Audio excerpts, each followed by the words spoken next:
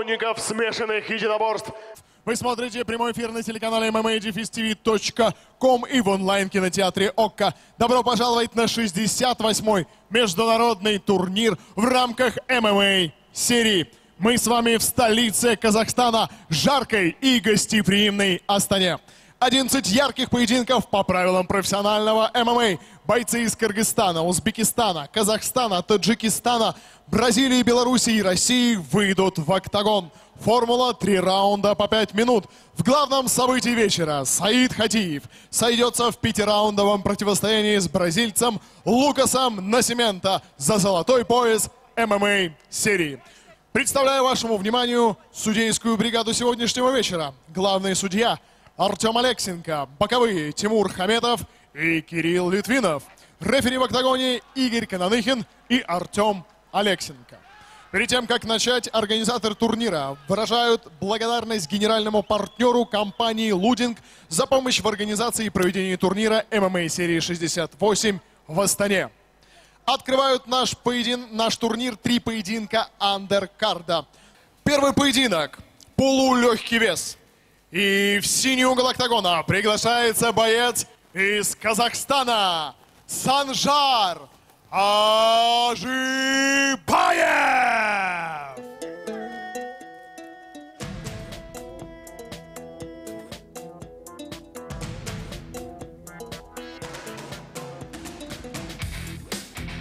Ну что ж, наступает время первой битвы, и Санжар Ажибаев сейчас будет демонстрировать свое мастерство уже не в Mortal Kombat, а в настоящих смешанных единоборствах.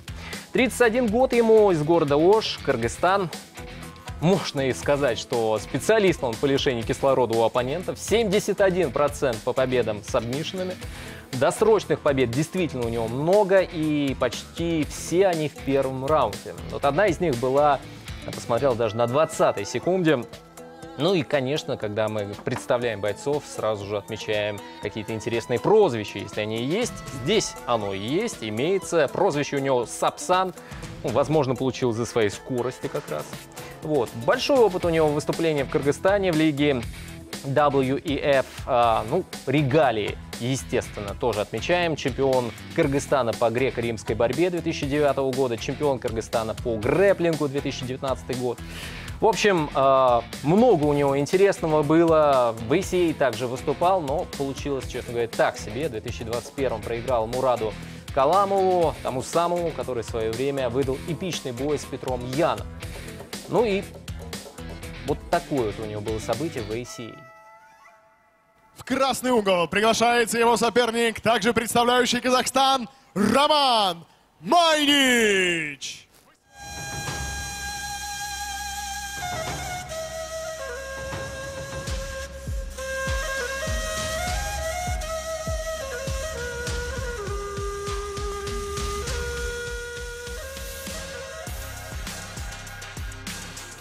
Ну а сейчас на наших экранах Роман Майнич.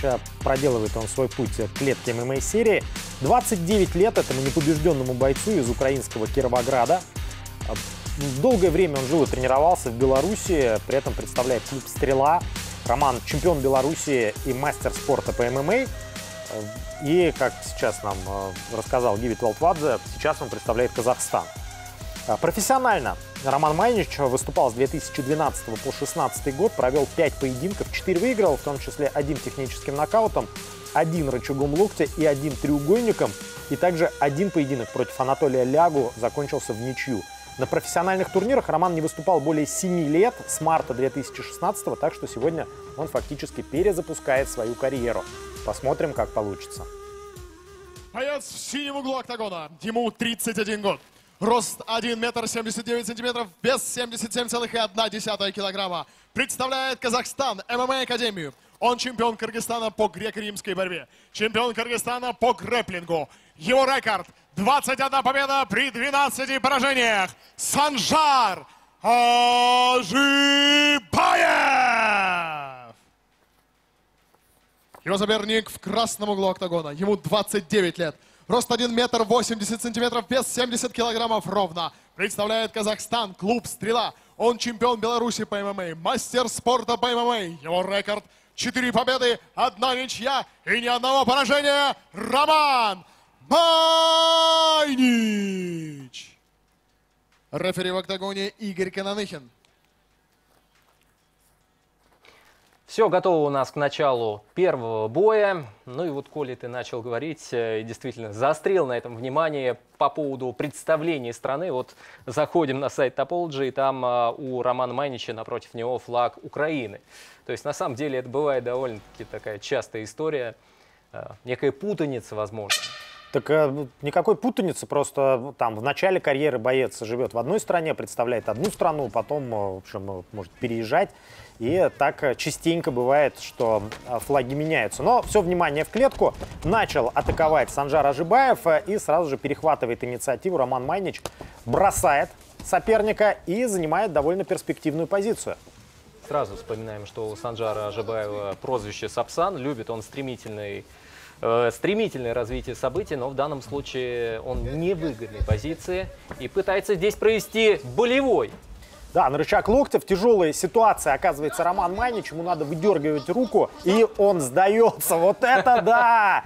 Э, Буквально 38 секунд, или, или же нет, 40, 40 секунд с небольшим потребовалось Санжару Ажибаеву, чтобы нанести первое поражение в карьере Роману Майничу. Но, как мы отмечали, у Романа была серьезная пауза выступлениях, судя по всему, все-таки перегорел и, возможно, психологически не смог выйти на, ну, в должном состоянии на этот поединок.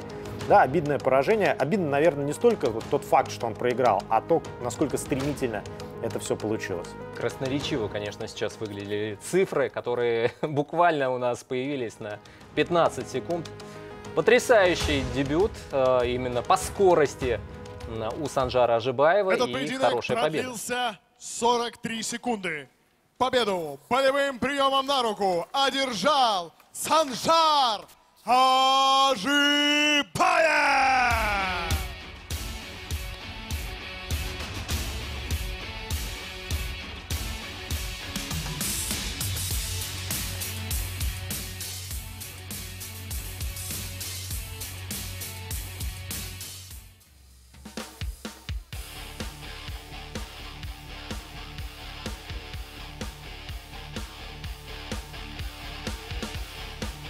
Смотрим а, повторы этого противостояния, но здесь, собственно, весь поединок может уместиться в один а, небольшой highlight. А, Совсем немного времени потребовалось Санжару для того, чтобы заставить Романа капитулировать. Он пытался вытянуть руку до конца, но спортсмены еще не вспотели, контроль был плотным, и в итоге стремительная победа Санжара.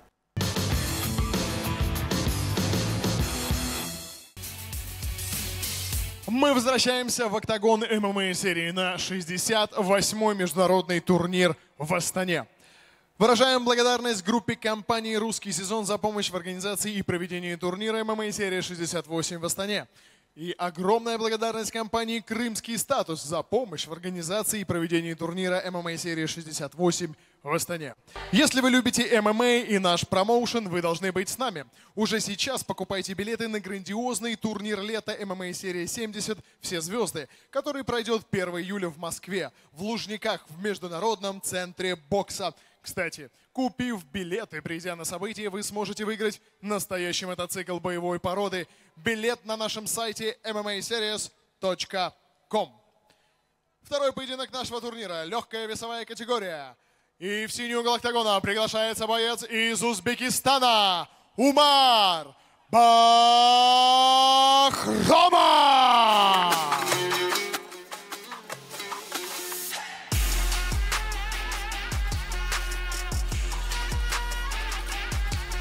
Ну что ж, мы врываемся, и у нас второй бой. И вот так вот, а, можно сказать, спокойно, вальяжно выходит не на Mortal Kombat, а уже на настоящий бой Умар Бахромов. Представляет Узбекистан, 24 года ему, из Самарканда. А, Выступает он в клубе «Чувств», там же тренируется. Если говорить о регалиях, чемпион Узбекистана по дзюдо. И самый важный момент – это его профдебют. Но если говорить вообще, в принципе, о нем как о спортсмене, в любителях он выступал бодро. Статистика там 10-0, а, что говорит о том, что парень не особо знает, что такое поражение. И это как плюс, так и минус. Тренирует его Закершон Хашимов. Ну, что ж, посмотрим. А, Выступать сегодня ему против Эдуарда Мартиросяна. Тоже очень интересный боец, но о нем мой коллега Ян расскажет через какие-то мгновения.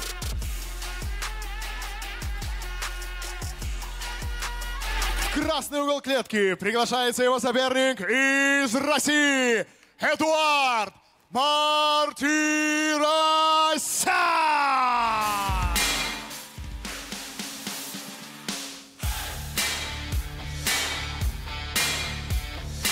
Звучат э, звуки ударов молота о наковальню, а это значит, что в клетку выходит боец знаменитого клуба «Кузня» Эдуард Мартиросян в данном случае. 22 года этому спортсмену из Краснодара, он двукратный чемпион России, чемпион Европы по рукопашному бою, призер чемпионата России по панкратиону, чемпион Кубка губернатора по боевому самбо. Но и в качестве профессионального бойца ММА Эдуард провел пока что один поединок. Было это почти 4 года назад на турнире Blacksmith Championship. Решением в тот вечер одолел Дмитрия Орлова. Но такое часто бывает, когда э, бойцы, которые занимаются разными единоборствами, э, выступают по различным видам спорта. В данном случае, э, судя по всему, для Эдуарда это именно рукопашный бой, боевой самбо и панкратион. И вообще 22 года, в принципе, отличный возраст и для дебюта, потому что сегодня, ну, можно сказать, что учитывая количество времени, которое прошло с предыдущего поединка, Эдуард во второй раз дебютирует. Ну, не ум- немногим такое дано, но в данном случае получилось. Дважды в одну воду, реку войти непросто. Боец в синем углу клетки. Ему 24 года. Рост 1 метр 75 сантиметров, вес 70 килограммов ровно. Из Узбекистана представляет клуб Чувство ММА. Сегодня он дебютирует на профессиональном поприще. Умар Бахромов! Его соперник в красном углу октагона.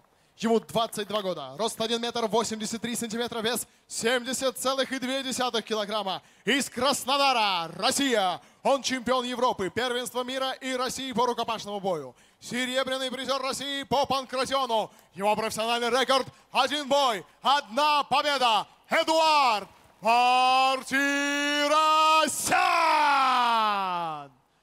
Рефери в октагоне Игорь Кананыхин. Ну что ж, последний инструктаж перед началом второго поединка в нашем турнире. Эдуард Мартиросян готов показать все, на что он способен, против Умара Бахромова. Для Умара, я думаю, что дополнительный волнительный момент, то, что это дебют, но посмотрим, как он с этим справится. Но при этом, ого, вот это да, Мартиросян, сразу же двойка. Очень быстрые удары э, и с самого начала э, показывает Мартиросян. И, на мой взгляд, сейчас вообще был близок к тому, чтобы улететь в нокаут в последнем эпизоде Умар. Э, пропустил он уже как минимум три попадания в челюсть. Согласен с тобой, сразу он показал, кто в октагоне хозяин. И вот эта двоечка такая бодрая залетела очень быстро. Я показал, что Бахромов просто ее не увидел. Сразу же в фулл-маунте оказывается Эдуард Мартиросян и начинает разбивать соперника. Очень э, тревожное, мягко говоря, начало для Умара Бахромова. Хотела сказать сейчас э, потенциально пассивной защиты, это, собственно, и продолжается, но здесь еще попытка от Эдуарда выйти и на удушающий, и на болевой, но я думаю, что хаммерфистами все может завершиться. Все, все кончено. Вот это да! У нас второй бой заканчивается менее чем за минуту, но в предыдущей ситуации там вообще все было просто невероятно стремительно. Но здесь э, поединок тоже односторонний, цифры особенно показательные, и в то же время удручающие для Умара Бахромова. Э, Но особенно печально, да, то, что у него была большая, хорошая любительская карьера, как ты, Да. Руслан, отметил, множество побед. Он привык побеждать, а здесь вы видели ноль точных попаданий. Ничего абсолютно не сумел сделать Умар. Печально также для него и то, что травма руки была, и ухо было травмировано еще у Мартиросяна, как он говорил в предматчевых интервью, но ничего это не сыграло на руку Бахрова. Да, Эдуард вышел, пришел, увидел, победил. Можно так 57 секунд. охарактеризовать этот поединок? Победу техническим нокаутом одержал Эдуард Артиросян! Мы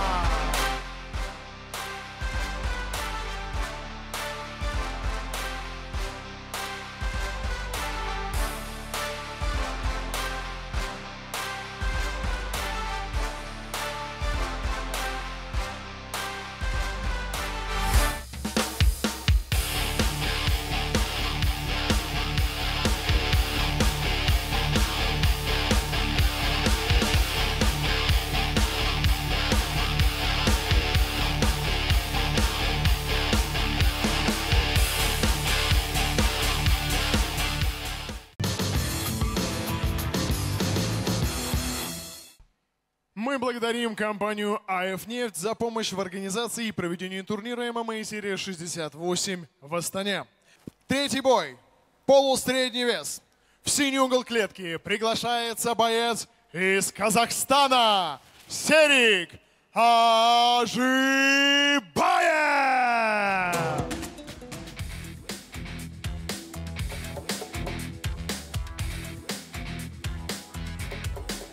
Серик Ажибаев, 33 года, представляет город Алмата, чемпион Азии по ММА, начинал свою проф-карьеру очень даже успешно, 7 побед подряд.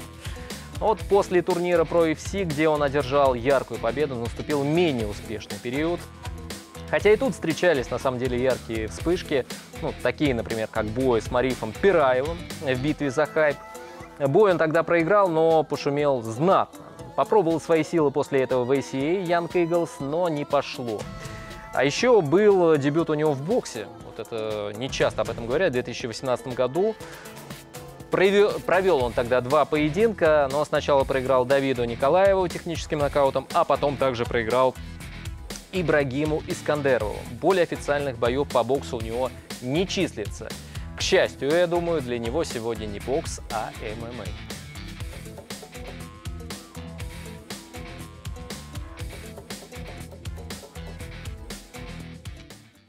Красный угол клетки приглашается его соперник из России Хамари Брой.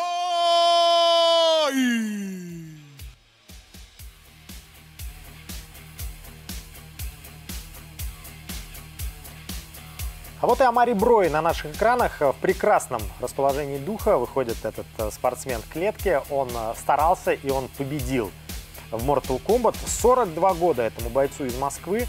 Один поединок он провел 12 лет назад, в 2011 тогда раздельным решением одолел Еладия Алджиева, после чего вернулся в клетку только спустя 7 лет. В 2018 задушил подряд Рахматило Ергашева, Ивана Иванова и Дмитрия Ейко.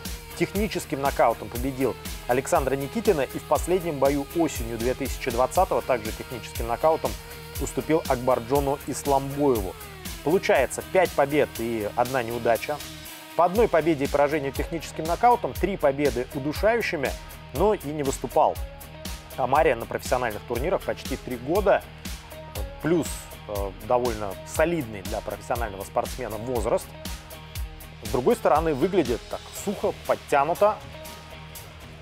Так что можем предположить, что Амария находится в хорошей форме. Мне кажется, он очень даже хладнокровен. Вот посмотри, насколько Продолжается Mortal Kombat для него сейчас. Ну, будем надеяться, что сражаться в клетке Амари Броя будет настолько же азартно, насколько он играл в приставку.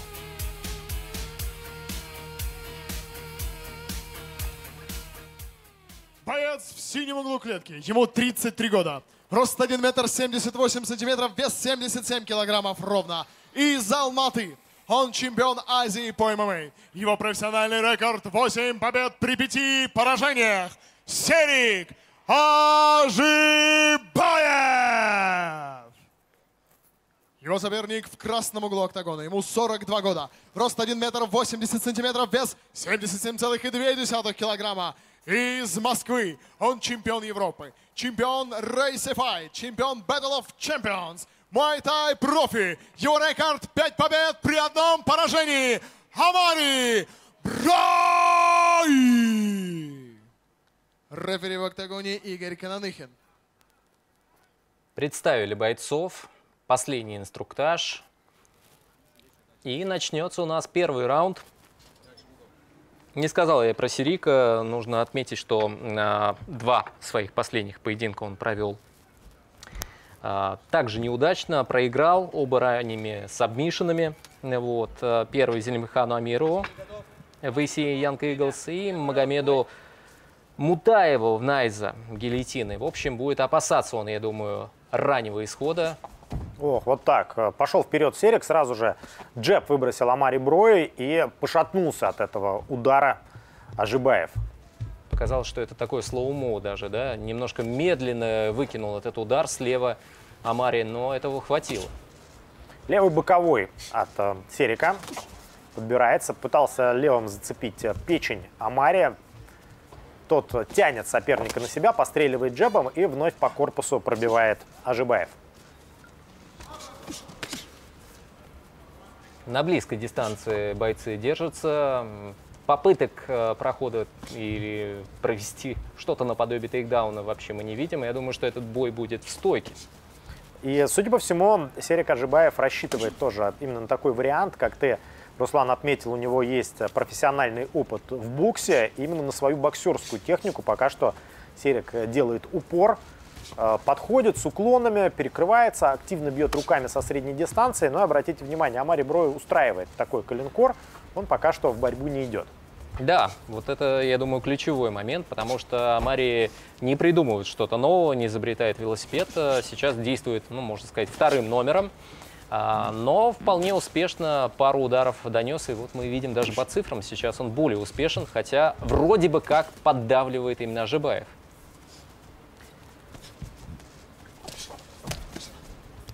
Еще пару ударов. Ну да, сейчас я вам сразу сказал, что это не бокс, а ММА, но мне кажется, вот э, действо само напоминает больше бокс в данном случае.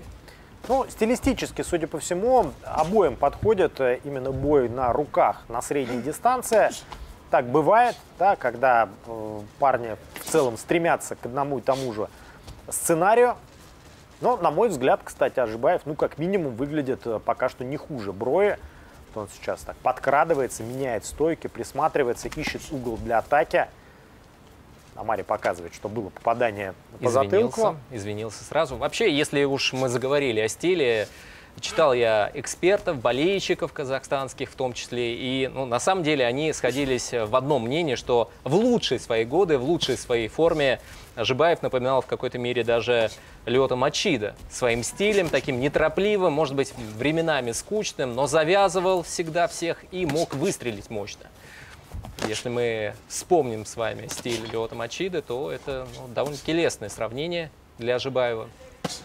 Но пока что он использует лишь э, малую часть из э, арсенала Лиото, потому что мы знаем, что Мачида один из пионеров э, в том отношении, что он э, блистательно приспособил технику карате для э, смешанных единоборств, но Ашбаев бьет исключительно руками, э, ноги не использует. Ну, поэтому и, наверное, делают сноску на то, что в лучшей своей форме и в лучшем состоянии. Сейчас Ажибаев, э, думаю, что не в таких кондициях, но, в принципе, для успешного завершения этого поединка э, этого может хватить. По разменам мы с вами видим, опять же, цифры. Приблизительно они выравниваются, и Ажибаев э, после не самого удачного начала сейчас э, потихонечку набирает обороты. Идет, раскачивается, сближается на дистанции, так по-боксерски. Ну вот, кстати, в тех двух поединках, в одном из них уж точно я смотрел, он проиграл а, таким техническим нокаутом, то есть его отправили, он встал, но рефери решил, что нет, парень, с тебя хватит. Э, Пропустил он удары. От боксера ему было сложно встать. Тем временем а, Амари переходит к активным действиям, попытался поймать его апперкотом навстречу э, Ажибаев и достает правым же оверхендом. На качели походит этот поединок, во всяком случае пока что. Э, То наступает э, Серик Ажибаев, э, то идет вперед Амари Броя. Точных попаданий совсем немного, в основном все мимо цели или в блок. Вот этот важный момент, который ты отмечаешь, потому что вот буквально сейчас смотрел, специально сконцентрировался на действиях Ажибаева и четыре удара в воздух. Дистанцию свою он не может найти. И, опять же, левый джеб выкидывает, справа пытается нанести такой более акцентированный удар, но дистанцию свою сложно найти ему. Сейчас, кстати, популярным становится направление бокс на голых кулаках. Многие организации такие поединки делают. Ну вот ММА-серия, даже учитывая название, да, это классические смешанные единоборства, но здесь в первом раунде мы увидели как раз э, бокс в перчатках для ММА.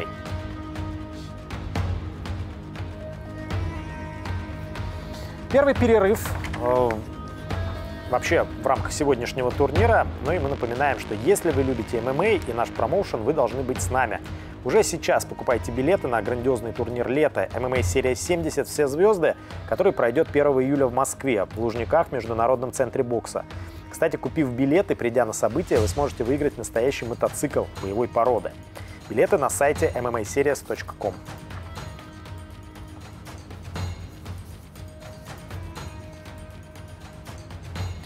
Ну что ж, а у нас подходит э, перерыв, в котором э, бойцам дают э, какие-то ценные, безусловно, установки.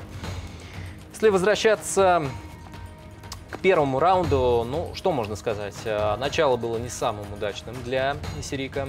Э, Можно сказать, что пропустил серию ударов. И вот как раз в тот момент, когда показалось, что ну, слишком он уж уверовал свой бокс и как-то даже замедленно действует, начал потихоньку набирать обороты. Но опять же, отмечаем много а, действий не в попад, а мимо ударов. И такое ощущение, что Амари а, затрачивает усилий меньше.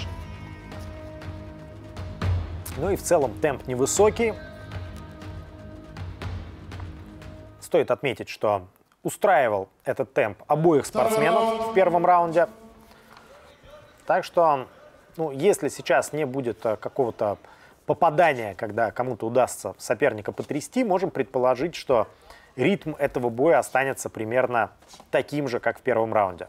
Да, плюс-минус, я думаю, это безусловно именно таким образом будет э, взрыв э, не в стихии, по крайней мере, Сирика Ажибаева. Он гнет свою линию планомерно. Ну и не думаю, что у него сейчас есть ресурсы те, чтобы кардинально как-то изменить ход поединка. А вот именно надеяться на физическую усталость Броя, почему бы и нет. Амари ну, сейчас э, тоже провел хороший эпизод. Э, Через блок часть ударов все равно заходит, несмотря на то, что старается максимально плотно перекрываться Ажибаев, когда идет на соперника. Опять же, идет он в большинстве эпизодов без ударов, поэтому вынужден принимать на блок и на свою многострадальную голову э, удары, вот как сейчас левый боковой, очень неприятно. Э, К тому же э, Серик э, практически не двигается, ходит по прямой вперед-назад и является статичной мишенью для Амари Броя. Да, интересный очень такой вариант, тактический ход. э, Подойти практически без ударов э, на ближнюю дистанцию и тут выбрасывать намного меньше ударов, чем его оппонент. Эм, Возможно, он рассчитывает на двойку или на один какой-то сконцентрированный удар, как сейчас. Неплохо двойка залетает, и Амари пропускает.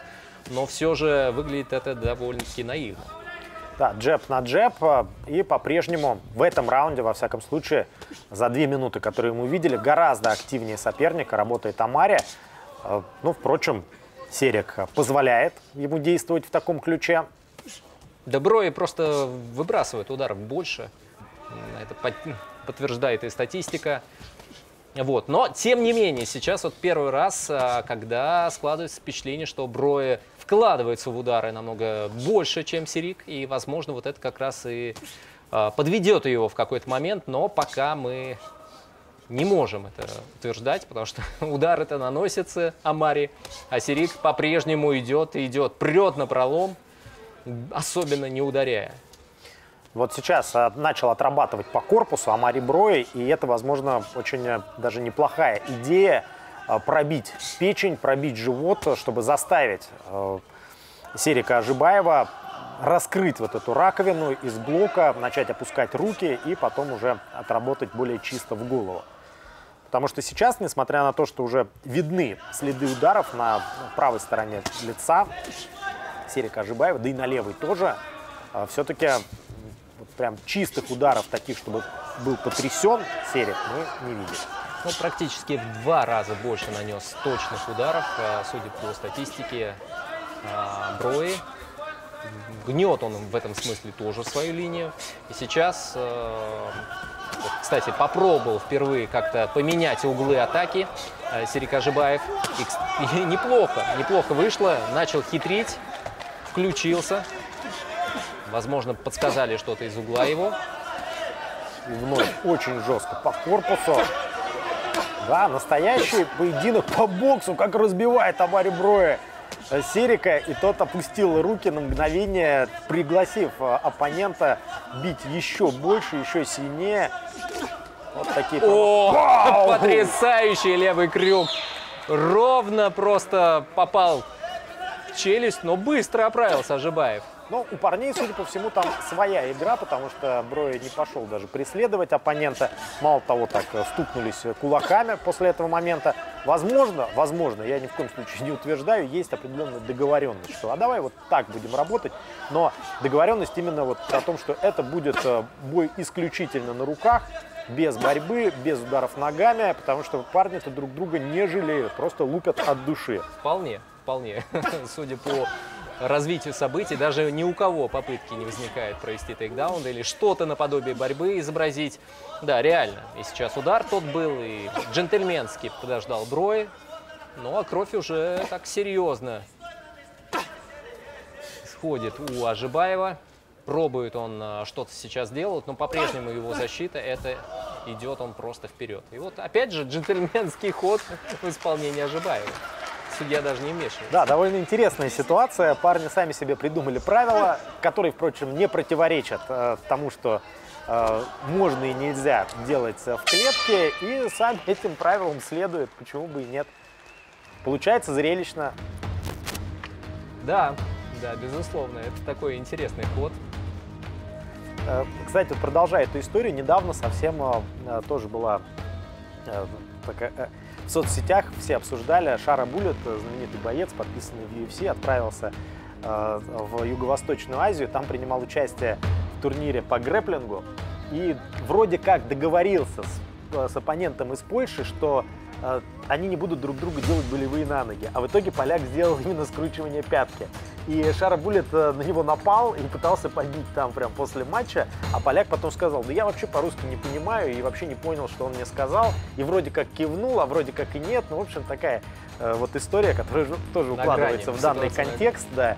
Если Э, вам интересно, вот ту историю, которую начал Яна, рассказал, так в динамиках вы можете посмотреть на а, площадках раз- различных, в Ютубе, много-много всяких комментариев уже на эту тему записано. Ну а у нас э, настоящая какая-то рубка такая очень интересная по собственному кодексу, по собственным правилам, а, в которой кто побеждает? Вот как ты думаешь? Ну, первый раунд был близкий, на мой взгляд. Во втором явно совершенно лидировал Амари Броя. Он э, и больше выбросил, и гораздо больше попал. Но посмотрим. Посмотрим, найдет ли силы в себе Серик Ажибаев для того, чтобы попытаться переломить ход Решающий встречи в третьем раунд. раунде. Мне кажется, вот именно по таким правилам, которые придумали бойцы, у Сирика остаются, безусловно, шансы, потому что это бескомпром- бескомпромиссная открытая борьба, бокс, вернее, в котором может прилететь действительно все, что угодно. Ажибаев по-прежнему как танк идет вперед, без ударов, ну или нанося удар раз в 10 секунд. А Брой по-прежнему отрабатывает не только по верхним этажам, но и по корпусу. Сильно разбито лицо у Серика Ажибаева. Левый апперкот. Но не хватает уже сейчас э, силы, на самом деле, Ажибаеву. Вот справа удар оверхенд какой-то по очень замедленной такой траектории летел. Но, с другой стороны, как известно, для того, чтобы нокаутировать соперника, много дури не надо, много энергии в ударе. Достаточно попасть ударом, который оппонент не видит.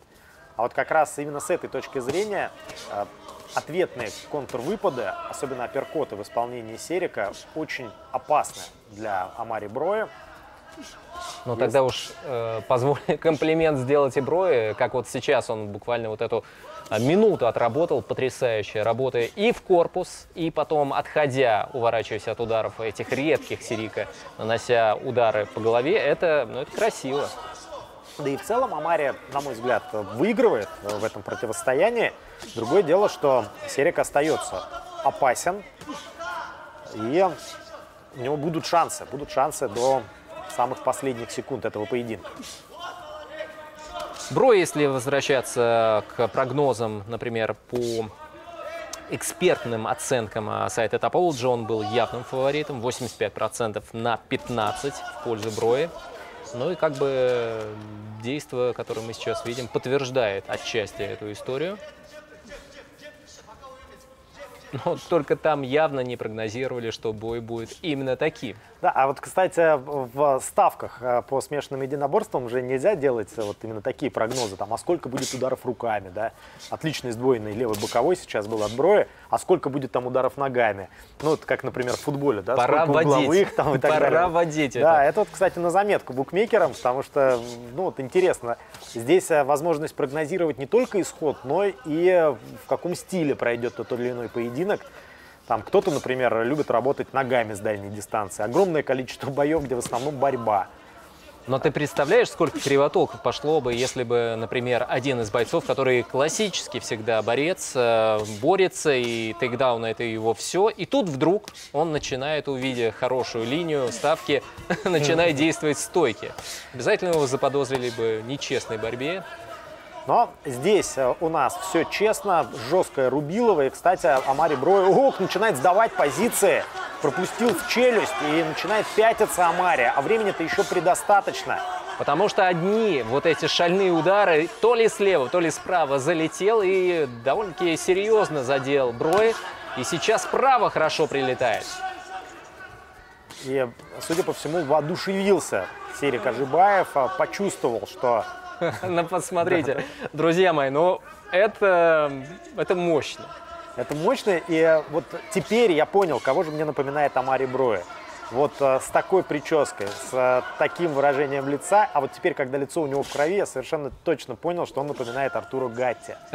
Да. И дерется тоже бесшабашно, много пропускает. Но Уордом мы не назовем Ажибаева, но вот здесь все-таки, да, сходство минимально, соглашусь. Но Минута. по, по ходу, конечно же, бой закатывают ребята очень яркий. И не знаю, о, о чем они там договорились, но нам И это договорились приятно. ли вообще, да. Потому что, возможно, просто вот решили в таком стиле провести, не сговариваясь этот поединок. Да, конечно. Тут никаких э, претензий к ребятам нет, потому что удары совершенно не липовые, максимально реалистичные, и здесь все по-настоящему. Да и вообще закатили настоящее побоище парня, не жалея ни себя, ни соперника. Э, Вот не так давно э, был турнир, ух, дв- дважды правым прямым точно в голову попадает Ажибаев. А, Турнир по ММА, где лучшим поединком стал единственный бой в карде по кикбоксингу. И вот здесь тоже замечательный совершенно бой. Да, может быть, кто-то скажет, что с точки зрения бокса это не там э, высочайший уровень, но за желание, за умение идти вперед и стоять до конца, мне кажется, можно твердую пятерку поставить и Амари Брой, и Серику Ажибаеву. И будут аплодисменты, я уверен, и сейчас и в одном, и в другом углу. И ребята показали, посмотри, я думаю, что они как раз говорят сейчас о том, что все было, ну, круто. Круто, а дальше уже, конечно, слово рефери. Да, э, по ударам руками 112 на 178 и абсолютно чистые нули во всех остальных показателях. Давненько я такого не видел, честно скажу. Даже попыток никаких не было.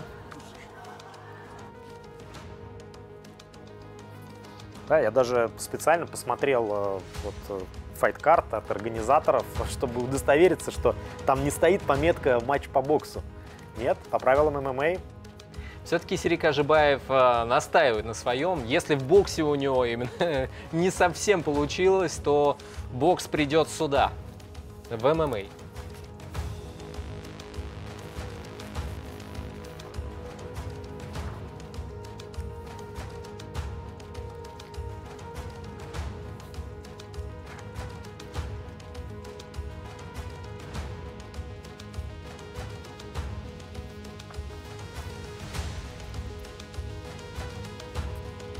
Все замерли сейчас а, в небольшой паузе, потому что судьи определяют, выставляют финальные баллы, очки. Ну и если мы будем а, внимательно следить за ходом событий и на ту статистику обращать внимание, то победитель в принципе очевиден, но всегда могут быть сюрпризы. Я попрошу вас наградить бойцов аплодисментами. Три раунда жесткой рубки в стойке. Победу раздельным решением судей одержал боец из России Омари Бро! Поздравляем Амари Броя. Это был а, по-настоящему такой мужской, брутальный поединок. а, Кровавый, кость в кость с первой до последней минуты. И заслуженная победа Амари. Красиво. Поздравляем Амари, но Серику Ажибаеву большое спасибо за этот спектакль, в котором он принимал активное участие. Спектакль, конечно, в хорошем смысле этого слова, потому что это было ярко.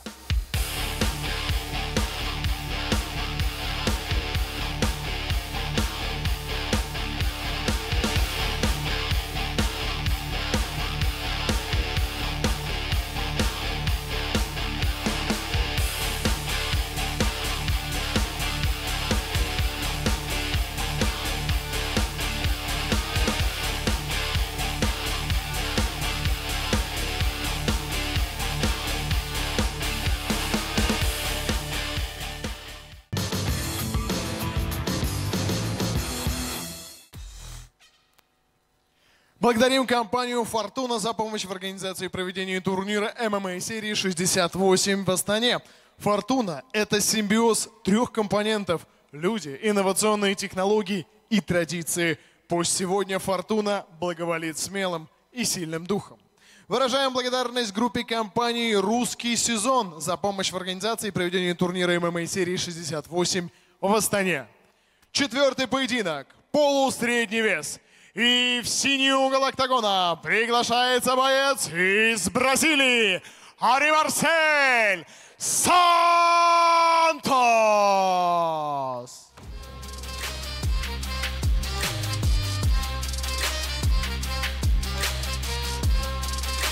Ну что ж, друзья, движемся дальше. На очереди у нас Ари Марсель Сантос, 43 года, и он уже не на очереди, а выходит к октагону, представляет Бразилию, штат Париба. Параиба. А, Проводит он, друзья мои, ни много ни мало, 84-й поединок профессиональный по ММА. Начал драться в далеком 2000 году, и на его пути встречалось очень много достойных ребят. Ну, конечно, самое громкое имя в послужном списке Ари Марселя – это Хабиб Нурмагомедов. В 2011 году, когда Хабиб э, только начинал свое восхождение в ММА, они встретились на турнире Pro FC, и тогда в первом раунде Сантос проиграл техническим нокаутом. Он пропустил левый боковой, и дальше уже Хабиб, что называется, дожал. А, Также отметим бой в 2019 против бы- бывшего бойца UFC Андреса Михалидиса. Ну а по- обо всем остальном Красный чуть угол позже. клетки приглашается его соперник из Узбекистана. Ислам Камалдина.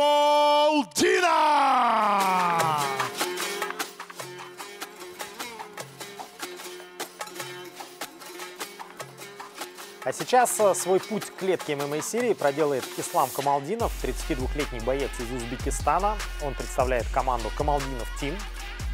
Мастер спорта по грэплингу, чемпион Узбекистана по грэплингу, ММА и бразильскому джиу-джитсу. Как профессиональный боец выступает Ислам с 2017-го, начал с пяти побед подряд, потом дважды проиграл нокаутом Магомед Саиду, Саидову, Магомед Саиду Саидову и Сергею Шуркевичу. Кстати, Сергей Шуркевич это прям уже высокий уровень. Вышел на еще одну, после чего вышел еще на одну победную серию, которая в итоге привела Ислама в ММА-серию. Здесь он провел последние три встречи. Элвина Наджафова решением победил и также решением уступил Максу Викторову. В последнем бою техническим нокаутом проиграл Эдналдо Джуниору Маркесу. Всего 8 побед, 4 неудачи, но 7 побед досрочных. 2 нокаутом и 5 приемами. Три из четырех поражений нокаутами. Правда, прямым нокаутом только одно поражение, остальные техническими. Боец в синем углу октагона. Ему 43 года. Рост 1 метр 77 сантиметров, вес 77,1 килограмма. Из Бразилии представляет московский клуб Гор ММА. Он чемпион мира по джиу-джитсу. Его рекорд 80 боев, 43 победы при 37 поражениях. Ари Марсель Сантос!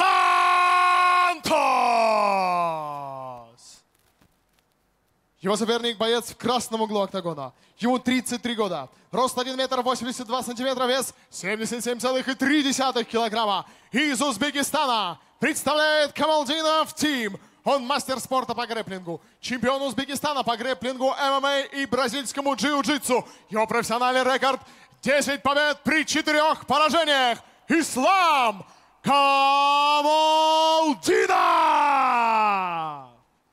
Рефери в октагоне Игорь Кананыхин.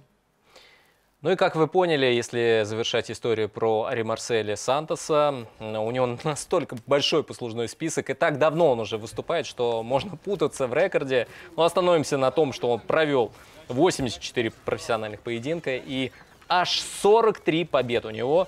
Ну, нужно отметить, конечно, что и 40 поражений. В общем, такой заслуженный ветеран, который рвется в бой и по-прежнему любит ММА. Внешне, кстати, э, Ари Марсель похож на Евангелисту Сантоса, легендарного бойца, э, бывшего мужа Крис Сайборг. Да и вообще есть такая порода бразильцев, такие маленькие, очень крепкие, как пружина, туго сжатые. И сейчас э, начинается наступление Ари Марсель Сантос. Подавливает немножечко, видно, что готов он к борьбе. Естественно, чемпион мира по джиу-джитсу. Здесь уже не стоит ожидать э, такой бравой борьбы в стойке. Но хорошая подсечка в исполнении Камалдинова. Лукиком отвечает Ари Марсель. Камалдинов а, крупнее и размах у него больше. Правая с разножки обозначил таким образом дистанцию Камалдинов и продолжает обрабатывать его левую ногу Ари Марсель Сантос. Ну а Сантос э, потихонечку подходит на свою дистанцию. И вот первый Первая попытка провести тейкдаун. Переходит все-таки, скорее всего, Партер, да. Прихватил соперника на гильотину Ислам Камалдинов, но быстро понял, что захват бесперспективный, решил не тратить лишних сил и перешел к обороне. Закрывает, закрывает. да, закрывает гард, э, правильно. Синхронно мы с тобой это отметили, потому что события с таким э, мастером могут развиваться максимально быстро. Аккуратно действует Ари Марсель, прижимается головой к сопернику. Ну, а здесь мы видим а, локти пошли снизу.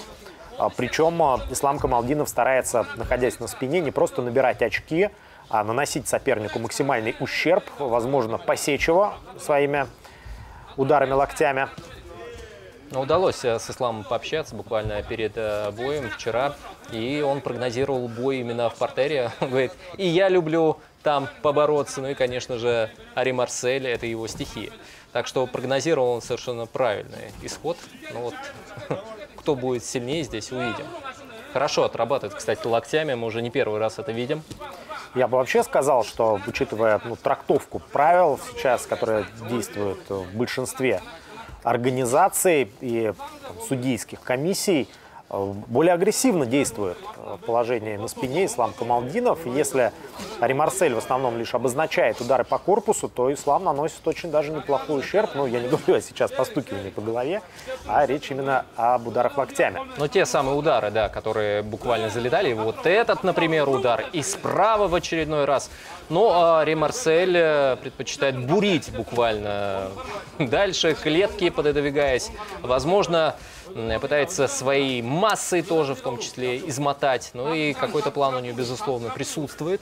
Но пока, скажем, ислам более успешен в этих действиях. Контроль идет Ари Марселю, но, как мы знаем, с точки зрения современного судейства, вот гард считается позицией равнозначной, и здесь все зависит от того, кто действует более активно. А, продолжает э, периодически накатывать на левую руку соперника Ислам Камалдинов, а, оказывает на нее давление, но все-таки вывести бедра из-под очень цепкого Ари Марселя он не может. Ну и попытка сейчас Ари Марселя выйти на более выгодную позицию. Вот уже наконец-таки подключает правую руку. А, прошли несколько ударов, но они скорее беспокоящие такие были, не сильные, не акцентированные. Тем временем уже меньше полутора минут до окончания этого раунда. Попытался так, присмотрелся к треугольнику Ислам Камалдинов, но решил пока что не вкладываться в этот эпизод. И вот сейчас удалось ему совсем чуть-чуть отбросить соперника. Посмотрите, Сколько какая ударов. серия. Да. Сколько ударов пропускает Ари Марсель. Хотела сказать, что у него попытка зайти на боковой контроль была и даже на full маунт вроде бы. Но очень легко, очень подвижно действует э, в защите Ислам Камалдинов и наносит ударов он явно больше. Возвращается в гард Ари Марсель.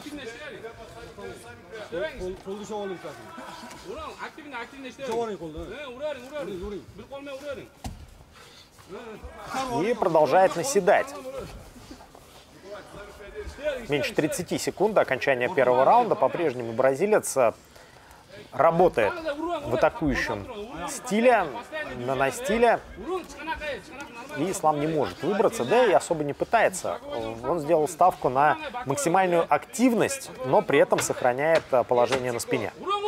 Очень интересно, на что сделал ставку Ари Марсель Сантос и его геймплан по первому раунду захватить вот это вот э, такое условное преимущество, но что дальше? Думаю, даст ответы многие второй раунд. Ну и пока у нас перед вами, перед лицом статистика первого раунда. Больше ударов нанес Камалдинов. Вот, кстати, если говорить про а, акцентированные удары, то там, по-моему, я успел видеть больше как раз было у Сантоса. Ну, это с точки зрения ребят, которые считают удары. Возможно, вы, дорогие друзья, увидели что-то другое да, в этом раунде. Но самое главное, конечно же, то, что увидели судьи. И как они посчитали, как они оценили локти Камалдинова, вот, которые мы сейчас с вами видим, как они оценили удары и контроль Ари Марселя. И кому в итоге отдали преимущество, нам остается лишь догадываться, потому что здесь может быть использована разная логика. Пока об этом говорить рано, но вот опять же, если возвращаясь э, к такому быстрому экспресс-разговору с Исламом э, Камалдиновым, в частности, он сказал, что во время подготовки была у него небольшая травма, Какая именно, он не стал уточнять. Но мы знаем с вами прекрасно, что для бойцов во время подготовки это, к сожалению или к счастью, не знаю, это такая частая история, когда получают ту или иную травму. Э, весь вопрос в том, насколько это серьезная травма. Вроде бы по первому раунду каких-то серьезных, э, не знаю, сложностей он не испытывал. Перерыв закончен и начинается второй раунд противостояния Ари Марселя Сантоса и Ислама Камалдинова. Ну вот та самая статистика условная, которая для вас может быть как вспомогательной шпаргалкой. Ну и очень хорошо взрывается Камалдинов. Сейчас пошел буквально так голову вперед, чтобы не пропустить сильный удар.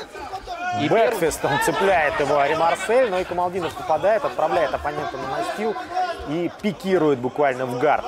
Сразу же треугольник пытается набросить Ари Марсель. Угол а, недостаточен, но отсюда можно продолжить атаку. Знаешь, этот э, бэкфист, который выпустил Ари Марсель, э, возможно, его подвел, потому что потерял он как раз координацию. Неподготовлен он был, но сейчас э, пытается он а вот выйти сейчас, на... Сейчас очень плотный замок, но мы видим, что даже по реакции да, Ислам Камалдинов продолжает бить, а это значит, что с ним все в порядке. Ну, по, по крайней мере, сковал сейчас действия Ислама Камалдинова этим замком верит в свой треугольник Ари Марсель, и все, вот так. Вот, Потрясающе! Да, так бывает. Вот буквально две секунды назад Ислам выбрасывал удары и, в общем, всем своим видом показывал, что никаких проблем он не испытывает. Чуть-чуть поменял угол э, замка Ари Марсель Сантос, и все, через мгновение Ислам Камалдинов уже стучит, сигнализируя о собственной капитуляции. Вот не хочется, конечно, уходить э, в такие моменты в банальщину какую-то, но, друзья мои, что это как э, не опыт, да? Просто вот выждал. Вроде бы совершил некую ошибку, которую мы с вами отметили. Бэквист э, неподготовленный и снес его буквально Ислам Камалдинов. Но вот там, в этой некой суете, он нашел момент и, и сделал то, что должен. Здорово. Ари Марсель Сантос обращается к нам, сейчас говорит, я уверен, что-то хорошее. Ну и мы видим, что э, надевает на него футболку Гор Азизян, руководитель московского клуба Гор ММА, э, который в очередной раз демонстрирует, что бразильцы, которые обосновались в этом клубе, это очень крутые ребята. Мы привыкли, что частенько да, в разные промоушены привозят бразильцев, они не очень высокого уровня, но в ММА-серии бразильцы из клуба ММА, из клуба, из клуба Гор ММА выходят и сражаются, и довольно часто побеждают. Одержал Ари Марсель Санто!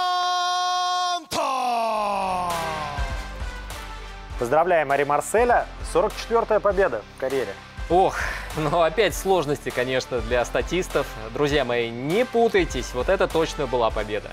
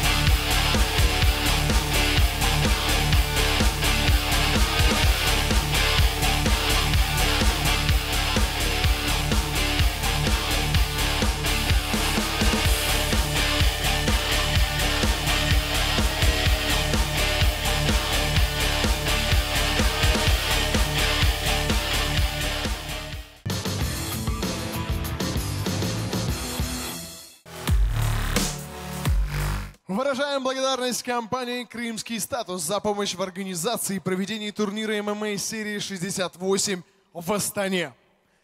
Пятый поединок. Полусредний вес. В синий угол октагона приглашается боец из Узбекистана Мухаммад Али Юсупа.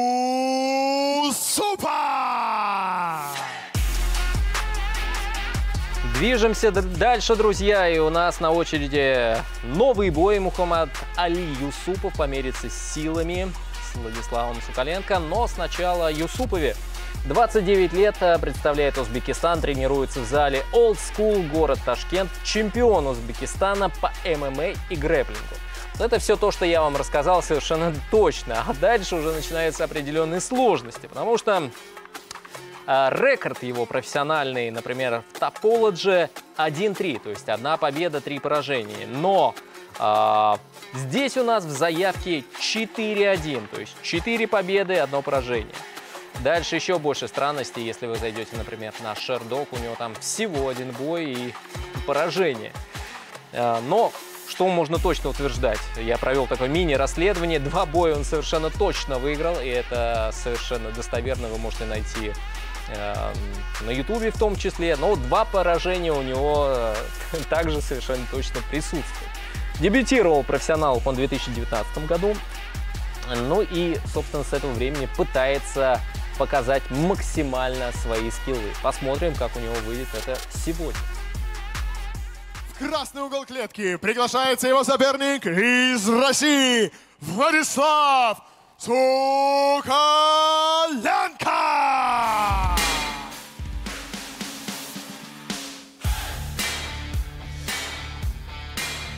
Ну а сейчас на наших экранах Владислав Сукаленко, 22-летний боец из Краснодара, чемпион России по ММА, чемпион мира по ММА среди юниоров, представляет клуб «Кузня».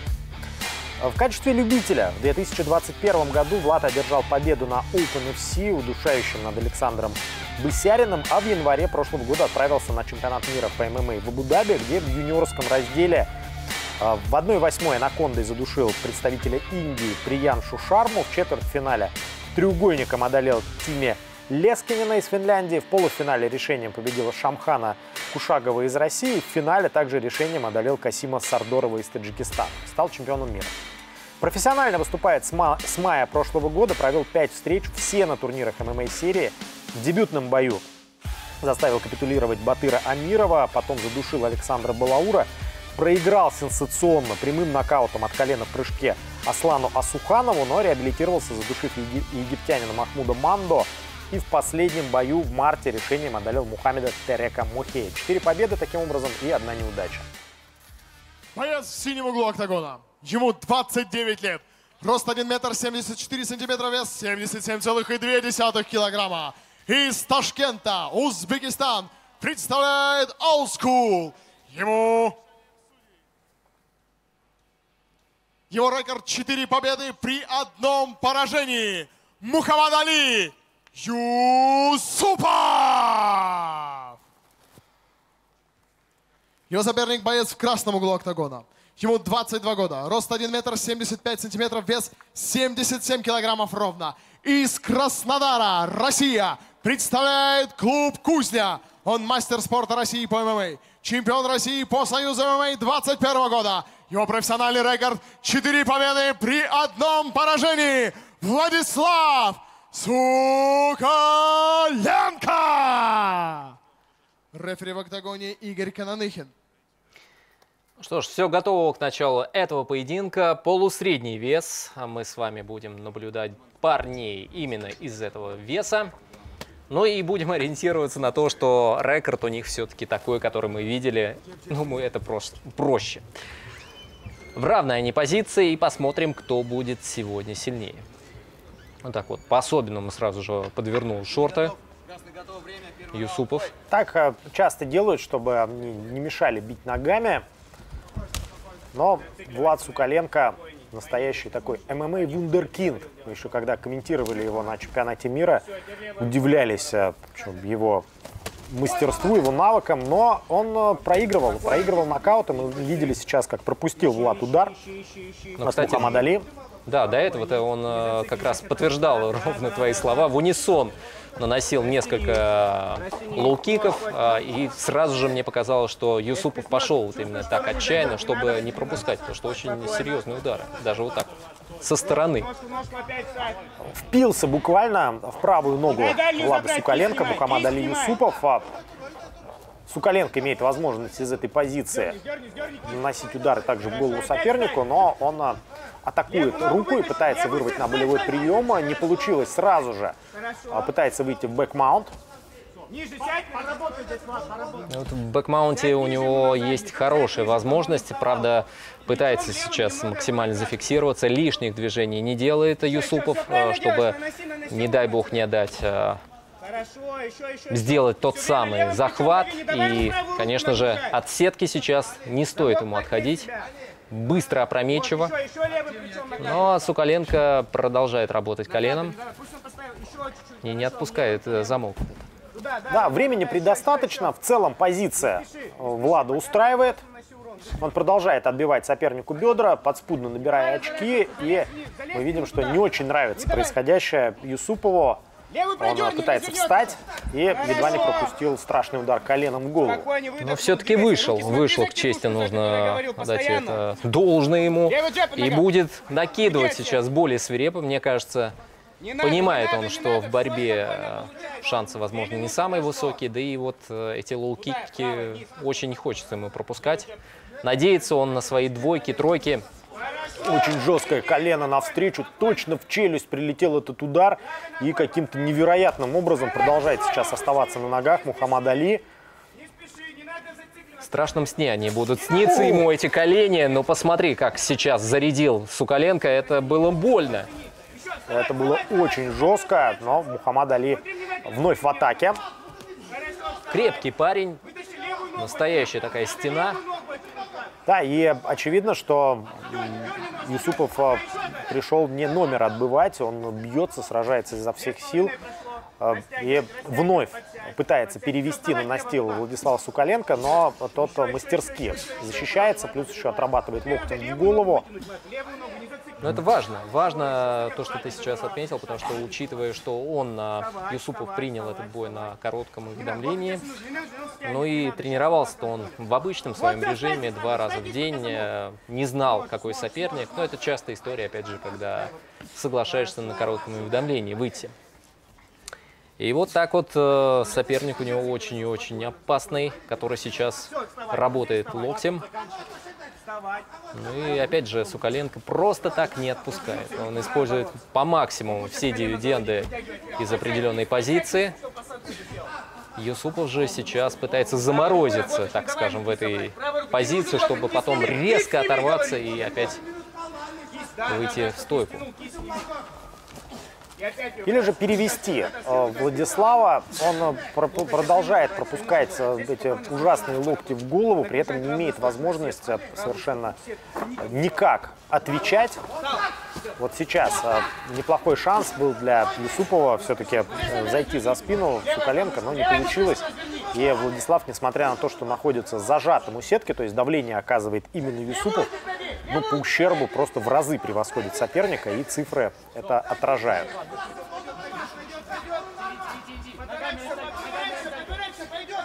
Ну и вот опять у нас э, фаза борьбы.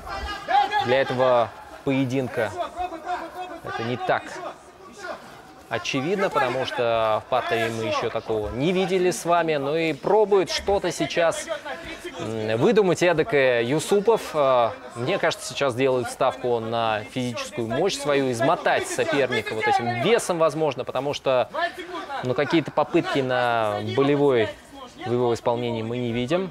Борется, именно борется и прикладывает физическую мощь. Тейкдаун от Сукаленко на последних секундах первого раунда. Вряд ли уже здесь получится как-то реализовать эту позицию у Влада. И зато есть возможность отдохнуть, что тоже неплохо. Ну и вот посмотри, довольно-таки хорошо дышит.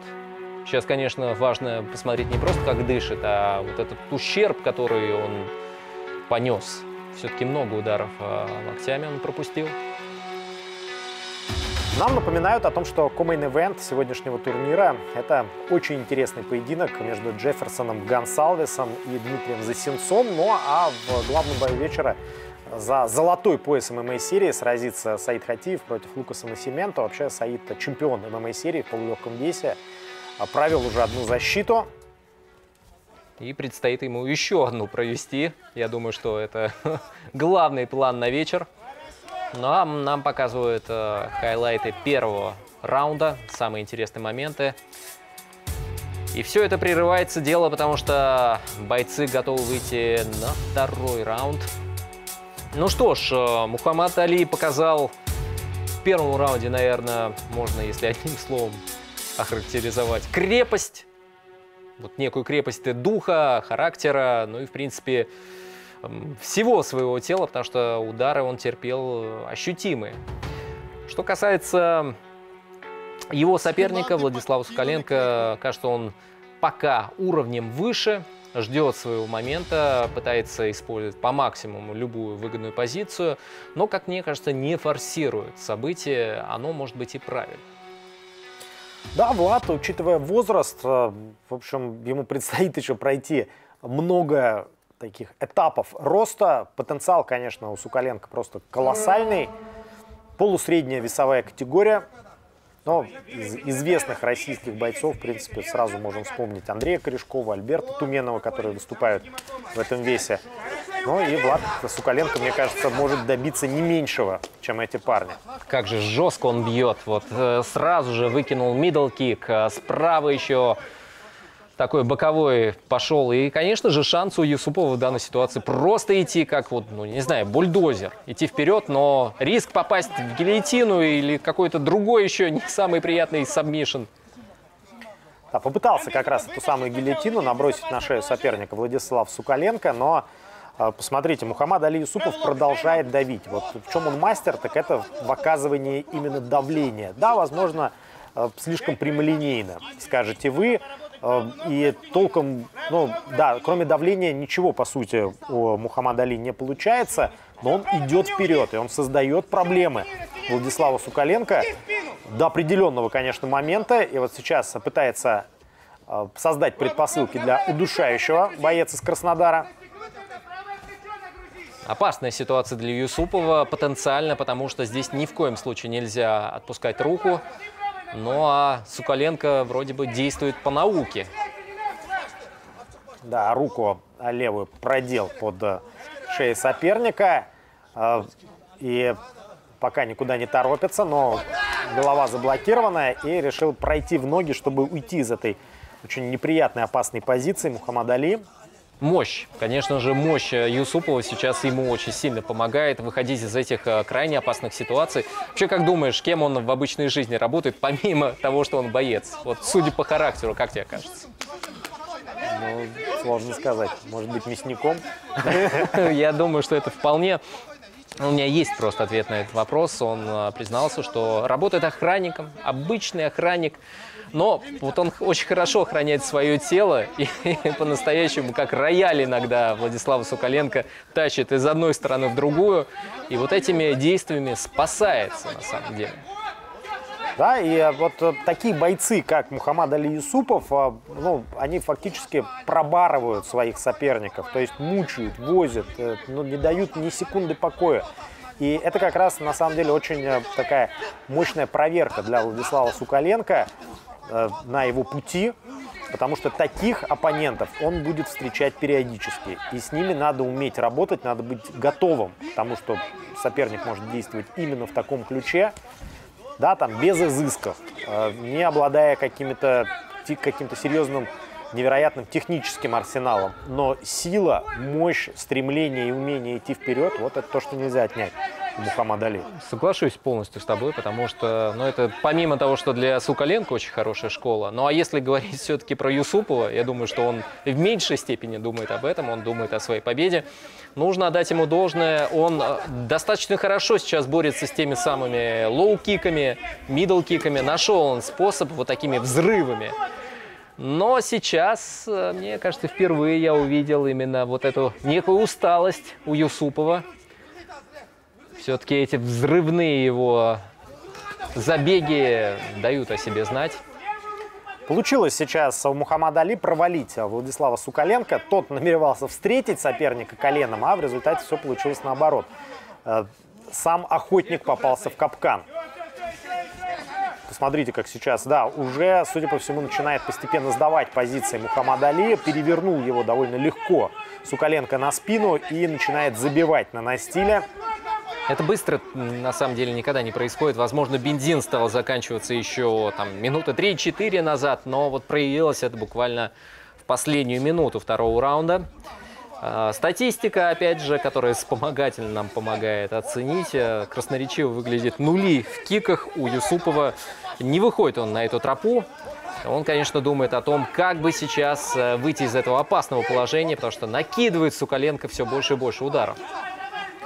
Разбивает соперника, включает локти из фулмаунта, где хорошо устроился Владислав Сукаленко.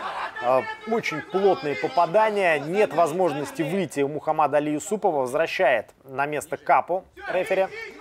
И Сукаленко продолжает разбивать э, лицо Мухаммада Али. Юсупову нужно продержаться эти самые 10 секунд. Я думаю, что он это и сделает, но все не так сладко для него, как в первом раунде. Так, далеко не такая спокойная жизнь. Перерыв, э, который, судя по всему, нужен обоим, но, естественно, для Мухаммада Али это была ситуация близкая к критической. Думаю, сейчас нам покажут те самые повторы. И, ну, на самом деле, первую половину этого второго раунда неплохо провел э, Мухаммад Али. Но вот здесь, кстати, хороший хайкик залетел ему в голову. А, Перевел даже, и тейкдаун был. Здесь хорошие удары наносил у клетки. Ну а потом, как мы увидели, бензин стал заканчиваться, и пошли удары, и вот этот перевод очень перспективный был у Сукаленко. Работал он локтями, и серьезный ущерб нанес Мухаммад Али.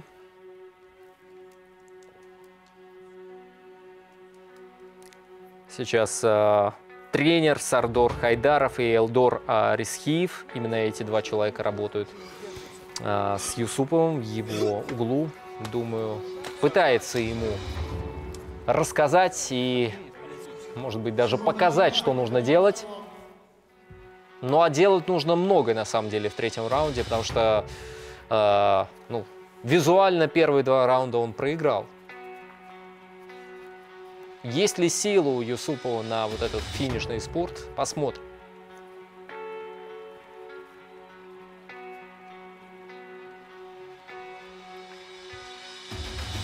Немного затягивается перерыв, необходимо протереть настил. Но бойцы уже готовы.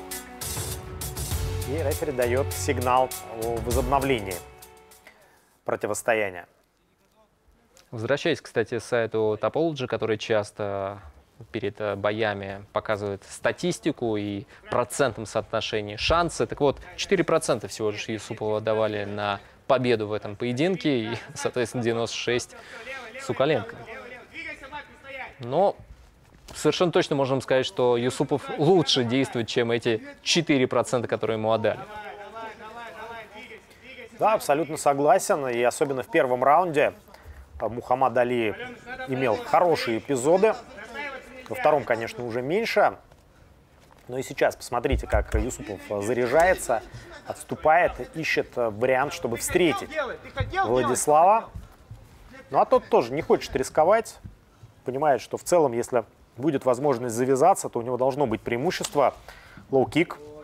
Но думаю, здесь вот по этим а, минутам и по этому началу третьего раунда становится понятно, что Сукаленко намного лучше с кардио, и сейчас он может действительно нагружать все больше и больше. Юсупова он как раз не форсирует, а Юсупов сейчас не взрывается. Вспомните первый и второй раунд. Обычно у него шли быстрые такие проходы в ноги и попытка завязаться. Сейчас же он замер. И вот только сейчас пошел вперед, на скачке пробивал Юсупов а, одиночный левый боковой, но удар пришелся мимо цели, и именно этого и ждал Владислав Сукаленко, чтобы перейти к борьбе, блокирует соперника у сетки, вставляет ногу и сваливает Юсупова. Технично, технично было, да. Ну что ж, а здесь э, уже дальше нужно просто действовать по тем принципам, которые прекрасно знакомы Сукаленко. И сейчас будет отрабатывать, как в первом раунде, я думаю, пойдут обязательно хаммерфисты и локти. Ну а Юсупову сейчас будет очень тяжело. И эта ситуация больше даже напоминает концовку второго раунда. Надо спину выпрямить, чтобы было удобно. Да, за исключением а, того факта, что сейчас а, Влад а, Хорошо, пока хорошо, что еще не в ножки хотя уже. если так дальше пойдет, то Влад, все получится. Вот, все. Но А из этой позиции тоже прекрасно может а, Владислав Сукаленко наносить удары, что он и делает, вновь пытается подключить локтем. Сильное рассечение на этом плане мы видим у Юсупова. Ну, не мудрено. И мне кажется, вот оно раскрылось именно в полной мере сейчас. Да.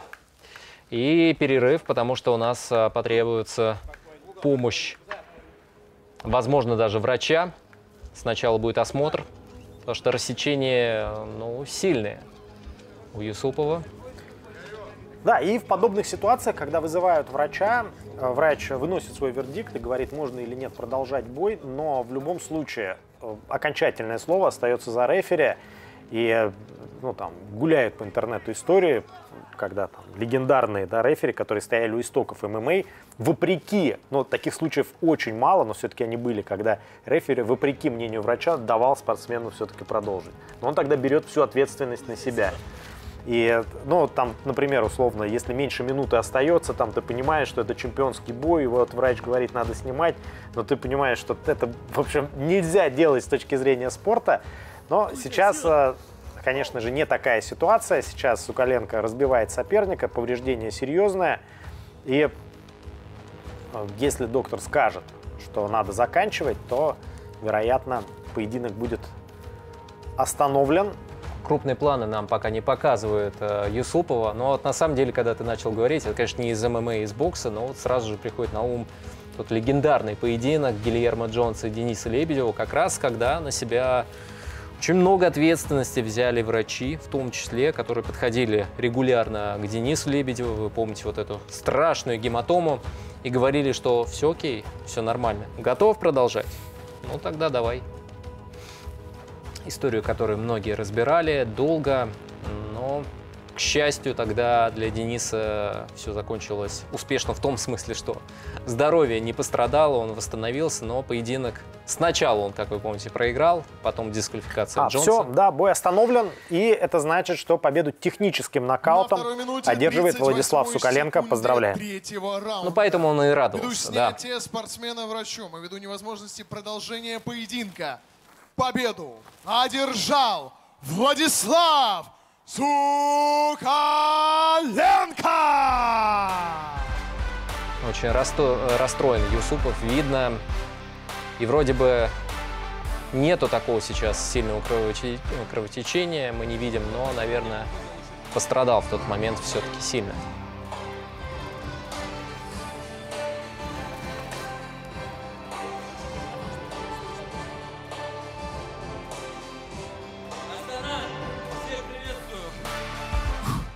В первую очередь я хочу поблагодарить своих тренеров. Это Перевертунов Олег и Щербин Норат Олегович. Военно-спортивный клуб «Кузня» и «Витязь». Фух, я хочу, во-первых, вас поблагодарить. Во-вторых, своих родителей, девушку. Всех хочу поблагодарить за поддержку ежедневную. И также сегодня у моих друзей день рождения. Это Коля Стрельник и Богдан Радачин. Фух, братцы, хочу вас поздравить с днем рождения. Пожелать вам успеха во всем, здоровья вам, вашим родителям. Дай Бог здоровья за таких друзей. Все, всех люблю, обнял. Всем спасибо еще раз. Победитель Владислав Суколенко.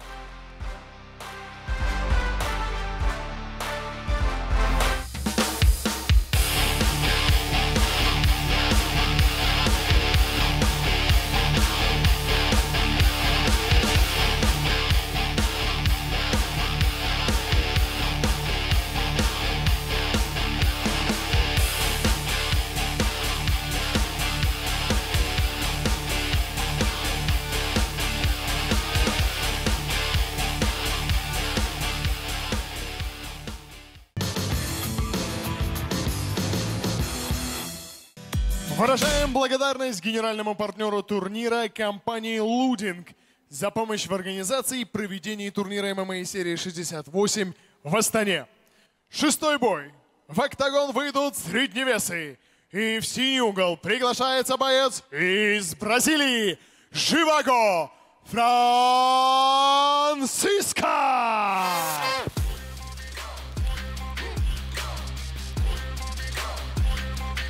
Очередной бой у нас, а, и я думаю, что не очередной, совершенно неповторимое действие будет, потому что выходит у нас бразилец Живаго Франциско, 31 год а, ему из Сантарен, штат Пара, Бразилия. Представляет команду «Хардкор», тренируется в Москве.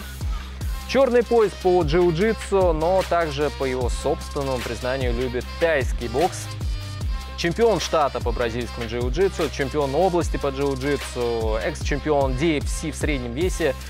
Первоначально э, он сразу же заявлялся именно как боец ММА. Хотел он выступать именно там, но вот профессионально начал именно выступать там только с 18 лет.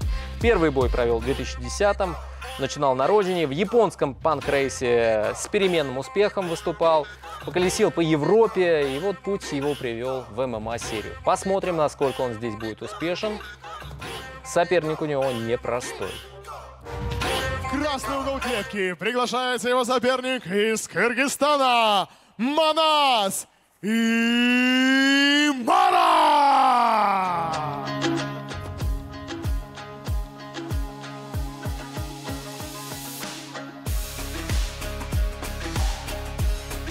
Ну а сейчас на наших экранах Манас Имаров, 27-летний боец из киргизского Бишкека. Он представляет местный знаменитый клуб «Жашкуш».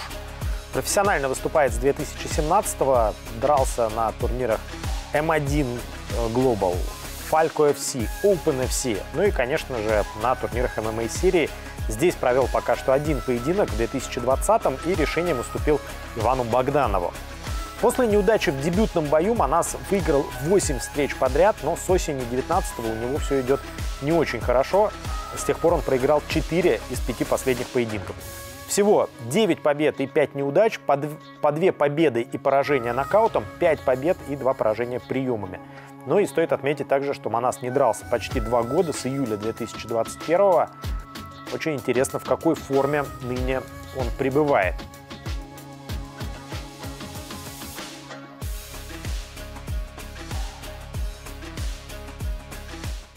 Боец в синем углу клетки. Ему 31 год. Рост 1 метр 80 сантиметров, вес 84,3 килограмма. Из Сантарен-Пара, Бразилия, представляет московский клуб Гор ММА.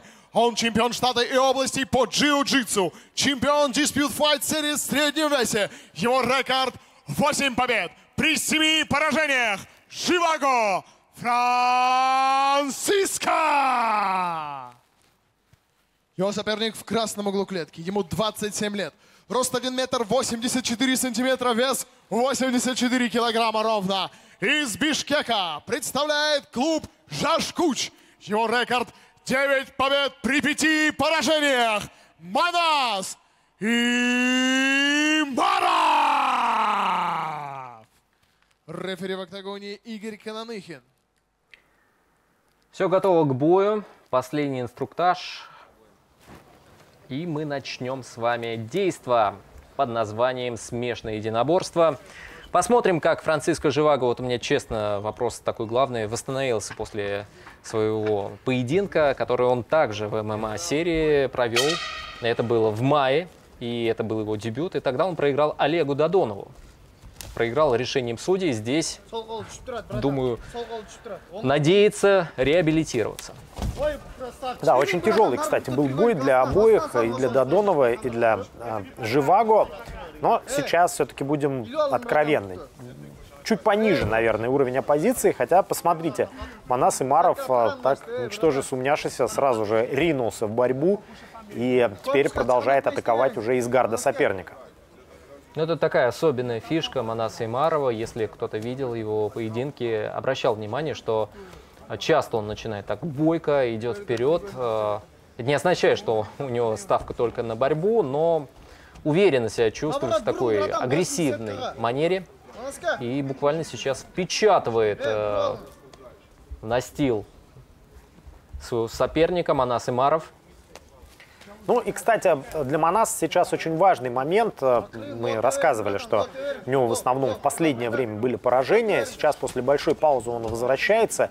И соперник-то явно ну, по зубам. Это примерно один уровень. Это не то, что Манас выходит там в роли жесткого андердога. Вот в таком бою как раз э, Имаров и может э, забрать победу и опять почувствовать себя более уверенно. Ну и чтобы совсем не застаиваться, знаю, что у него был э, бой, сам комментировал его в Оренбурге, по правилам, правда, любительским. Тогда он одолел своего соперника, не форсировал там, естественно, э, так, действия, тем более мы знаем, что в любительских ММА сложно крайне нокаутировать или как-то. Он довел до уверенной победы решением судей. В общем, э, не застаивается, даже если в профессиональном ММА нет боев, готов залететь и по любителям. Ну, вот, кстати, сегодня закончился чемпионат России по ММА в Ханты-Мансийске. И я, так скажу, что там такие любители, которые дадут фору многим профессионалам. Так что, в общем, это такой отдельный разговор, предмет, наверное, для целого подкаста, да, о любителях и профессионалах в ММА, и чем они отличаются, и чем они похожи, и есть ли грань, и если есть, то где она. Довольно интересная тема. Да, ну а у нас тем временем события развиваются таким образом, что Франциско Живаго вроде бы так вальяжно и спокойно сидит, но, конечно же, эта позиция далека от комфортной, а, очень доставляет ему много неудобств. Манас Имаров, находясь в позиции без пяти минут э, в бэкмаунте, и готов он просто накинуть ему любой очень опасный прием, но сложно такого парня крупного, Франциско Живаго, честно говоря, переворачивать. И я думаю, что бороться с ним будет непросто. Но вот опять же, переводит, переводит достаточно сейчас просто Имаров. С этой частью он справляется. Франциско пока что терпит и откровенно ждет, когда же закончится вот этот атакующий порыв, этот запал у Манаса Имарова, и когда он сбавит обороты. А при этом а, абсолютно я с тобой согласен, Руслан, что Франциско не тратит лишних сил. Да? Он, э, знаешь, иногда бывает там боец мастит, пытается выигрываться во что бы то ни стало. Нет. Франциско просто ждет и периодически постукивает снизу.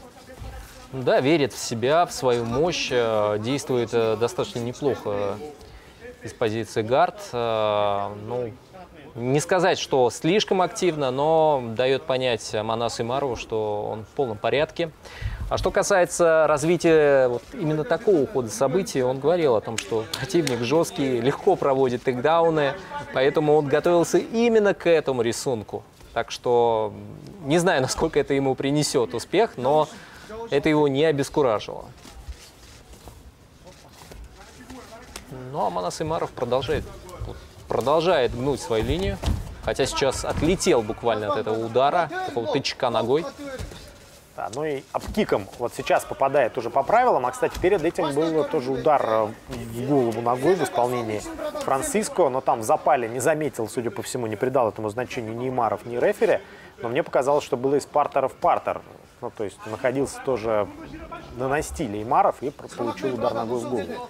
Но раз никто не придал этому значения, значит, не так это было важно. Последнее мгновение у нас э, дебютного раунда. Тягучий э, пока бой. Э, Наверное, первый в нашем карде такой размеренный, тяжеловесный, можно его назвать во всех смыслах. Ну и сейчас пойдут бойцы отдыхать.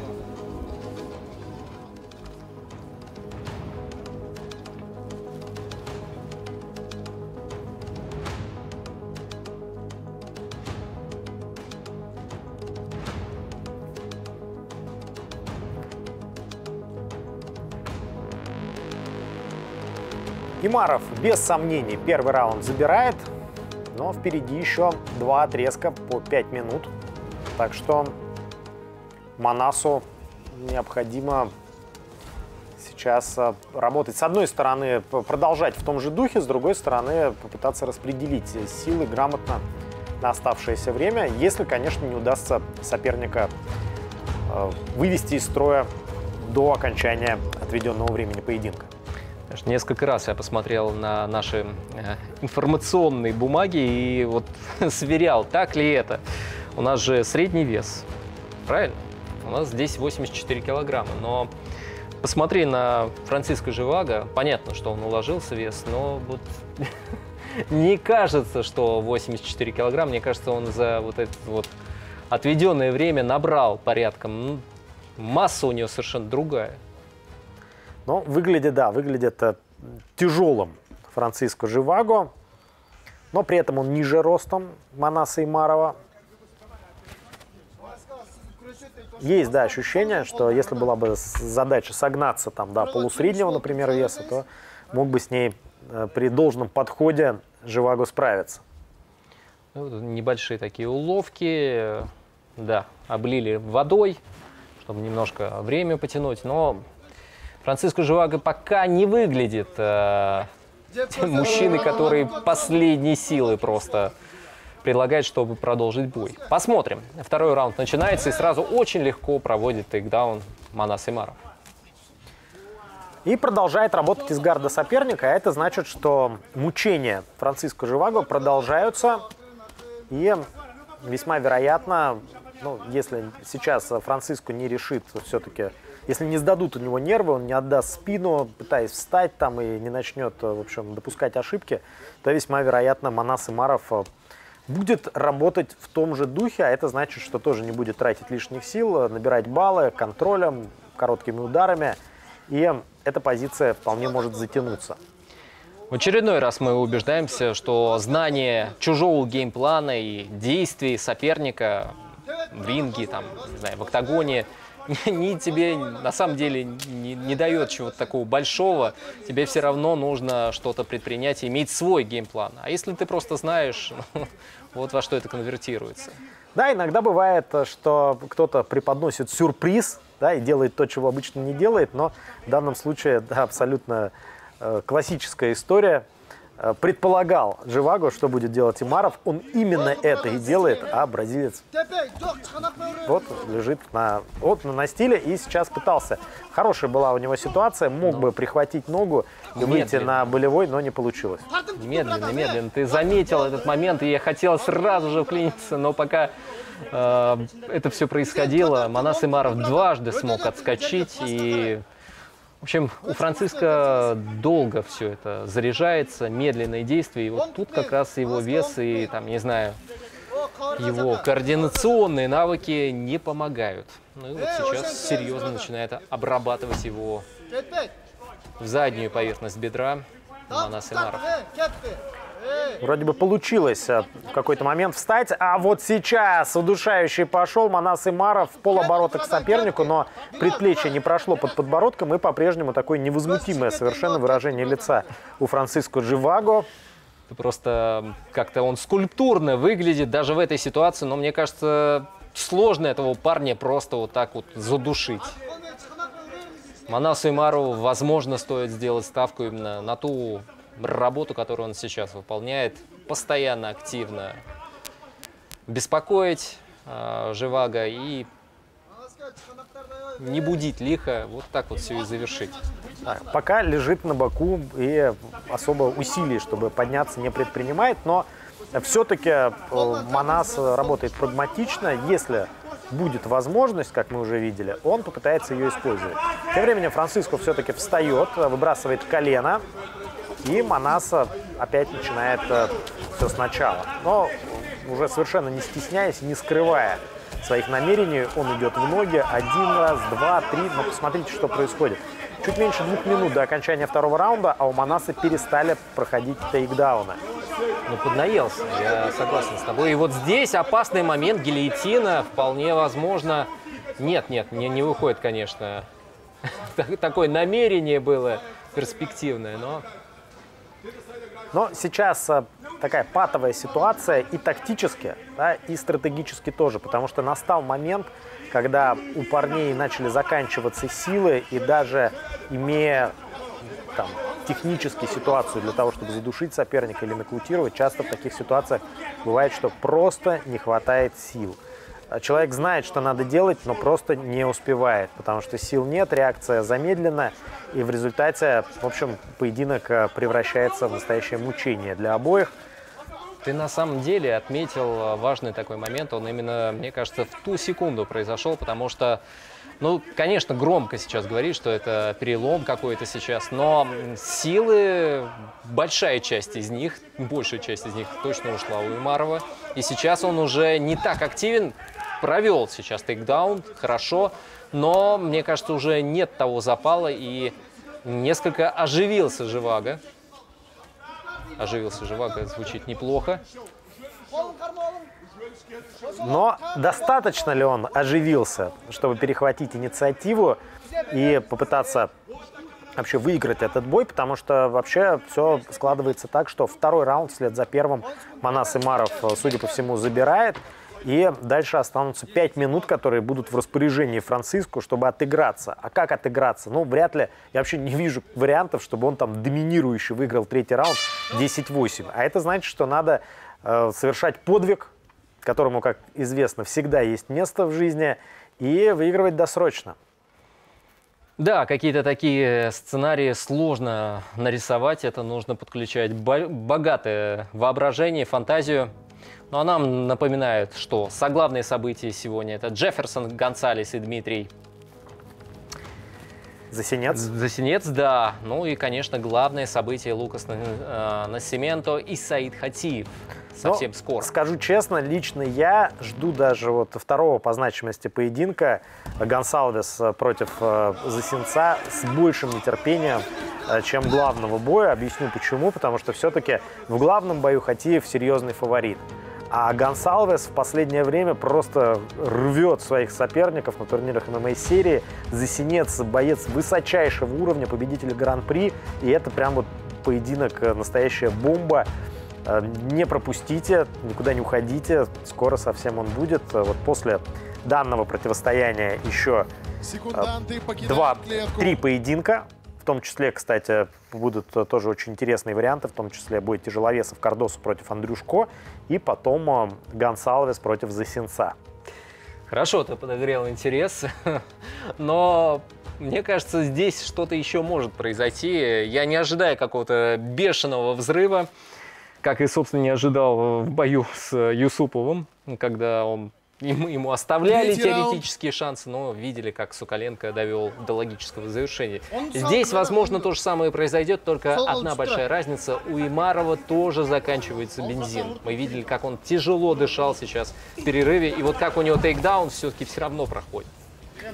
На гильотину. Вот сейчас может быть опасно, потому что замер, замер Имаров, и Живаго понимает, что это но, судя по всему, он все-таки не тратит уже силы. И, э, да, понял да. Франциско, что не получилось. Возможно, это был один из немногих шансов вообще в этом поединке забрать победу. Захват не получился таким крепким. Да, ты правильно подметил, что, возможно, это единственный такой шанс был, но и он был половинчатый. Ну и опять же, подобные приемы, гильотины, э, когда соперник идет там в ноги, как правило, проходят э, первой половине боя, чаще в начале, когда парни еще сухие, когда много сил, когда можно быстро закинуть ноги и взять плотный захват за шею. Ну а вот здесь, когда силы на исходе, и, в общем, все мокрые, скользкие, уже сделать, конечно, это гораздо сложнее. Тем не менее, Манас Имаров а, продолжает а, находиться в более выгодной позиции, более активен он. Живаго сейчас, опять же, занимается тем, что дел первый и второй раунд. Иногда какие-то хитрости он, конечно же, пытается провести, как вот, например, сейчас, а, но скорее здесь больше речь о защите и выживании в данной ситуации. Хотя вот попро- попробовал скручивание пятки выйти. Да, и опасная ситуация. Опасная ситуация. Замер Манас Имаров. а, Пытается освободить ногу. Возможно, здесь попытаться это сделать стоит рывком. Смотри, какая очень такая опасная ситуация была. Казалось бы, да, все замерли, но все очень тягуче, долго у Франциска это происходит. И мне кажется, ну, действительно мы наблюдаем какое-то слоумо. Нет сил, нет сил у Франциско Живаго, и Манас Имаров продолжает работать. А, Уже очевидно, что Манас э, делает ставку на минимальный риск и уверенное окончание этого боя. Тут вот такой был момент. Он выиграл первые два раунда, и задача Манаса Имарова была не отдать полностью инициативу сопернику в третьем, потому что там бы мог э, поверить в себя, воспрять э, Франциско Живаго, и тогда было бы опасно. А так получается, э, что Манас сушит, и спокойно, вот в своем стиле, не прилагая каких-то сверхусилий, ведет этот поединок к уверенной победе. И все, как говорил Живаго. Соперник жесткий, легко проводит тейкдауны. Мне нужно этому противостоять. За исключением последней фразы, да, все получается э, у Живаго. Действительно, он прав, соперник жесткий, тейкдауны, но вот противостоять... Ну, опять же, Франциско не позволил себя финишировать. И он действительно в этом отношении очень стойкий парень. Не дает себя в обиду, насколько это возможно. Но вот так, да, коленями Манас Имаров э, отбивает ему бедра, ягодицы, но не голову. Не голову, да, и все-таки, несмотря на эти удары, никто не говорит о том, что они слабые, они ощутимы, видно даже отсюда. Но настолько крупный парень, вот этот, которого все-таки удается вот так периодически бросать, но не задушить, не выйти на какой-то болевой прием. Не получается. Не получается, У не получается. Имарова, да. И э, вообще стоически э, преодолевает все трудности в этом бою. Франциско Живаго терпит. Э, так, э, флегматично он и выходил на этот бой, э, понимая, что это будет сложно. Но вот сейчас э, было очень опасно, и вообще так бить нельзя. Э, В позвоночный столб э, или очень близко к этому бил коленом Манас Имаров. Так можно и травмировать соперника. Вот это неспроста происходит. Понятное дело, что нужно максимально быть аккуратным в таких ситуациях. Ну, потому что уже и сам на последнем издыхании нас Имаров и пробует что-то сделать, но он просто увяз в этой борьбе, и они потеряли последние силы. Меньше 15 секунд у нас остается. Да, будет возможность э, у парней совсем скоро отдохнуть наконец-то. Все. Все, бой закончен. И вот так вот падает Манас, не может встать Франциско. 15 минут, 15 минут упорнейшей борьбы. Думаю, что если нужно было бы как-то одной фотографией охарактеризовать этот бой, вот, вот сейчас нужно было бы фотографировать. И, может быть, даже сверху. Но э, это очень важная победа для Манаса. Напомню, что она десятая юбилейная в его карьере. Победа решением. Он не выступал почти два года, а до этого э, у него был тяжелый период, э, почти целиком из поражений с 2019 -го. Так что эта победа прям очень нужна была Манасу Имарову. И он отпахал 15 минут и полностью на 100% заслужил то, что сейчас мы увидим, что ему рефери поднимет руку. Так что можно будет отправиться хорошенько отпраздновать этот факт и общем, всю проделанную работу. Не могу сказать того же о Франциско Живаго, потому что он, если уж говорить о цифрах, тоже сравнялся. Теперь у него одинаковое количество побед, 8 побед, и, скорее всего, восьмое поражение сейчас мы зафиксируем.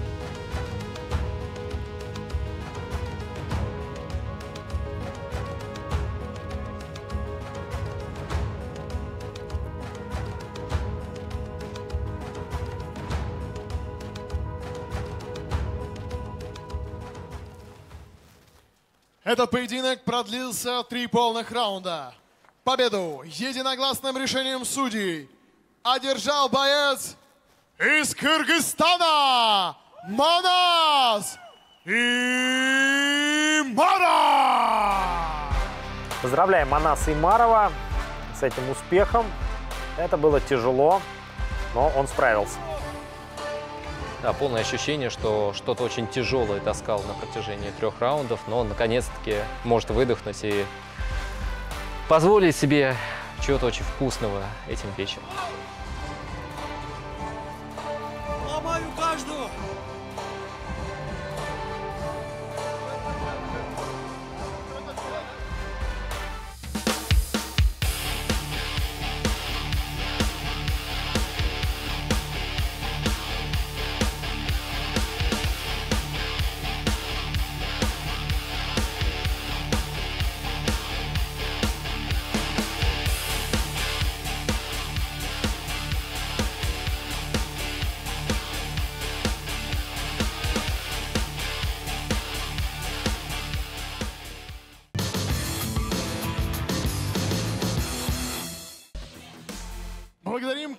Компанию «Фортуна» за помощь в организации и проведении турнира ММА серия 68 в Астане. «Фортуна» — это симбиоз трех компонентов – люди, инновационные технологии и традиции. Пусть сегодня «Фортуна» благоволит смелым и сильным духом. Седьмой поединок. Время легковесов. И в синий угол клетки приглашается боец из Казахстана. Уайс Мерей!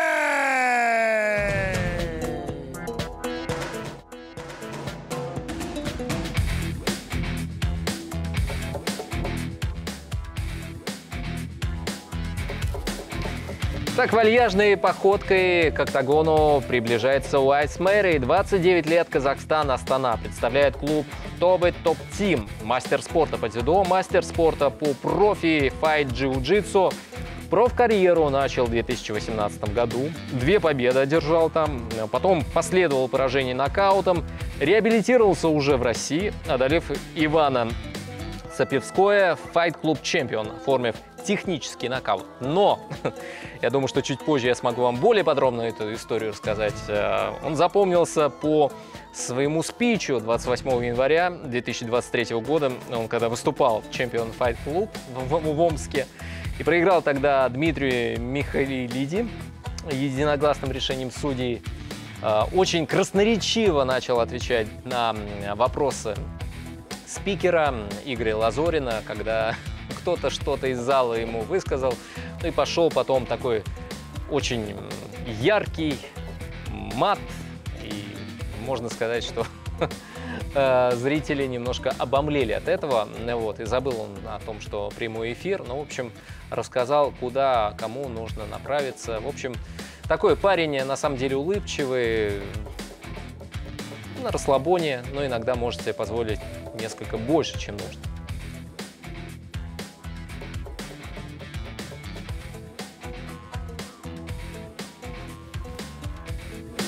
Красный угол. Приглашается его соперник из Узбекистана. Фазлидин Доминатор. Мирзаракима!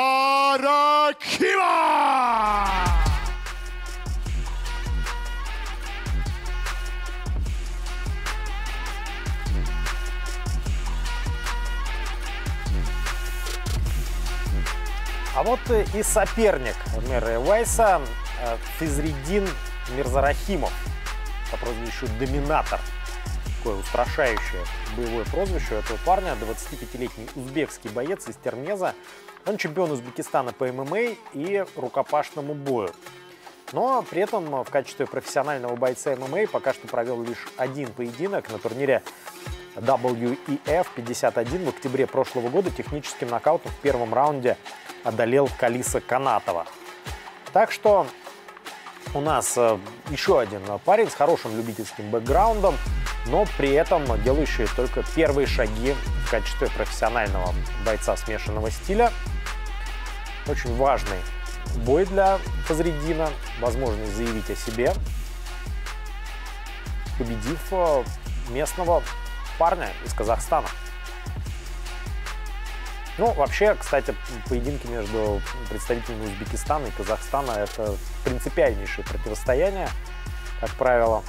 Посмотрим, как будут развиваться события на севере. Боец в синем углу клетки. Ему 29 лет. Рост 1 метр 73 сантиметра. Вес 70,1 килограмма. Из Астаны, Казахстан, представляет тебе топ-тим. Он мастер спорта по дзюдо. Мастер спорта профифа джиу-джитсу. Его рекорд – три победы при двух поражениях. Уайс!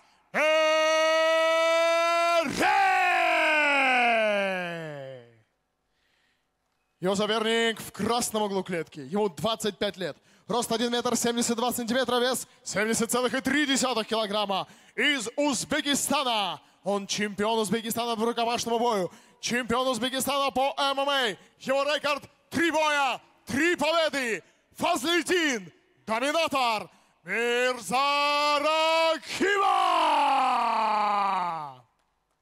Рефери в октагоне Игорь Кананыхин. Ну что ж, а, все важные моменты, которые должны были перед этим боем проведены, исполнены. И сейчас мы увидим с вами бой. А, можно было наблюдать за всеми татуировками, их две таких видных у Уэйса Маре. А, Победа или смерть, ну тут все очевидно, какой его настрой. А вот та, которая на плече, это посвящена маме. А, Так вот он ценит ее, и это, конечно, прекрасно. На самом деле я знаю, что попал ему в этом смысле за татуировку. Немногие его э, друзья ценили почему-то.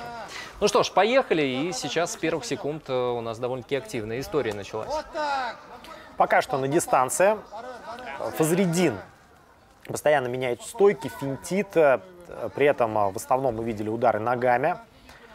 Уайс Марей тоже ищет варианты для входа на удобную дистанцию и поддавливает постепенно Мирзарахимов. Хорошо сейчас зацепил. Вот это вот несостоявшийся лоу-кик и прекрасный бросок.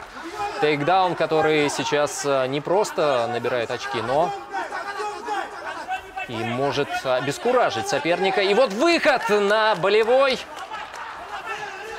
Шикарный просто выход на рычаг локтя в исполнении э, Маре. И возвращается, возвращается Мирзорахимов в гард соперника. Но Маре сейчас продемонстрировал нам нечто фантастическое. Во-первых, крутейший тейкдаун сразу же с залетом в full маунт, потом молниеносный выход на рычаг локтя. Это все выглядело супер эффектно, и сейчас он пытается выйти на скручивание пятки.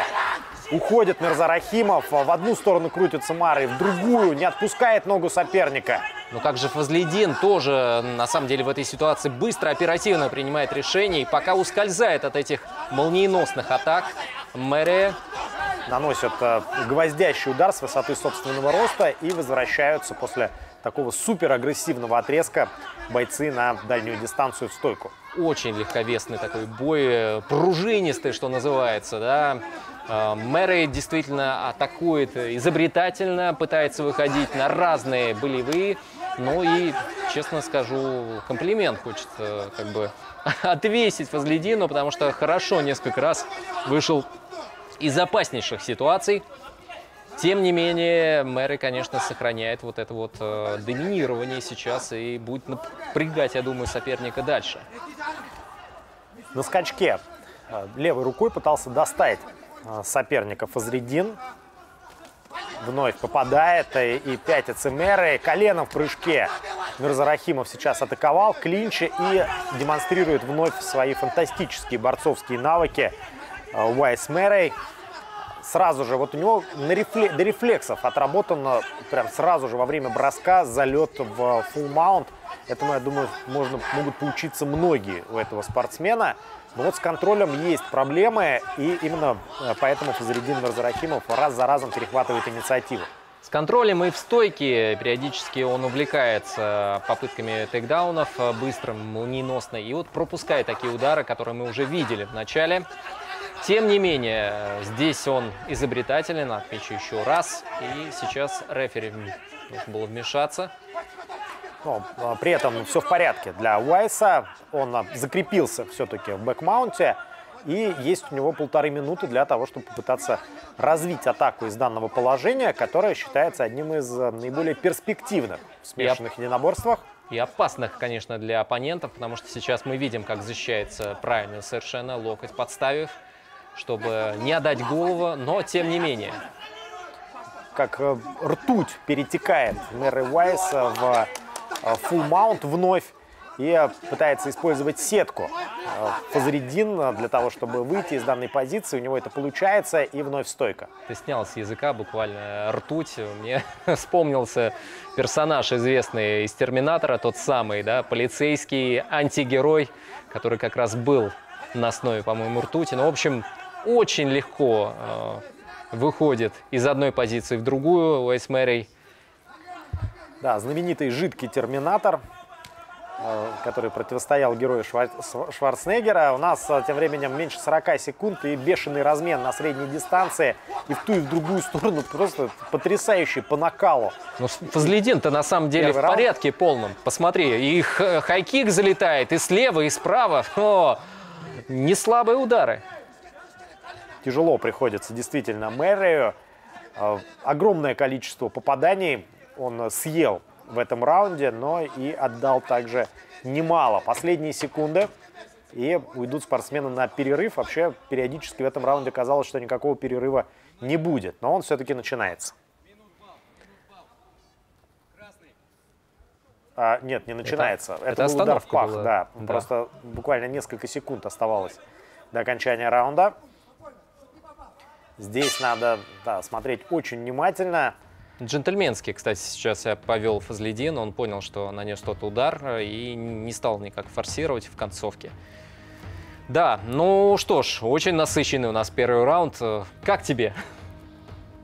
Крутой, эмоциональный, страстный первый раунд, когда оба очень хотели победить, оба показали, не стеснялись показывать э, свои козыри, да, показывать максимум, на что способны, шли в банк и из-за этого получилось так круто, так красиво, с таким обилием моментов, которые, безусловно, войдут в общий хайлайт по итогам турнира. Ты сказал про козыри. Я пообщался с Мэрием, и он поделился, что в свободное время любит играть в покер. Да, я сразу же думаю, вот какие козыри сейчас э, действительно он достал, и что у него есть, э, что он припас на второй раунд. Очень интересно, потому что ну, давайте так. Э, начало было, безусловно, за ним. Он хорошо провел тейкдаун, он очень быстро менял позиции, но э, такое ощущение, что в концовке Фазлидин уже приноровился и вот провел эти довольно-таки успешные удары. Да и, и при этом э, еще середина раунда была на встречных курсах, там были атаки очень хорошие, эффективные с той и с другой стороны. И я, Руслан, с тобой абсолютно согласен. Концовку, судя по всему, забрал уже Мирзарахимов. Так что получается крайне напряженный, близкий раунд, э, который в целом, э, ну, не знаю, насколько был тяжелым для судейства, но, возможно, судьи колебались при вынесении решения в ту или иную сторону. И, возможно, кстати, сыграл тот фактор здесь роль, что именно концовку забрал Мирзарахимов. И часто бывает, что психологически судьи отдают победу в близком раунде тому, кто был лучше в конце. Да, это правило всегда присутствует, э, пускай даже если не на бумаге, то в голове у судей, но это вполне, возможно, психологическая такая история. Начинается второй раунд у нас. Посмотрим, насколько он активно будет в действии по сравнению с первым. Ну и вот видим, кстати, статистику, которая нам просто напоминает и помогает ориентироваться. А, ударов таких силовых у Мирзорахимова больше. Вертушка. И ну, мы видим, что в начале второго раунда тоже есть определенное преимущество у Фазриддина. Несколько лоу-киков. Смотри, как дергает, да, то есть он э, прессингует на средней дистанции. И шикарный удар слева! Все, Все, победа, технический нокаут и ситуация, которая, казалось бы, ничего не предвещала опасности и подобной шокирующей развязки для Фазаридина Мирзарахимова. Он пропускает попадание слева точно в челюсть и в итоге забивает его на настиле. Уайс Мэррей. Это было круто и очень неожиданно, если честно. Это было круто, и буквально перед этим он несколько раз качнул. И посмотри, залетел сначала слева, но здесь это уже финальная фаза. Вот, вот тот самый момент. Справа и слева. Слева, конечно же, в челюсть уже... Да. Было просто все очень и очень плохо для Фазлидина. А, Причем, а, возможно, вы обратили внимание, по итогам первого раунда там было по ударам именно руками примерно 18-2. То есть э, Уайс в целом вообще не попадал руками в первом раунде, но зато так попал во втором, что этого хватило. Федор Рыжов, э, директор и матчмейкер ММА-серии, сразу же подходит к Меррею.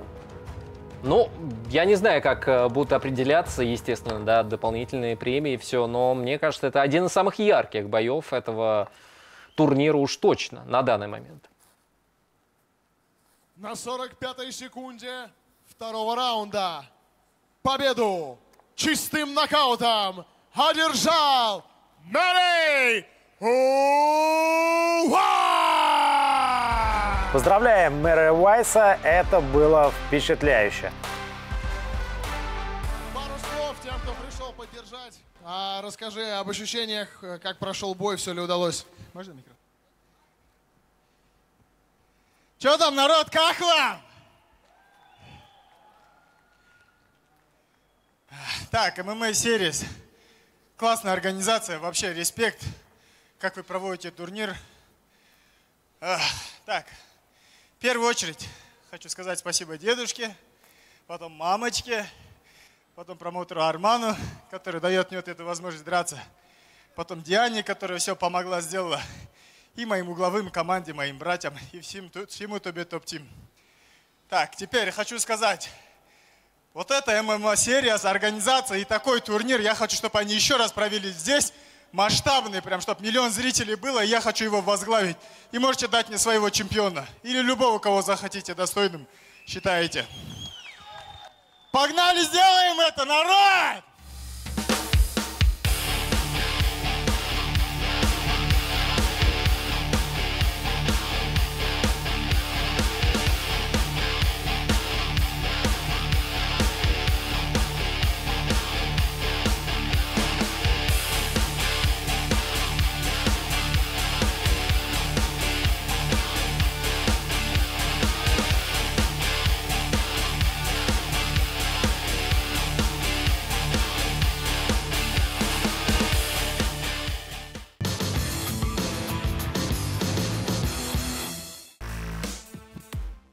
Смотрите прямой эфир на телеканале mmadefistv.com и в онлайн-кинотеатре ОККО.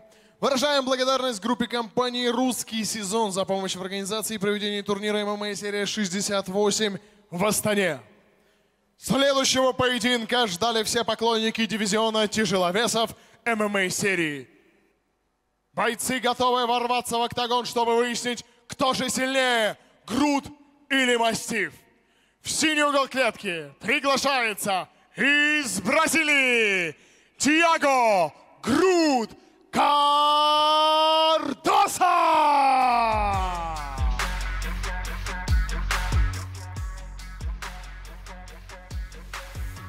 Ну что ж, продолжаем наш турнир. Тиаго Кардоса, прозвище Тиаго. 33 года, двухметровый бразилец из Сан-Паула. А, ну, то, что 2 метра, вы можете сами убедиться. Этот парень особенно крупный на фоне других. У него также прозвище Грут. Э, И вот он как раз выходит в футболке, да, и он всегда после боя говорит «Я есть Грут». Но это невозможно не заметить. э, И, конечно, два прозвища иметь лучше, чем одно. Представляет он команду Гор ММА и Империя Fight Team. Имеет черный пояс по бразильскому джиу-джитсу, но также любит тайский бокс. А, Профессионально выступает с 2014 года, завоевал чемпионский пояс в лиге Коста Комбат и после этого, набравшись такой мощи на родине, отправился в заграничное турне. Но там, честно говоря, было не все так гладко, и соперники, конечно же, были посерьезнее. Такие как, например, Аугусто Сакай, Ренан Феррейра и Алекс... Александр Подмарюк. Вот, кажется, Тьяго нашел свою лигу именно в ММА-серии, потому что здесь у него все хорошо. В дебютном поединке, правда, он проиграл Максиму Колосову, но далее последовали победы.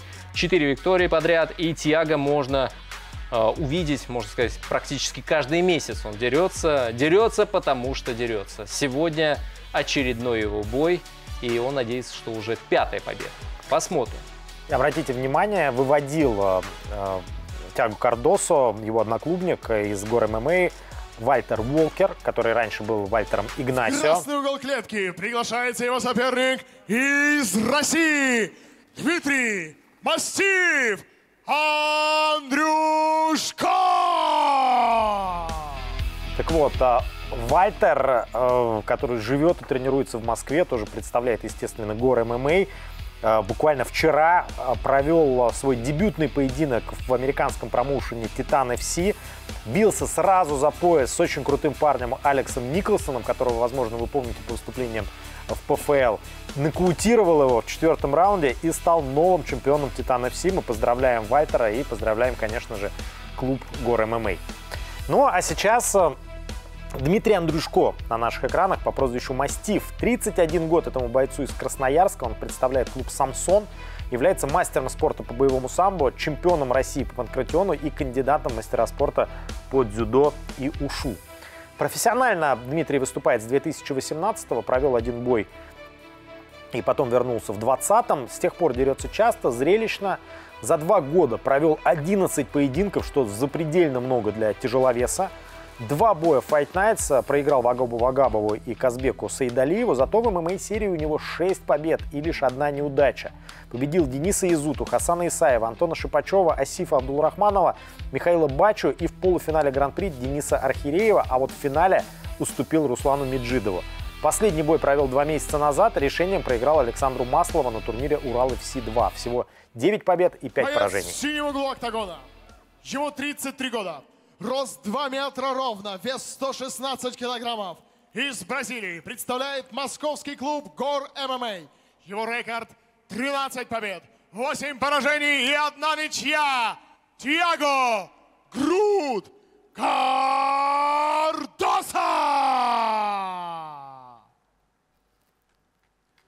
Его соперник боец в красном углу октагона. Ему 31 год. Он ниже оппонента на 20 сантиметров. Его рост метр восемьдесят, вес 110 килограммов ровно. Из России, Красноярска, представляет клуб «Самсон», команда «Рубоксинг». Он мастер спорта по боевому самбо, чемпион России по панкратиону.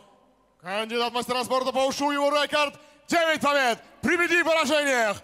Дмитрий Мастив Андрюшка! Рефери в октагоне Игорь Кананыхин. Сейчас еще раз э, вы увидите, насколько крупный парень Тиаго. Ну, Мне кажется, очень заметен контраст. Ну и нужно сразу же отметить то, что Тиаго никогда не проигрывал приемами. Да, у него есть поражение, но вот приемами нет. И это, конечно, очередной его такой бонус, сильная сторона. Тяго э, в последнее время, как мы уже рассказывали, часто и успешно выступает в ММА-серии. Посмотрите, какая заруба сразу же, с первых секунд. Э, Вообще удивительная история, потому что Кардосу обычно очень медленно запрягает. И это вот прям его проблема была. Причем это отмечал и Гор Азизян, руководитель Гор ММА, и матчмейкер э, ММА-серии Федор Рыжов. Ну вот прям как будто тактика такая. Э, Словить 50 ударов в голову, а потом начинать героически пере- переламывать ход сражения. Но нет, э, сейчас э, Тиаго решил, в общем, полностью поменять свою тактику и на- напал, напал фактически на Дмитрия Андрушкова с первых же секунд. Все правильно ты отметил, потому что на самом деле действительно он долго разгоняется. Возьмите, далеко не нужно ходить. Последний его бой 5 мая с Магомедом Шейховым. И хоть и очень динамичный бой получился, но в начале просто как старый советский автомобиль э, разогревался А, Тьяго в конце разогнался, но все-таки. Сейчас он, кстати, после такого хорошего комплементарного начала пропустил несколько ударов. Ну, в клинче огромный Тягу Кардосу должен иметь э, преимущество. И мы видели, что было несколько плотных ударов коленями. Андрюшко, как и подобает настоящему мастифу, рвется вперед и вгрызается буквально соперника. Но вновь э, ловит его своими ветвями, груд и блокирует у сетки. Какой-то мере он может немножко по габаритам напоминать э, Биг- Бигфута, Сильву. У того большая нога была, у этого парня, мне кажется, все большое. В первую очередь он сам двухметровый, напоминаю. И, конечно, вот в клинче любой удар его, пускай даже такой замедленный, это действительно дискомфорт очень серьезный. Да, и абсолютно разрушительные удары коленями из этого самого клинча выбрасывает тягу. Уже ни одного соперника он сломал таким образом в тяжелом дивизионе ММА-серии. Вот вновь тайский клинч. В этой позиции ни в коем случае нельзя застревать Дмитрию Андрюшко. Он выходит на оперативный простор и собирается силами, чтобы вновь пойти вперед. Ну, идет так э, неплохо с э, серии ударов, 2-3 удара, но потом застаивается. Вот это главная ошибка сейчас Андрюшко. И как раз после трех-четырех э, ну, вот этих ударов он э, остается на позиции и в зоне досягаемости для Тиаго. И Тиаго начинает заряжать. И сейчас, да, силовая такая борьба на встречных курсах. Э, Вновь комбинация ударов от Тиаго. Как оплеухи они летят, такие мощные удары, не знаю, как, как медведь буквально накидывают. Сейчас коленом попало сильно. Правый через руку от Андрюшко. Апперкоты скармливает буквально сопернику Кардосу. И Дмитрий делает то же самое. Вообще Дмитрий Андрюшко э, ну, для тяжелого веса совсем небольшой парень. И именно по этой причине он выступал в гран-при ММА серии до 100 килограммов. А здесь категория до 120. И ну, не нужно быть там экспертом, да, чтобы понимать, насколько серьезно тягу превосходит Дмитрия и в весе, и в габаритах. Ну, ставку он делает, понятно, на скорость, на подвижность, а, но, правда, по ходу событий, да, мы видим с вами, что он очень часто остается в статике и начинает рубиться буквально с Тиаго, а, по сути, убирая, нивелируя свое преимущество скорости.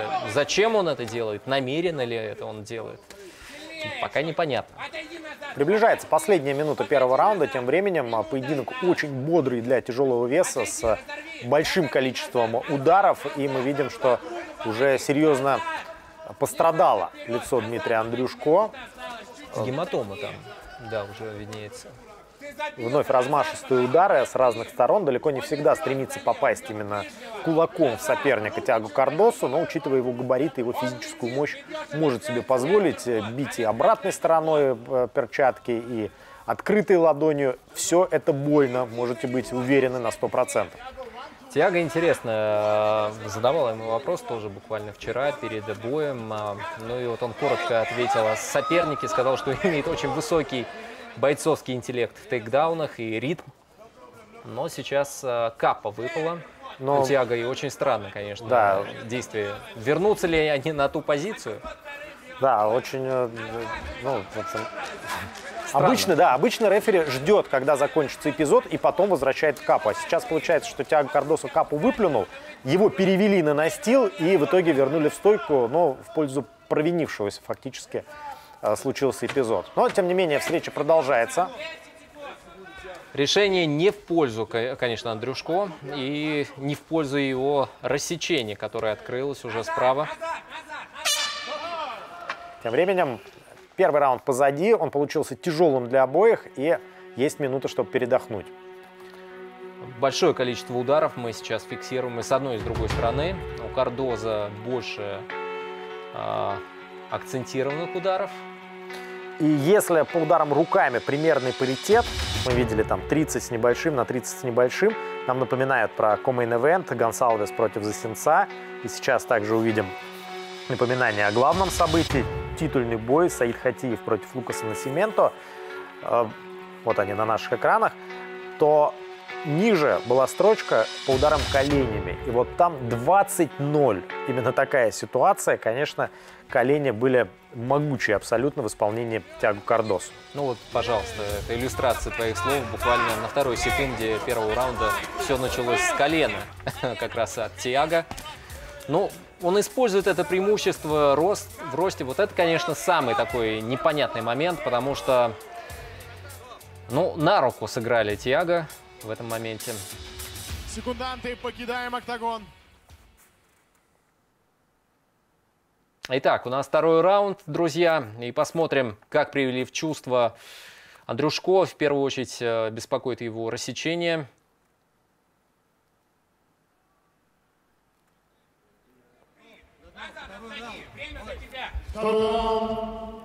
Поехали. Будет переть. Аверхенд и правый апперкот. Аверхенд и правый апперкот. Правый апперкот подсказывают провести, но вместо этого тейкдаун проведен. Абсолютно верное решение от э, Дмитрия Андрюшко. Он э, уже почувствовал в первом раунде, вот в этом эпизоде, когда рефери в итоге поднял, что можно, можно работать именно в борьбе с этим грозным соперником. Да, контроль не получился, тягу встает, но бороться нужно Дмитрию, потому что, в общем, э, в, в стойке все выглядит для него не очень круто. Он, конечно, мужественно дерется с, с оппонентом гораздо крупнее себя, но вот нужно искать в такой ситуации аспект, в котором превосходишь оппонента, и, судя по всему, в данной ситуации это борьба. Но это был очень характерный момент, потому что так долго, я думаю, ждал он этого, этой попытки, возможности, провел тейкдаун и так легко эту ситуацию потерял. Мне кажется, что в дальнейшем, если Тиаго не обессилит, то крайне сложно будет проводить тейкдауны. И даже не то, что проводить, а закрепиться в этом положении. Андрюшко меньше выбрасывает во втором раунде, но бьет точнее. А, Пошли апперкоты, причем они залетают, и, как и требует тренер от Дмитрия, это оружие весьма эффективно в его исполнении. Но есть ощущение, что сил у Дмитрия осталось э, совсем немного. Ну, а вот в этой вязкой борьбе а, хорошо себя чувствует на самом деле Тиаго, и здесь как раз может дальше выматывать соперника. Да, это стихия Грута. Он а, вот э, коленями из тайского клинча медленно, но неумолимо может продолжать э, разрушать оборону соперника, выбивая из него остатки энергии. И посмотрите, вот э, нет просто сил у Дмитрия. Казалось бы, ну нельзя застревать в этой позиции. Это подарок настоящий для Тягу Кардосо, но Дмитрий ничего не может поделать. Просто встал у сетки и стоит, отбиваясь, но уйти не может.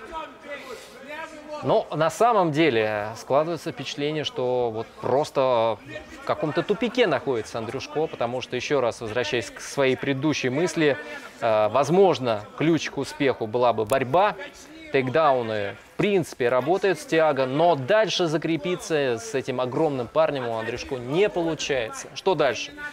Э, В стойке не хватает э, движения, ритма, сил. И сейчас в итоге происходит все по сценарию Тиаго. Тиаго тоже не форсирует события, но вот в этой борьбе вязкой он просто последние силы забирает у Андрюшко. Да, Дмитрий вынужден а, принимать вот эти удары коленями. Кстати, у Тиаго, судя по всему, тоже осталось немного сил. Он а, сбавил серьезно обороты. Но в целом, соглашусь с тобой, Руслан, бой идет по сценарию Грута. И вот этот его кошмарный для соперников тайский клинч продолжает работать. Взрывается серия ударов а, по корпусу, в голову, переводит апперкотом очередным Дмитрий. Но эта серия заканчивается. Заканчивается, как и силы бойца из Красноярска. Такое ощущение, они не играли Mortal Kombat, но вот сейчас заряжал супер удары свои Андрюшко и вот выдал то, что должно быть в этом раунде. Больше их не будет. Но буквально там ударов 8-10 последовало неплохих. Кстати, секундирует э, Дмитрия его младший брат, который тоже имеет опыт выступлений, и в том числе в ММА-серии. Но сейчас его подсказки, хоть Дмитрий и слышит, э, не имеет возможности притворить их в жизнь. Ну, подсказка-то неплохая, локоть в голову, да. На прекрасно. Да. Отличный вариант, а, не требует э, дистанции, не требует много сил.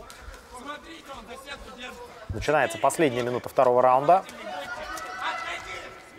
Андрюшко продолжает рубиться, не показывает, что он устал. И, кстати, посмотри, Тиаго действительно тоже порядком измотан. Но, как мы видели вот по поединкам Тиагу Кардосу, он в таком уставшем состоянии может работать вообще спокойно два раунда. Но вот этот бой чем разительно отличается от э, первых его поединков в ММА-серии, вот как мы уже отмечали, там он очень много пропускал, а потом героически переламывал ход сражения. А здесь он как бы решил эту часть марлезонского балета а, сразу же э, отбросить, да, и перейти сразу ко второму этапу. Ну а тем временем мы видим, что на последних секундах успешно борется Дмитрий. Пропускает хаммерфисты, надо побить, надо побить. Он вбивает локоть в бедро соперника, еще один. Но в таком состоянии что-то в борьбе, в партере не получится делать. Это только Хаммерфиста. Но для этого Тиаго должен быть вообще просто полумертвым. Смотрим статистику. Это статистика по двум раундам сразу. И что мы здесь видим? 33-0 по ударам коленями. И при этом преимущество Андрюшко по ударам кулаками. 61 на 47. Тейкдауны также в пользу Дмитрия. Но очень много контроля было у сетки. И в исполнении Тягу Кардосо мне лично показалось, что все-таки преимущество во втором раунде также у Тягу имелось. Э, Весьма вероятно, что в судейских записках сейчас счет 2-0 в пользу бразильского атлета. Вот здесь, посмотрите, вот, кстати, я сейчас думал об этом. Вальтер дрался вчера в Америке. Он сразу же газанул из Соединенных Штатов в Казахстан, чтобы поддержать и выступить секундантом своего товарища. Это, в общем, достойно уважения как минимум. Я, честно, сначала даже не поверил, потому что в социальных сетях можно было увидеть его совершенно в другой локации, действительно. И вот он за это время буквально взял руки, ноги вот просто в одно место и телепортировался. И сегодня он уже со своим другом, наверное, это именно друг, потому что ради такого поехать и максимально быстро, ну, это круто. Ну и, конечно, здесь подсказки из его угла должны идти. Такие, что не придумай чего-то такого, эдакого, продолжай делать то, что делаешь. А вот что нужно сказать? Что бы ты сказал Андрюшко, если бы ты был в его углу? Что надо бороться, пока есть силы, с самого начала третьего раунда идти в борьбу, стараться перевести и потом э, сначала контролировать, сначала не бить, а просто контролировать. И вот сейчас попытался Дмитрий э, сразу атаковать э, ноги соперника, блокирует он Тиагу Кардосу у сетки, но перевод не получается. Да хороший совет-то хороший, но кажется, сил на это просто физически не хватит. Вот на это хватит, на то, чтобы перевести партер. Надо сейчас, вот это шанс, шанс для Дмитрия Андрюшко. Э, Нет, не получается у него закрепиться за спиной соперника, во всяком случае в партере, но он не отпускает, э, оказывает на него давление. Тиаго разомкнуть. Нет, все-таки получилось. Захват у него сбросить себя. Просто Андрюшко врезается в огромную стену, которую пытается как-то так э, переставить, но это слишком э, задача сложная для его просто антропометрических данных. Тем не менее, это не означает, что ничего поделать-то нельзя. В этой ситуации он э, продолжает бороться. Кстати, это новшество, которое он э, в третьем раунде предпринимает. И теперь он уже в роли Тиага. Но очень сильно потратился. И посмотрите, как тяжело дышит, не имеет возможности даже поднять руки, чтобы защитить себя Дмитрий Андрюшко, поэтому он отступает и собирается силами. Тиаго неспешно. Но посмотри, как Тиаго-то идет. Ты правильно говоришь, неспешно. Мне кажется, и у Тиаго бензин близок к нулю. Да, Тиаго такой, да нормально вообще, я тоже не очень хочу уже драться. Три минуты до конца боя, апперкот и, И опять. вылетает капа. Опять, да, вылетел. Последний раз э, в таком состоянии бойцов я видел это, в частности, бой был Магомеда Исмаилова и Ивана Штуркова, когда у них бензин ну, окончательно сел, и вот там вот они шли друг на друга без особого желания. Здесь э, желание вроде бы есть в глазах, но сила на исходе. Хорошо, кстати, выглядит Дмитрий Андрюшко в третьем раунде. И первые две минуты на его стороне было преимущество. Он и бьет чаще, неплохо борется. И, в общем, э, заставляет отступать Тиаго Кардосу. И посмотрите, что происходит с бразильцем. Судя по всему, да, энергия на исходе. Несколько раз э, ты правильно отметил, э, я же приведу вот эти удары в пример апперкоты. Хорошие были апперкоты у него, пускай не супер мощные, но достаточно увесистые. И вот сейчас э, такая попытка была даже не перевести в партер, а просто навалиться на Тиаго. И это показатель того, что сил у Андрюшко очень-очень немного, но у Тиаго такое ощущение, что сил хватает на передвижение. И все. Вот это, конечно, ситуация. Совершенно по другому сценарию, опять же, вспоминая твои слова, идет э, этот поединок для, для Тиаго. Здесь у него нет уже такого героического возвращения, камбэка какого-то. Вначале он бодро стартовал, хорошо продвигал э, контроль во втором раунде, а в третьем, кажется, теряет э, ситуацию из-под контроля. Но, с другой стороны, наверное, лучше пропускать в третьем раунде, когда у соперника уже нет сил, чем сделать это в первом и потом постепенно включаться. Да, сегодня действительно перед нами предстал другой тягу Кардоса. И вот так, давай, бей, говорит ему Дмитрий Андрюшко. И продолжает идти вперед. Да, действительно, в характере не откажешь ни Дмитрию, ни Тиаго. Сегодня ты вспоминал, а, по-моему, Эндрю Уорда, да, и э, как раз этот бой, который был у него с э, Артуро Гати. Ну а здесь может быть даже немножко такой киношный Рокки Бальбо. Да, Андрюшко пошел, пожалуйста, ударяй меня. Потому что он видит, что вот этот мощный парень, который заряжал в первом раунде, даже по касательной было больно. А сейчас силы в этих ударах, по сути, нет. Опа! Ну вот включается Тиаго. Просвистели удары мимо. Вот то самое колено, которых было очень много в первом раунде. И вот посмотрите, очень интересная статистика. Да, она приблизительная, да, условная, но очень близкая. Очень близкая. Какой сейчас был прям в прямом и переносном смысле зубодробительный апперкот, после которого отлетела голова назад э, у Тиаго Кардосо. Но не смог э, продолжить эту комбинацию Дмитрий и вновь решил попытаться перевести соперника. Бэкфист. но уже как будто под водой выбросил этот удар с такой небольшой скоростью Дмитрий. Ну что ж, э, не знаю, как судьи решат. Да, да, да, да. Андрюшко еще поиграл на публику. Давай понять, что если был бы четвертый, а тем более пятый раунд, он бы просто дунул бы на Тиаго, и тот упал.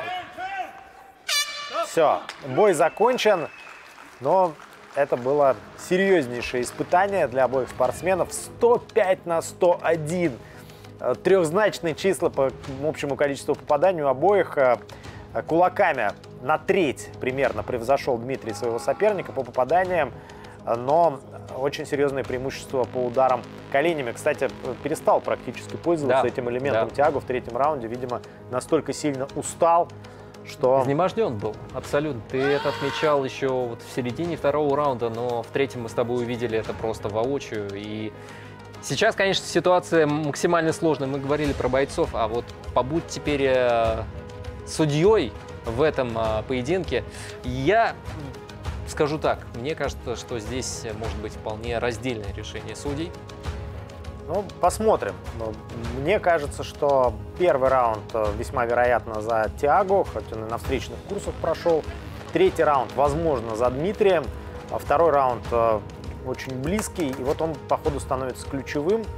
Э, На мой субъективный взгляд, хоть я открою небольшой секрет, переживал все-таки за Дмитрия, как за российского спортсмена. Но мне кажется, что Тиаго был чуть лучше во втором отрезке. Весьма вероятно 2-1 по раундам в его пользу. Да, Но- говоря, говоря о раздельном решении судей, я поддержу тебя. Вот я также думаю, что именно как раз второй раунд стал ключевым. Но посмотрим. Да, посмотрим. Бой близкий. Могут отдать кому угодно. И вот эта пауза, как, знаешь, в шоу-программе финальный вопрос на несколько миллионов и затаилась публика, тишина. Что же будет?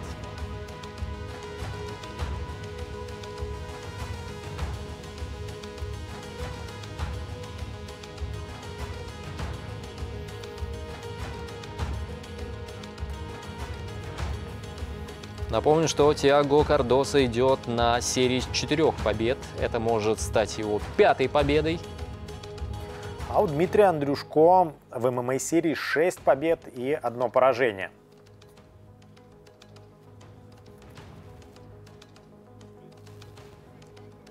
Да, пожалуй, самое долгое совещание. Есть что разобрать действительно судьям. Так э, это странно, всегда говорю об этом, потому что после каждого раунда сдаются судеб- судейские карточки, судейские записки. После первого они сразу же сдаются, после второго, после третьего. Просто э, человек за это ответственный, смотрит, говорит, что получилось в итоге в этом пазле. Э, Ринг-анонсеру, ринг-анонсер выходит, объявляет. Но, судя по всему, там какие-то сложности, может быть, кто-то что-то не то там написал, и э, часто, ну не часто, но бывает такое, что собирается целый консилиум у э, стола главного судьи, и, в общем, что-то там оперативный считают, разбор. Думают, да. Я наблюдал эту картину, пусть она и не всегда по Приглашается директор ММА серии Федор По Рыжов правилам. и генеральный О, Федор Рыжов. Вячеслав Камнев.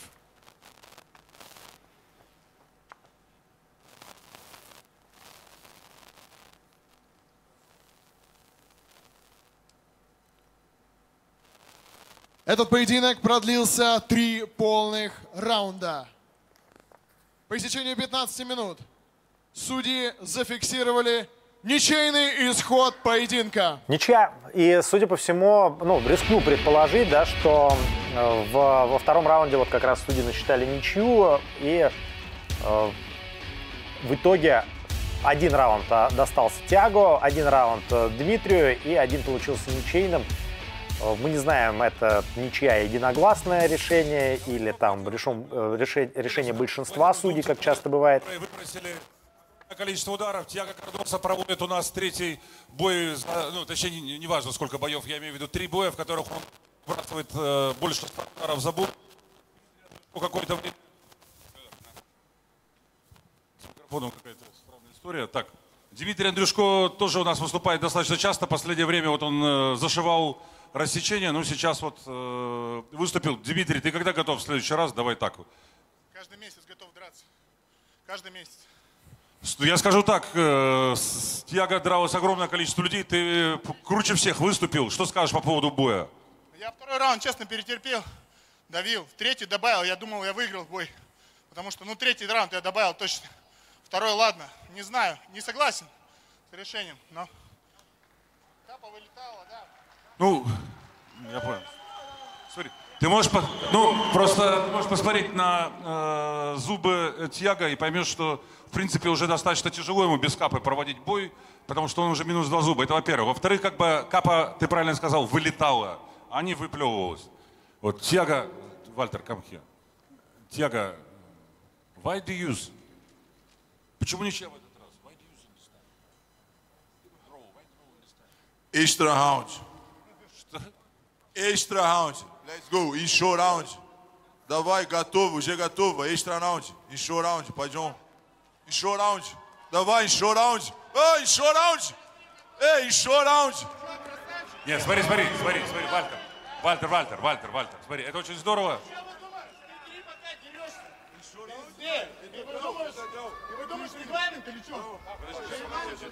Дим, Дим, спокойно, спокойно, Дим. Дим, спокойно. Дим, Дим, Дима. Дим, какой новый регламент? Да остановись, остановись, Дим. Дим, остановись. Дим, остановись.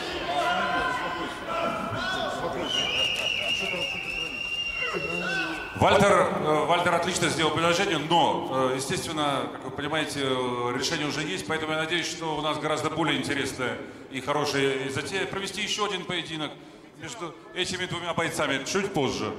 Чуть позже. Тьяго готов, значит, мы договоримся о следующем месте проведения. Если всех устроит, мы обязательно подеремся еще раз и выясним в этот раз уже все, как на самом деле происходит. Thiago, готово. Раунд. Он не хочет раунд. Thiago, готово. Сейчас, раунд. Остановись, успокойся, все. Спасибо, спасибо, брат. Все, до, свидания. Тьяго, можно тебя попросить тоже еще одну вещь сделать? Я понял, хорошо. Отличная идея. Вот все-таки, вот, что мне нравится, креатив от команды Горы ММА. Я обожаю эту вещь.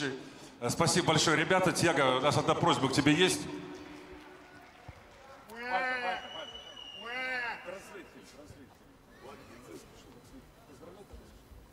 Добрый вечер. У нас пока идет совещание бойцов, э, которые хотят поменять наш формат проведения мероприятия. У нас есть одно объявление. Я хочу сказать, что сегодня у нас свой день рождения справляет на работе наш журналист, корреспондент Виктория Цеховская. Я попрошу Викторию подойти к нам сюда вместо жарких споров. Давайте похлопаем Виктории. Человек, который буквально горит на работе. Да. Здравствуйте, добрый вечер. Виктория, я хотел бы вам э, попросить, Иви, ты можешь? Вот этот джентльмен вручит вам, Виктория, эти цветы в эфире нашего телеканала. С нашим глубоким уважением, благодарностью вам за вашу работу. Поздравляю вас с днем рождения. Желаю, чтобы у вас сегодня был хороший день в офисе и замечательный следующий год. С днем рождения! А мы продолжаем. У нас впереди много замечательных, самых интересных, главных боев.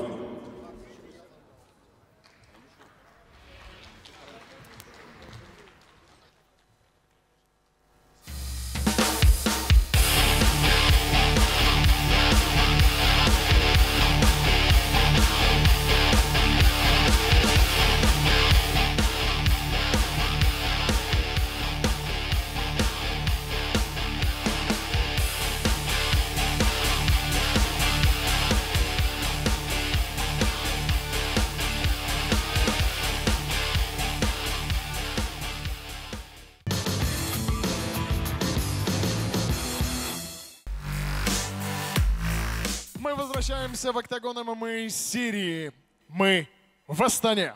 И выражаем огромную благодарность генеральному партнеру турнира компании «Лудинг» за помощь в организации и проведении ММА серии 68 в столице Казахстана. А сейчас очень важная информация. Если вы любите ММА и наш промоушен, вы должны быть с нами.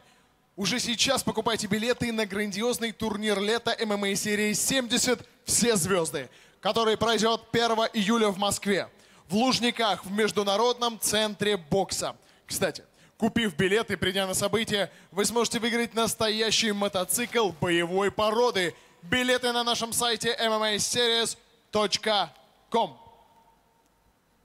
Девятый поединок. Наилегчайшая весовая категория.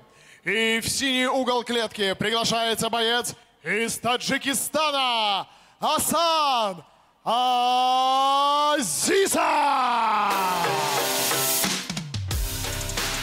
Итак, Асан Азизов уже не в облачении Джонни Кейджа, а просто в своей настоящей привычной форме. 25 лет ему родом из Таджикистана представляет клуб Moscow Puncher Team. Мастер спорта по вольной борьбе, мастер спорта по боевому самбо, чемпион Таджикистана по ММА 2017 года. По профи дебютировал в декабре 2021 года. Три боя в турнире «Колизей», три победы досрочно приеманы в первом раунде. Дважды удушение сзади и один раз ручной треугольник. А, Ну, нужно точно отметить, что он здорово борется, конечно же. Но вот споткнулся в Найзе.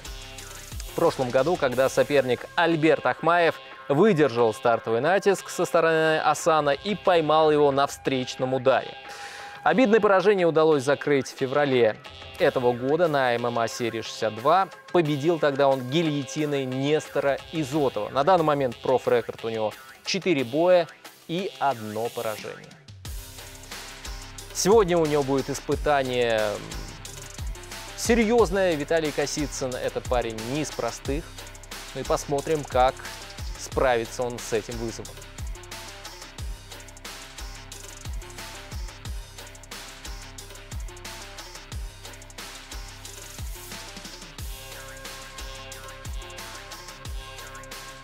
Красный угол клетки. Приглашается его соперник из России Виталий Косицын.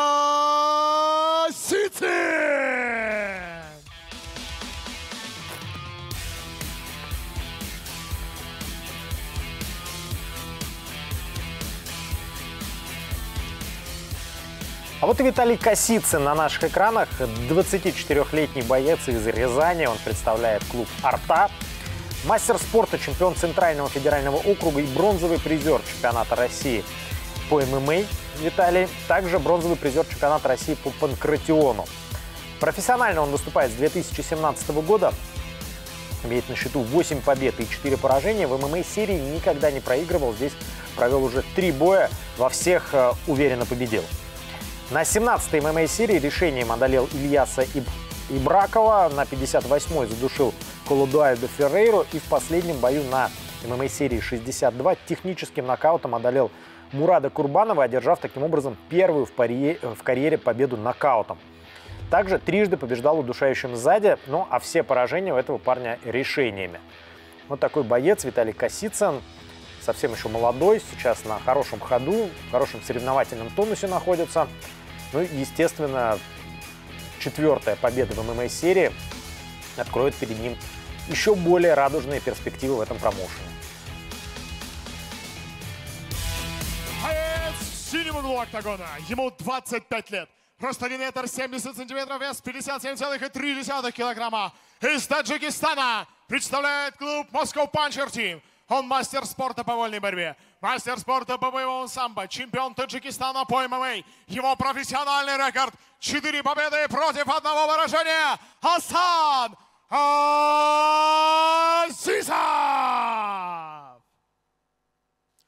Его соперник в красном углу октагона. Ему 24 года. Рост 1 метр 62 сантиметра, вес 57,1 килограмма. Из Рязани, Россия, представляет клуб «Арта». Он мастер спорта по ММА, чемпион ЦФО по ММА, бронзовый призер чемпионата России по ММА. Его рекорд 8 побед при 4 поражениях.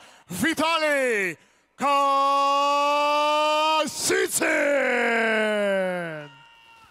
Рефери в октагоне Игорь Кананыхин. Итак, бойцов приглашают а, в центр. Последние инструкции. Все понятно, да? Ну и поехали. Первая интрига уже на первых секундах э, у нас определится, пойдет ли сразу же на первых долях секунды вперед Асан Азизов. Любит он уничтожать своих соперников именно таким образом, сразу же переводя в партер. Но при этом Виталий Косицын тоже прекрасно борется. Здесь у нас э, получается э, поединок двух спортсменов, которые, как правило, делают ставку на борьбу, а это значит, что, возможно, будут они сражаться вообще в стойке. Так часто бывает. Ну так, э, оверхенд справа закидывал. Периодически нужно готовиться к тому, что Асан Азизов может менять стойку, напрягать. Любит он первым номером действовать. Не-не, руками, руками. Удар ногой от э, Виталия. Поджимает его Азизов и, и, э, переживает секундант Косицына. Говорит, что необходимо начинать первым номером отрабатывать, при этом идти в атаку Кричать именно бойся, при помощи ударов кулаками. Джеб одиночный от Азизова. Прессингует. Видно, что пока еще каких-то суперактивных действий нет. Но вот Косицын, у него есть, кажется, противодействие. Это выбр- выбрасывает он э, такие хайкики. Из угла, из угла, да, в эту сторону, в эту, не меняй, не меняй пока, стой. и активно подсказывает из угла не Косицына, меняй. что нужно делать. Но пока, да, действует вторым номером, но ничего особенно у Азизова не получилось в эти секунды, уже даже минуты. Да, нагнетает э, напряжение Асан, но в целом э, начало очень аккуратное. Опять же, Виталий тоже тянет на себя соперника, ждет от него активных атак. Готов он э, к контрдействию, выбрасывает теперь уже комбинацию из трех ударов Хорошо. со сменной стойки. И вот она борьба.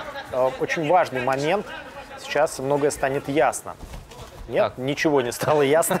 А было, было очень все перспективно для Асана Азизова. Ну, возможно, и здесь он м, сво- со своей стороны решил э, немножко непредсказуемым быть и, опять же, не форсировать, потому что, ну, Косицын показал себя сейчас таким э, контр-панчер, пусть он и не выносит какие-то суперудары, сейчас не наносит, очень хорошо контрит. И вот, вот попытка провести тейкдаун. Встретился он, э, так жесткое соприкосновение было с телом, но, возможно, из этого что-то получится.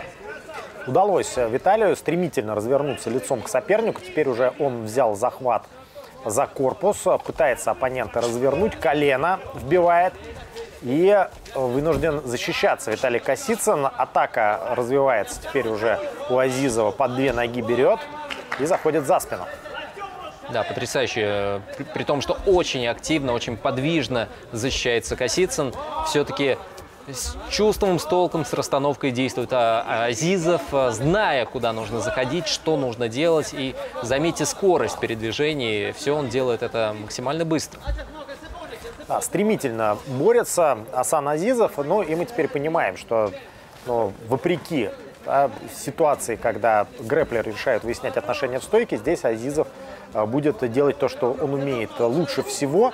Но не забываем также про навыки Виталия. Он а, также прекрасно умеет бороться, может быть очень опасен на настиле. Ну и пока такая позиционная борьба, Азизов пытается все-таки закрепиться в позиции бэкмаунта. Возможно, даже сейчас проведет еще один тейкдаун. Бросок. И кошачью гибкость э, нам демонстрирует Виталий Косицын. Э, каким-то чудом ему сейчас не просто удалось устоять, но и э, он по-прежнему не позволяет сопернику закрепиться у себя за спиной. Посмотри, как сейчас он мастерски отработал левой ногой, уже снял, вытащил практически да, ногу да. оппонента и, и не дал ему заправить ее. У него очень хорошее чувство равновесия. Посмотрите, даже когда остается он вроде бы уже на одной э, ноге, э, обязательно туловище, корпус он вперед наклоняет, таким образом, чтобы равновесие, баланс сохранять. Ну и очень хорошо действует в обороне, это нужно отметить совершенно точно. Таким образом, у Азизова, который атакует весь раунд, по сути, да посмотрите по статистике, ничего-то и не вышло. А энергии ушло, я думаю, прилично. Тем не менее, большую часть этого раунда все-таки Азизов провел в атаке. И сейчас э, за 30 секунд до окончания отрезка он продолжает идти вперед. Возможно, именно из-за этого фактора, из-за фактора работы первым номером, э, ему отдадут судьи первый раунд. Хотя, да, я с тобой согласен абсолютно, Руслан, что э, не было серьезного ущерба да, но и смотри, у нас уже оформился рисунок, э, Косицын уже согла... Э, соглашается с этим, что Азизов подходит сюда, но понимает, что вряд ли у него что-то получится. Закончился первый раунд, перерыв. Следующий бой, уже десятый по счету, Джефферсон Гонсалвес против Дмитрия Засенца. Дмитрий настоящий гроссмейстер ММА, очень умный, хитрый боец. Ну и мейн-эвент Лукас Насименто и Саид Хатиев. Главные события сегодняшнего вечера. Ну, а здесь у нас продолжаются переговоры, мысли вслух. Смотрим параллельно статистику этого очень равного раунда. И знаете, я со своей стороны бы отметил, что ну не то чтобы, может быть, разочарован, но несколько не оправдались, возможно, надежды а, Асана Азизова, потому что начал он уверенно, он а, продолжал действовать вплоть до, там, не знаю, 4 минуты из 5 он совершенно точно забирал в плане активности, но раз, два, три попробовал он перевести в партер, не получилось, очень уж устойчиво э, стоит Косицын и, более того, иногда очень успешно контратакует. Второй раунд. Посмотрим, как характер боя изменится сейчас. При этом, э, ну, в первом раунде можно сказать, что по количеству ударов мы видели там, примерный паритет, но при этом э, по движению вперед, по агрессии, по контролю все-таки Азизов Косицына превосходил. Второй отрезок. И вновь у нас аккуратное начало. Двойка размашисто атакует Азизов мимо цели. Видно, конечно, что Азизов, э, в свою очередь, наверное, тоже опасается контратак Косицына, потому что вот эти двойки он выбрасывает всегда, не доходя до нужной позиции. Смотри, то есть э, всегда практически удар э, попадает в воздух, и даже по касательной он не попадает по Косицыну. То есть тайминга не хватает, а вот Косицын, кажется, ближе к цели. Опять же не хватает, где-то половину кулака уж точно. И действия Виталия вот сейчас, в начале второго раунда, больше похожи на провокации. Короткие такие лоу-кики, без акцента явно, Э, Удары с дальней дистанции, которые тоже не попадают. И вот провокации эти закончились тем, что все-таки Азизов решил пойти в борьбу. Здесь, конечно, он чувствует себя гораздо лучше. Так же, как и Виталий Косицын, который контратакует, прихватывает соперника за шею. И посмотрите, э, Виталий, что делает. Сейчас Очень, опасно. Очень опасно. Это же гильотина. Да, э, очень мощно атакует Виталий. И вот сейчас э, вкладывается он уже в этот захват, но блокирует его ногу Азизов. Нет, Виталий понял, что перспективы здесь нет и вынужден перейти к обороне. Ну, ты знаешь, я бы развил твою мысль по поводу атаки и вообще хода поединка. Такое ощущение, что Виталий Косицын играет черными, а Сана Азизов белыми. То есть Азизов все время как бы должен атаковать, но Косицына вполне это устраивает. Он очень хорошо действует на контратаках. Он же понимает, как действовать в партере. Он только что показал, как он в очередной раз устойчив и может даже контратаковать. А что говорить про стойку? Ну, в стойке, мне кажется, он даже более эффективен. Да, возможно, э, в первой части этого раунда, на первой минуте, и его удары в большей степени нашли отражение в, судейских э, карточках. Тем не менее, сейчас вновь э, практически в бэкмаунт просочился, не иначе. Асан Азизов и пытается улучшить свое положение, а Виталий снова встает и стряхивает себя соперника, перехватывает инициативу. И вот сейчас э, ситуация меняется на 180 градусов. Удивительное дело. И очень интересно посмотреть в этой ситуации Асана Азизова. Выходит на болевой. Узел плеча, но не хватило контроля, захват срывается и вновь Косицын в атаке, вновь он пытается закрепиться в бэкмаунте. Как мангуст, постоянно просто перемещается, его невозможно поймать. Да, пожалуй, Асану Азизову предстоит сегодня не просто попотеть, чтобы выиграть, но предпринять что-то вне геймплана. Какой-то креатив необходим в данной ситуации, потому что пока Косицын все потенциальные угрозы купирует. Давай к нему руку, да, да, туда и к нему, к нему крути. Чуть больше минуты тем временем остается до окончания второго раунда. Упорнейшее противостояние мы наблюдаем. э, Очень близкий второй отрезок с большим количеством перехватов инициативы и перехода, соответственно, этой инициативы из рук в руки. Заправляет одну ногу Асан Азизов. Минута! Минута, кричит э, тренер Виталия Косицына, а это значит, что необходимо предпринимать э, максимально решительные действия для того, чтобы забрать концовку.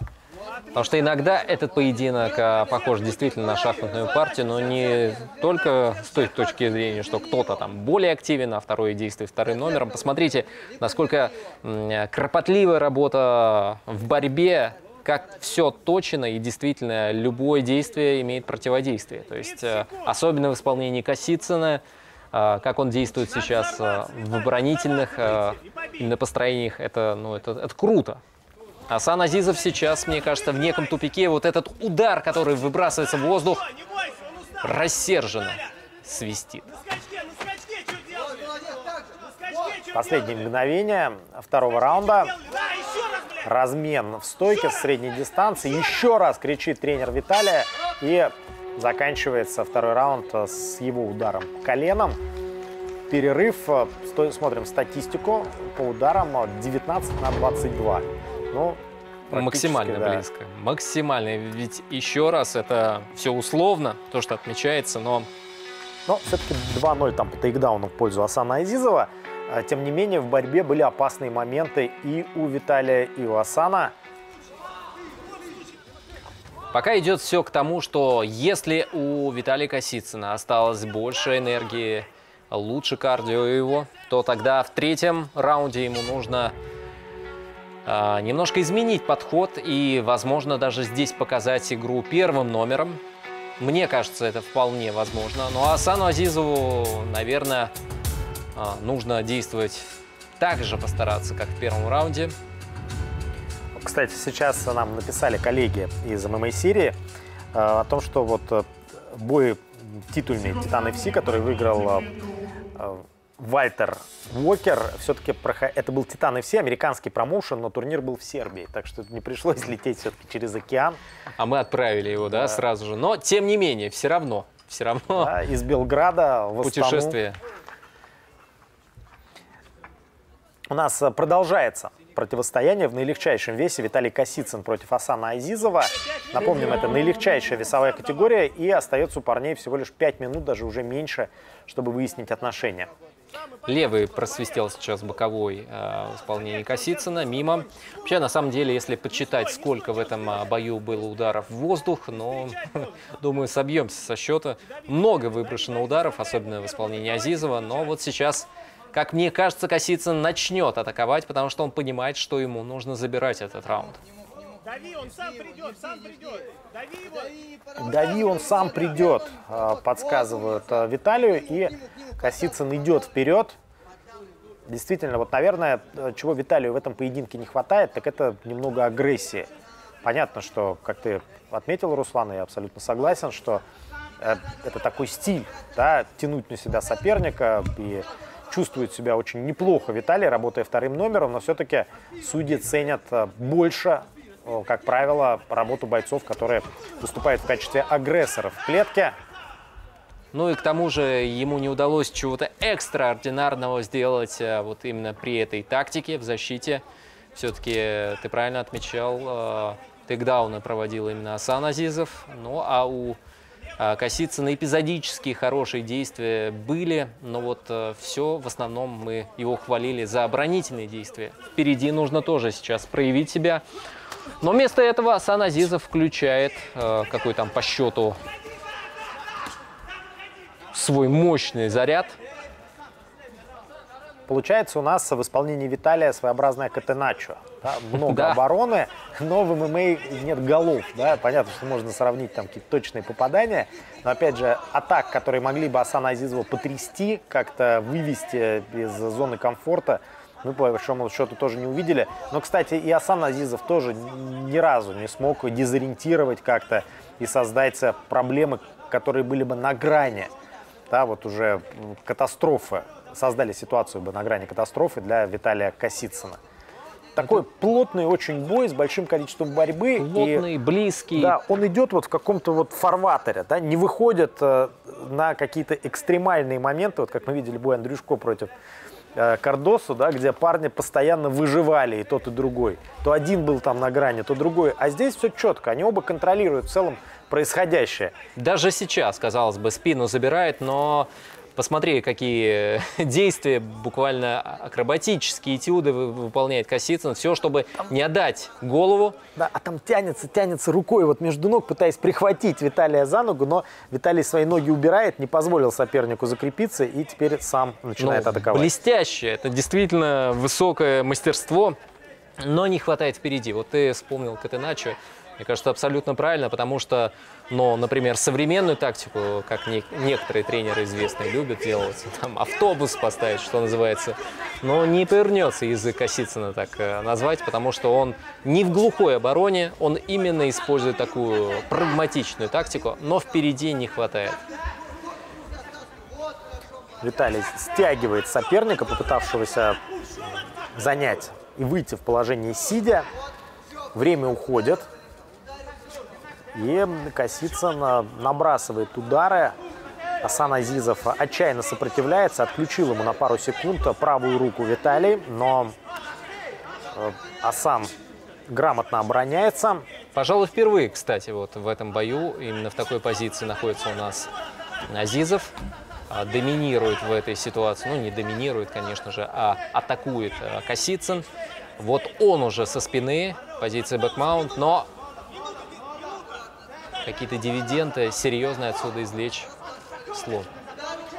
Закрепился за спиной соперника Виталий Косицын. Ну и теперь, наверное, мы можем констатировать, что если не произойдет чего-то очень драматичного, то Виталий забирает концовку раунда. И, вероятно, раунд под номером 3 тоже. Но вот вопрос очень серьезный по первым двум. Кому отдадут судьи? Преимущество да. Прям такой хороший бой наилегчайшего веса. Безостановочная работа и того, и другого. Очень много позиций, очень много тактики, много прям грамотной, красивой борьбы. Я думаю, что э, зрители наши, которые занимаются сами грэплингом, джиу-джитсу, смешанными единоборствами, получили удовольствие от просмотра этого поединка. Да, он действительно, мне кажется, очень полезен для разбора.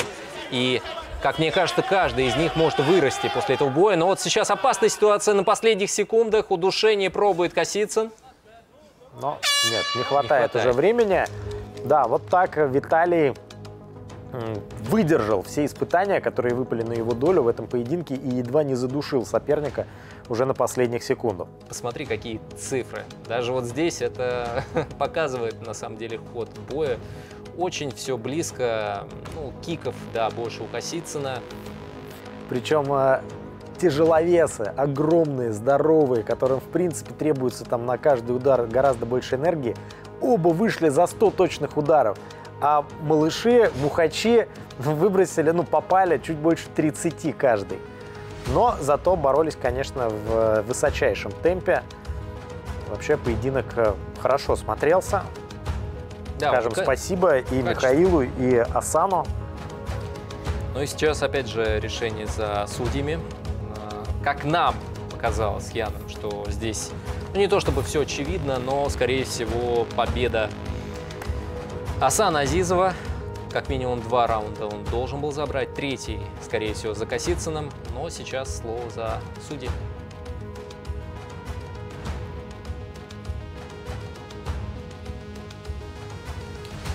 Повисла небольшая пауза, и напомним, дорогие друзья, что впереди два главных боя сегодняшнего турнира. Полусредняя весовая категория Джефферс- Дже- Джефферсон Гонсалвес против Дмитрия Засенца, и потом титульный бой полулегкий вес Лукас Насименту, Саид Хатиев. Саид проводит очередную защиту титула. Ну вот и еще немножко драматургии.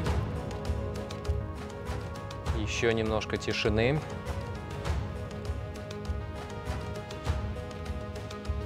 Не хватило ребятам, видимо, адреналина еще и в поединке, так и тут решили добавить.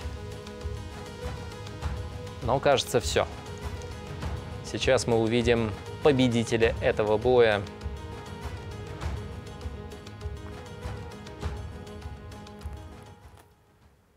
Этот поединок продлился три полных раунда. Победу и выход в финал Гран-при в весовой категории до 57 килограммов одержал боец из Таджикистана Асан Азиза! Да, поздравляем Асана Азизова с выходом в финал Гран-при весовой категории до 57 килограммов. Что ж, поздравляем Асана Асизова. Виталий, ну, можно тебя? да. Мы привыкли к тому, что ты показываешь э, какие-то очень быстрые, яркие, такие мощные поединки. Что в этот раз как-то пошло не так? Как-то не совсем мы тебя узнали в клетке. Да, Поход делал акклиматизация, разный часовой пояс, но это как бы все отговорки. Получается, что соперник был получше. Что, ждем следующего предложения от ММА-серии. Оно не, за- оно не заставит себя ждать. Мы с удовольствием тебя увидим еще. Ты знаешь, что мы тебя любим и всегда рады у нас видеть. Тебе здоровья и всего самого наилучшего. Ждем тебя в ближайшее время. Э, Есть и другой путь дойти наверх. Не, не переживай. Все-таки работает, да? Отлично. Асан Азизов, давайте поаплодируем. Человек, который вышел в финал. Асан, ну, честно скажу, конечно, хотелось увидеть более яркий поединок, но победа есть победа, и вопросов нет. И, опять же, об- обе стороны достаточно были осторожные, на мой взгляд, да? Асан, как ты оцениваешь, э, ну, как в финале мы увидим такой же бой, осторожный, или будешь больше, может быть, какие-то рискованные решения принимать? Салам алейкум, Казахстан. В финале будем хороший бой показать. Зрелищный, иншаллах. Первым хочу поблагодарить Подожди, подожди, давай сейчас поблагодарим, сейчас я тебе потом дам, сейчас все поблагодаришь, не переживай. Э, Скажи, все, что получилось, что хотел в бою, Нет, нет. Да, я первый раз уже, три раунда уже первый, первый раз у меня. Я, да, первый, третий раунд полный по, по это, поборолся. У меня руки болят, что ли, что ты все время машешь, что, что просто затекли? просто у меня все профессиональные бои были в первом раунде. Это только третий раунд. Ну, хороший опыт, что? Это же опыт такой должно быть, это жизнь. Соперник опыт, опытный, он очень опытный. Да, поздрав... поздрав- поздравляю свою тренер первый. Первый. Хочу первый раз. Поблагодарю тебя, тренер. Все салам алейкум. Очень разговорчив. Ну, думаю, в финале покажем зрелищный бой. Отлично, давайте поаплодируем Асан Азизов, наш финалист. И совсем скоро мы узнаем, кто будет э, его соперником 17 июля, нет, прошу прощения, 17 июня все-таки второй полуфинал, в котором мы узнаем о том, кто же будет его соперником. Так что смотрите MMA TV, мы продолжаем нашу, про- нашу сегодняшнюю э, программу, и у нас еще впереди два очень крутых поединка. Ну а сейчас я хочу пригласить в октагон генерального директора mmagfstv.com Вячеслава Камнева и представителя компании «Фортуна» Артура Ислямова. Как приятно пользоваться микрофоном фортуной, вызывать человека из фортуны, который приносит нам фортуну. Все прямо в точку. Видимо, у вас есть объявление, правильно я понимаю? Во-первых, спасибо вам за поддержку нашего турнира. А, правильно, Фортуна должна пользоваться микрофоном MMA TV. Все верно. Что вы хотели бы нам сегодня сказать? Ассаламу алейкум, Кишер Астана. Всем добрый вечер. А, В первую очередь хотел бы поблагодарить партнеров за приглашение, организаторов за предоставленное зрелище. Очень приятно. Бойцам, победителям и проигравшим скорейшего восстановления. И непосредственно моя миссия озвучить а, номинацию за лучший дебют от завода «Фортуна» награждается боец из России Григорий Мартиросян. Попрошу. У нас дебют в ММА серия, правильно я понимаю? Или вообще дебют? Дебют в профессиональном Дебют профессионального ММА и в ММА серии сегодня он состоялся. Это прекрасный вообще просто случай. С нами он сегодня произошел. Поздравляю вас. У вас есть замечательная номинация. Это аванс вам на будущее. С тем, чтобы больше было хороших, мощных и уверенных побед. Поздравляю вас. Вы представляете замечательный клуб. Кузня. Кузня всегда у нас номер один. Поэтому мы ждем от вас только побед. Спасибо. Спасибо вам тоже.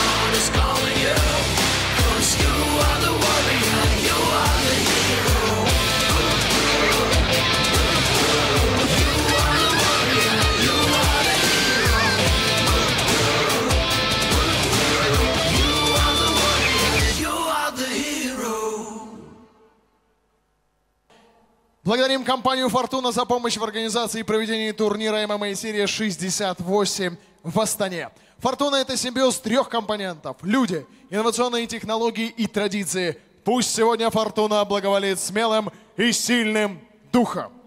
На очереди поединки с пометкой «Супер Файт» в рамках 68-го турнира ММА серии. Соглавный бой вечера. Полусредняя весовая категория. Внимание на экран. Я Дмитрий Засинец, представитель клуба Академия ММА из города Мозырь, представляю Республику Беларусь. Hello, my name is Jefferson. Привет, я Джефферсон Минотавр Гонсалвес. Я из Бразилии, из Рио-де-Жанейро. Представляю клуб Гор ММА. Победа в Гран-при для меня многое значит. Это хороший бой, один из лучших турниров, поэтому его и признали боем года. Все бои были сложные, я доказал, что я являюсь сильным спортсменом. Сегодня очень важный для меня бой, поэтому мы смотрели соперника и много готовились именно под него. Он хороший ударник. Вот и посмотрим, кто лучше. Я приготовил для него сюрприз. Уверен, он не ожидает этого. Подготовка была немного сложнее, так как бразилец имеет хорошую базу тайского бокса и бразильского джиу-джитсу. Определенно изучили его. Не буду говорить, какие его сильные стороны, чтобы он не знал, на что я делал акцент. Боец сильный, э, тут, чтобы быть сильным, надо биться сильным. Я заряжен только на победу. Вернее, я точно одержу победу. Уверен. Джефферсон, я думаю, ты хорошо и ответственно подошел к своей подготовке и к нашему бою. Желаю тебе удачи.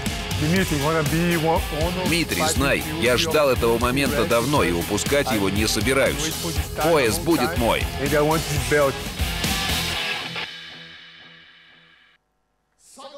Событие вечера. ММА серии 68. И в синий угол клетки приглашается боец из Бразилии Джефферсон Минотавр Гонсалвес!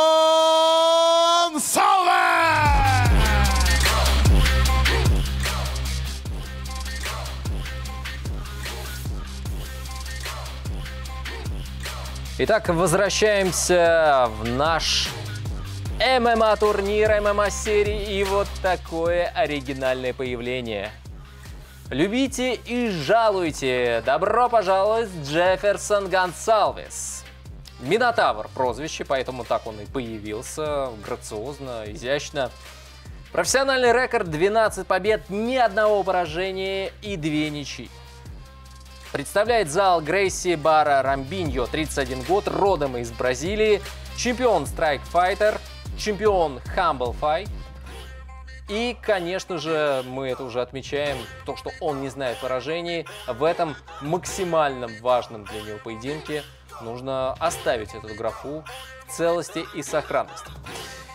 А, Начиналось все для него 10 лет назад. Выиграл он в ряде региональных промоушенах. А Потом был упорный бой с Хандерсоном Феррейрой, где была зафиксирована ничья. Ну и на 6 лет с радаров ММА Джефферсон пропал. Это очень такой был сложный для него период.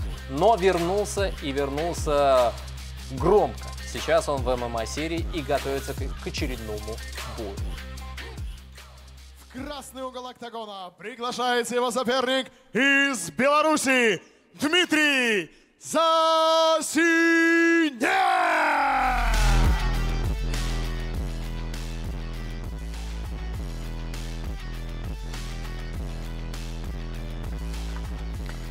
А вот и Дмитрий Засинец, 25-летний белорусский боец из Минска. Он представляет команду Академии ММА «Мозырь», кандидат в мастера спорта по смешанным единоборствам, бронзовый призер чемпионата Европы и призер чемпионата мира по панкратиону. Победитель Гран-при ММА-серии в полусреднем весе. Дмитрий а, профессионально выступает с 2019 имея на счету две победы и одно поражение. Начал драться в ММА-серии. Здесь четыре успешных выступления. В последних поединках в полуфинале Гран-при одолел Шарапудина Абдусаламова, а в финале Максима Викторова. Очень был упорный, напряженный и близкий поединок, но в итоге судьи отдали предпочтение Дмитрию. Всего получает 6 побед, одна неудача. И для Дмитрия тоже это серьезнейший вызов. Бой за пояс ММА-серии. Джефферсон Гонсалвес, э, можно сказать, э, вспыхнувшая на небосклоне ММА-серии, звезда. Совсем недавно этот парень э, выступает в этой организации, но уже успел себе создать репутацию могучего соперника для любого оппонента. За главного события вечера. В синем углу октагона. Ему 31 год. Рост 1 метр 88 сантиметров, вес 77,1 килограмма. Из Бразилии представляет московский клуб Гор. Он чемпион Fighter, чемпион Fight. Его профессиональный рекорд 12 побед, 2 ничьи и ни одного поражения. Джефферсон Минотавр Гонсалес!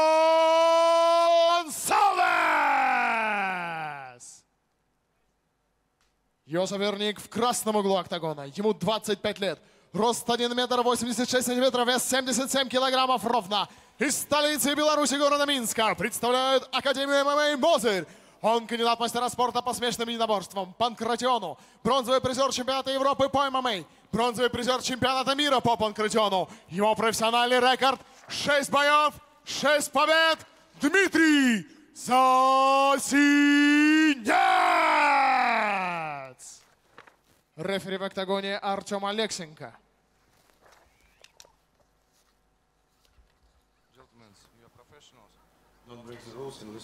Артем Алексенко напоминает э, спортсменам о правилах поведения в клетке. И начинается второй по значимости поединок турнира ММА-серия 68.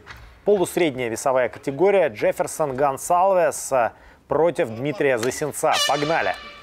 Не пробуйте срывать его цепочку, которая нарисована. Это татуировка такая изящная. Вообще, татуированный парень.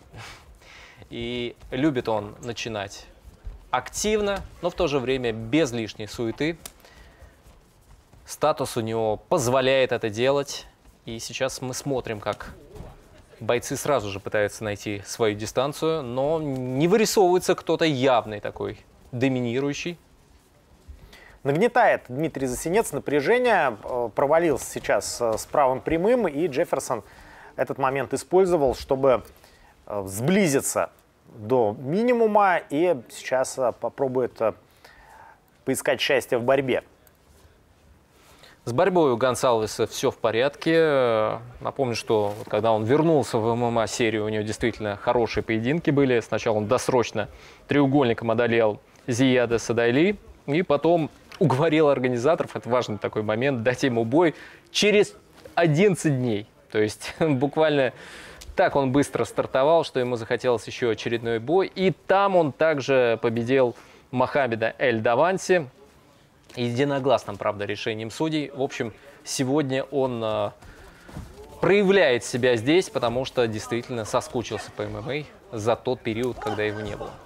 Но в данном случае э, у Гонсалвеса соперник совсем другого калибра, потому что при всем уважении к тому же Эльдвансе, здесь, э, в общем, ну, во-первых, э, Академия ММА белорусская, это очень крутой клуб, откуда в последнее время все больше и больше появляется супер талантливых спортсменов. Но и сам Дмитрий Засинец, уже обладая титулом чемпиона Гран-при ММА серии, имеет в этой организации более чем серьезный статус. Пока этот статус не мешает Джефферсону проводить больше времени в атаке. Ему удалось уже подразбить нос Дмитрию Засенцу. Нет, Дмитрий видно, безусловно, насколько он обучен в оборонительных действиях и осторожен а, в данной ситуации, потому что с Джефферсоном Гонсалвесом нельзя зевать. Это примерно такая же история, как с Асаном Азизовым. Вот сейчас пробовал перевести партер, но быстро Засинец поднялся. Ну и видно по первой половине первого раунда в очередной раз, насколько хорошо изучают соперников своих ребят в клубе Гор ММА, потому что ну, обычно Дмитрий Засинец прекрасно чувствует себя на дистанции. Он быстрый, он чувствительный, любит работать в стойке. И это как раз то, чего его лишил Джефферсон с самого начала этого поединка. Навязал очень много борьбы, в стойке в партере неважно, вязкий бой, как раз когда Дмитрий не имеет возможности использовать свои козыри, свои самые сильные стороны. Ну, это вот комбинация, конечно, потрясающая, когда есть возможность тренироваться в таком зале, как горы, и в том числе э, клуб, который его на, на родине находится, и там много достойных э, спарринг-партнеров, вот, в частности, тренировался он с такими монстрами, как Сезар Феррейра, Майкл Пейдж. Эти ребята, которые могут помочь расти любому бойцу. Менее полутора минут до окончания дебютного раунда. И пока что Гонсалвес э, подавляет своей активностью за сенца. Попытался Дмитрий бросить э, сейчас подхватом, но ничего не получилось.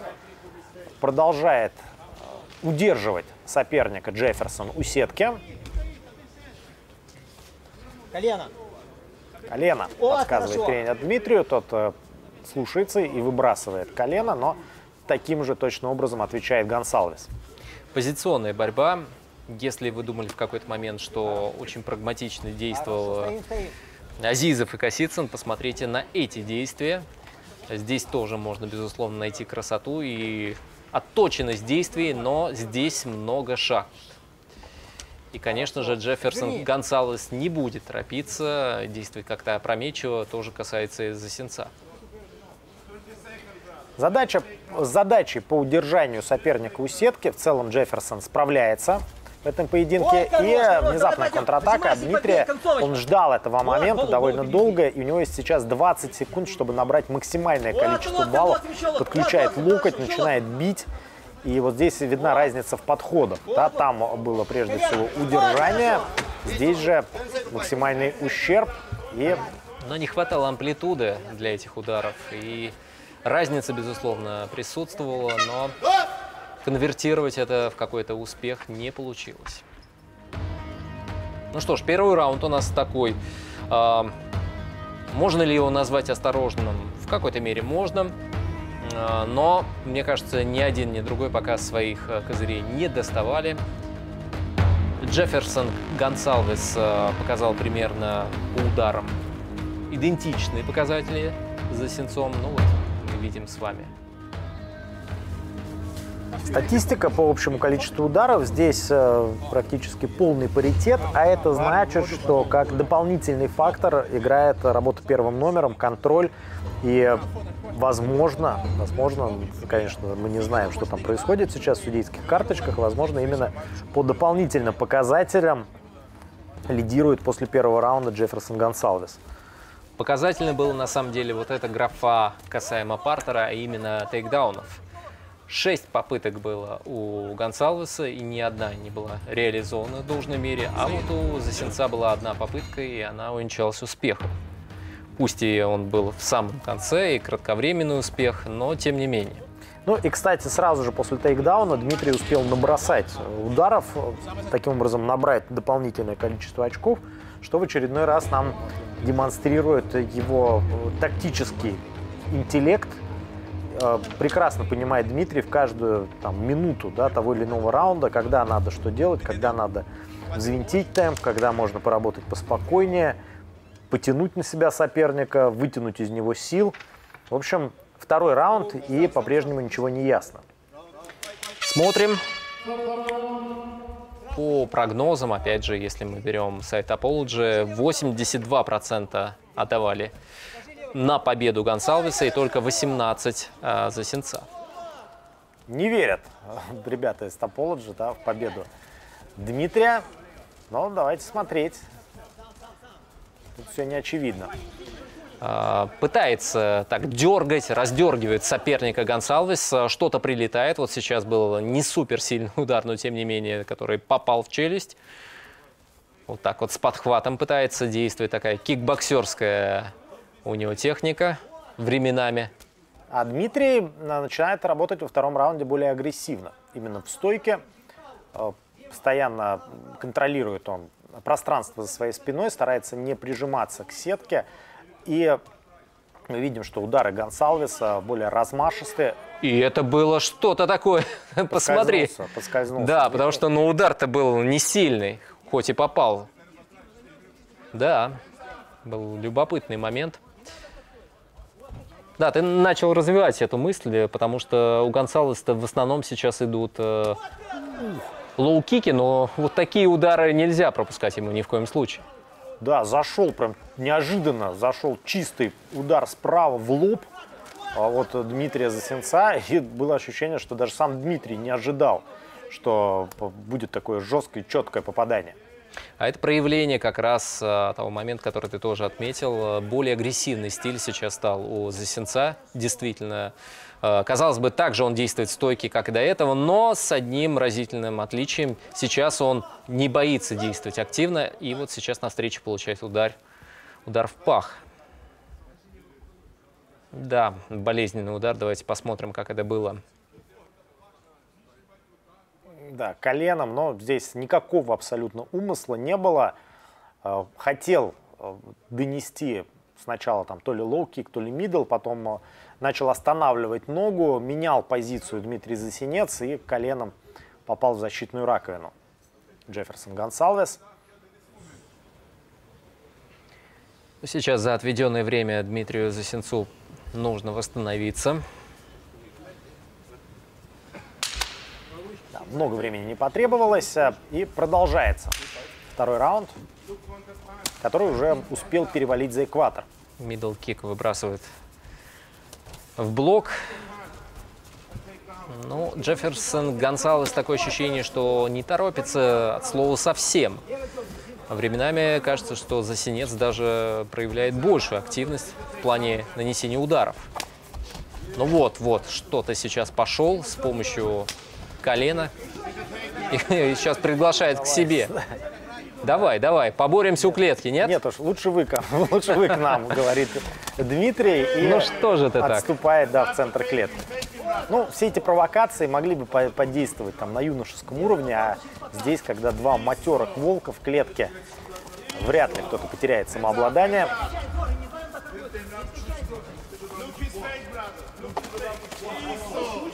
Вот еще один удар, но на самом деле сейчас пока что можно про этот бой сказать? Защита побеждает атаку. Со всех сторон ребята хорошо пресекают какие-то попытки и урон наносят минимальный друг другу.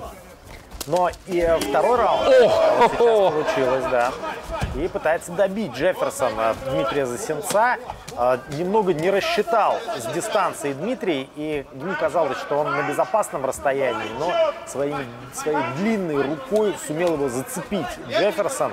И вот это, пожалуй, ключевой момент э, во втором раунде. Сейчас забирает спину и позиции бэкмаунт, если удастся закрепиться, э, очень хорошие шансы у Джефферсона Гонсалвеса, но в то же время кажется, что Засинец вот в эти моменты, мгновения смог восстановиться. Главное, не проявлять сейчас пассивную защиту. Гонсалвес э, верит в то, что может э, закончить этот поединок досрочно э, и не жалеет сил, старается сейчас заправить ноги при малейшей возможности, продолжает бить и намерен не позволить Дмитрию прийти в себя. Хотя 20 секунд остается, и мы видим, что Засинец уже в борьбе старается перехватить инициативу. Джефферсон, если даже ты увидел, в какой-то момент э, подмигнул, как мне показалось, э, к своему углу. Ну, то, что спокойно, я не буду, наверное, торопиться, все контролирую. Раунд он в любом случае забирает. Да, очень обидно должно быть сейчас Дмитрию, потому что так в целом-то раунд был близкий. Даже мне казалось, что э, Засинец э, действовал уверенно на протяжении второго раунда, во всяком случае гораздо увереннее, чем в первом. Но вот один эпизод, в общем, все испортил. Все впечатление и, возможно, действительно склонил чашу весов в судейских э, предпочтениях на сторону бразильца. Ну и заканчивается второй раунд. Безусловно, лучше бы, чтобы этого не было, э, такого удара пропущенного для Засенца. Но, с другой стороны, можно сказать, что он вышел из этого момента с наименьшими потерями. И шансы у него остаются на третий раунд. Да, получается, что все плохо в целом для Димы, но не так плохо, как могло бы быть. Да, потому что он сумел погасить вот этот добивающий порыв Гонсалвеса. Э, Он остается в деле, и у него есть еще 5 минут для того, чтобы все исправить, для того, чтобы переломить ход этой встречи. Третий раунд надо забирать за Сенцу совершенно однозначно. Но вот хватит ли этого для того, чтобы выиграть бой, это большой вопрос. Ты ведь отметил, на самом деле это происходило во втором раунде, где-то в середине. Мы отмечали, что стал такое ощущение перехватывать инициативу, и удары пошли. Но вот этот удар справа пропущенный. Слева сначала, потом справа. Пришел просто неожиданно для Засенца. Ну а Джефферсон Гонсалвес спокойно, уверенно. Посмотри, медитативно даже, можно сказать, с ним работает в углу. И напомним, дорогие друзья, что это полусредняя весовая категория. В ММА-серии в этом весе есть супер яркие бойцы. Ну, один Сергей Бубрышев, да, только чего стоит. Э, Тот же, например, Бубр Курбонов, который победил Сергея в прошлом году. и стал обладателем одного из поясов ММА-серии. И тоже отличный боец, кстати, потенциально может сразиться с победителем этой пары за пояс. Так, ну а у нас на горизонте третий раунд, который начнется прямо сейчас. На уважении большом а, бойцы. Приятно всегда такой наблюдать. Хайкик э, Джефферсон Гонсалес выбросил в блок. Ну и сейчас мы видим попытку, мне кажется, активизироваться э, от Дмитрия. Понимает, что он нужно сейчас сразу же ковать, пока горячо.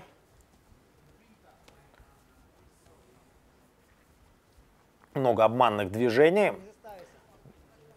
И пока что без точных попаданий э, выбрасывает осознанно, судя по всему, удары по воздуху Джефферсон, дабы отогнать от себя Дмитрия. Но Да. тот в челноке, хайкик в блок.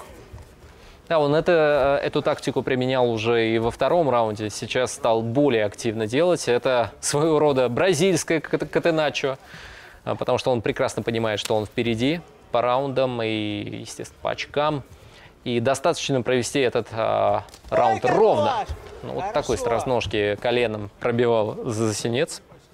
Попал блок. А, Потенциально нокаутирующий удар коленом, но э, сумел стремительно сократить дистанцию Джефферсон и сейчас э, близок к тому, чтобы перевести оппонента на настил. Но на протяжении всего этого боя Дмитрий Засинец все-таки нам демонстрирует уверенную защиту от борьбы, от тейкдаунов. Хотя, вот посмотрите, сейчас Гонсалес все-таки укладывает его на настил, подспудно блокируя сзади руки, чтобы лишить опоры.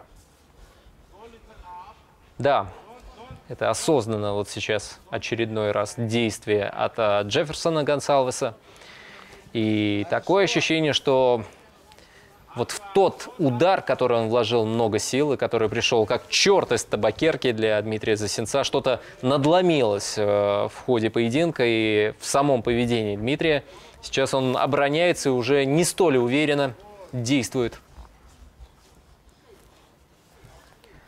Продолжает э, Джефферсон работать на настиле, но обратите внимание, тоже без ударов практически. И здесь э, пытается улучшить позицию, пытается не позволить сопернику что-то предпринять Джефферсон Гонсалвес, э, при этом э, ну, работает настолько активно, насколько этого достаточно, чтобы рефери не поднимал бойцов в стойку.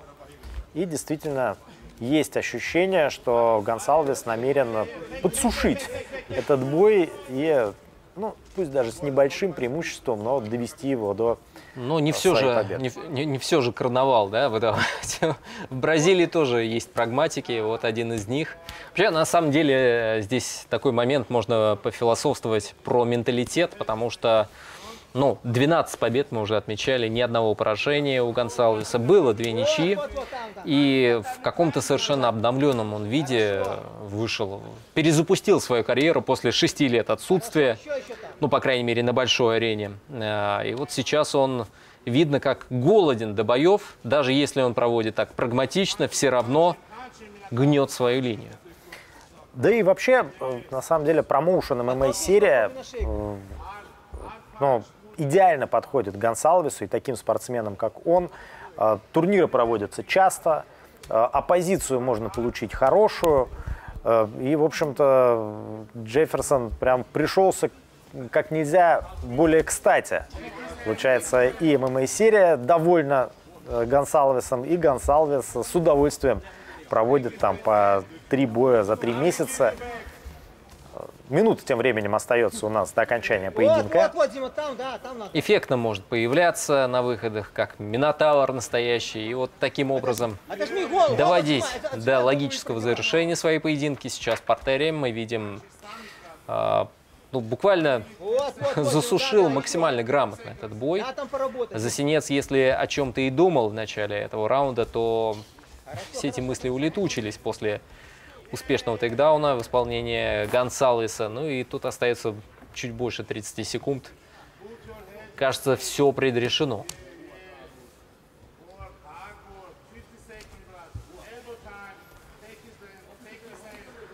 Продолжает э, Гонсалвес э, перемещать постепенно Дмитрия к сетке.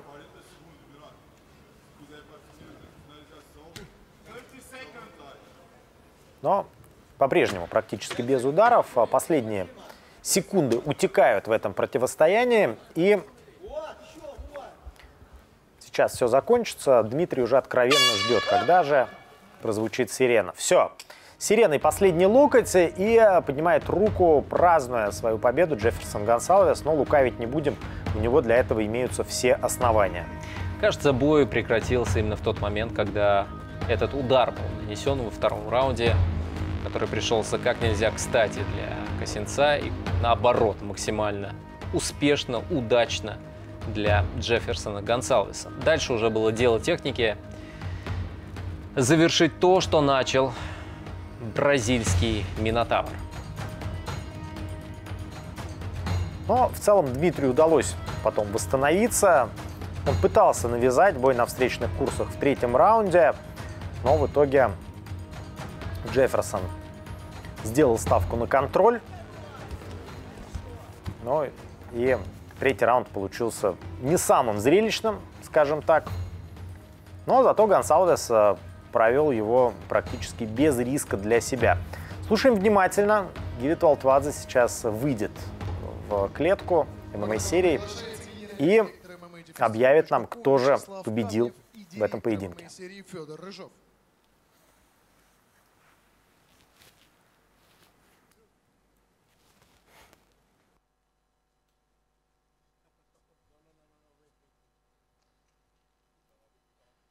Этот поединок продлился три полных раунда. Победу единогласным решением судей одержал боец из Бразилии Джефферсон Минотавар Гонсалвес! Поздравляем Джефферсона Гонсалвеса. И меня лично сейчас интересует только один вопрос, вернее, ответ на этот вопрос. Что дальше? Что дальше для этого парня? Четыре поединка в моей серии. Три было очень близких боя, но всех, во всех трех он сумел все-таки переломить и победить. Вот в этот раз немножко не получилось, Дмитрий, но мы хотим сказать, что с удовольствием ждем тебя, во-первых, на продолжении, э, продолжении твоей попытки дойти до пояса, уже до пояса линейного чемпиона, потому что ты никуда далеко не ушел, ты проиграл в равном бою сильному сопернику, так что ты всегда рядом, и буквально одна-две победы отделить тебя от того, чтобы снова вернуться в, бой- э, в гонку за поясом линейного чемпиона. Как у тебя бой прошел, что не получилось? Всем здравствуйте. Всем здравствуйте. Не знаю, надо пересмотреть бой. Все в самотеху. На сегодня соперник лучше, у меня нет оправдания. Э, Понял. Удар был очень жесткий, который ты пропустил, ну, я имею в виду ниже пояса, или так себе? Нормально. Нормально? Ну, отлично. Но самое главное, Дим, на самом деле, раз с этим ударом все нормально, все остальное обязательно будет. Так что, я думаю, не стоит переживать по этому поводу. Ну, а сейчас э, Джефферсон, Гонсалес, Джефферсон, ты, вы провел у нас, ты провел у нас три боя. Ты тоже еще не уходи, потому что еще будет еще одна вещь для тебя. Э, Три боя провел у нас, выиграл, сейчас выиграл четвертый поединок. Соответственно, ты получаешь э, наш серийный э, пояс за, подр- за три победы подряд. Ну, соответственно, четвертая твоя победа, три победы подряд в ММА серии. С чем мы тебя и поздравляем. Вот этот пояс, Джефферсон, теперь он твой. Это первый пояс нашей организации. Будет здорово, если он будет не последний.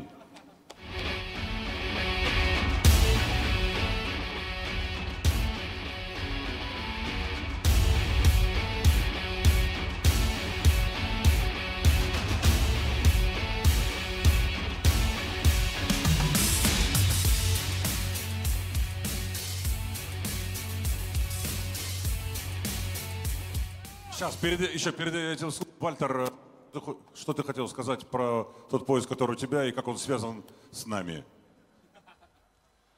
I want to say thank you to organization MMA Series because yesterday I have a big step in my career. Я хочу поблагодарить э, промоушен ММА-серию, говорит э, Вальтер Уокер.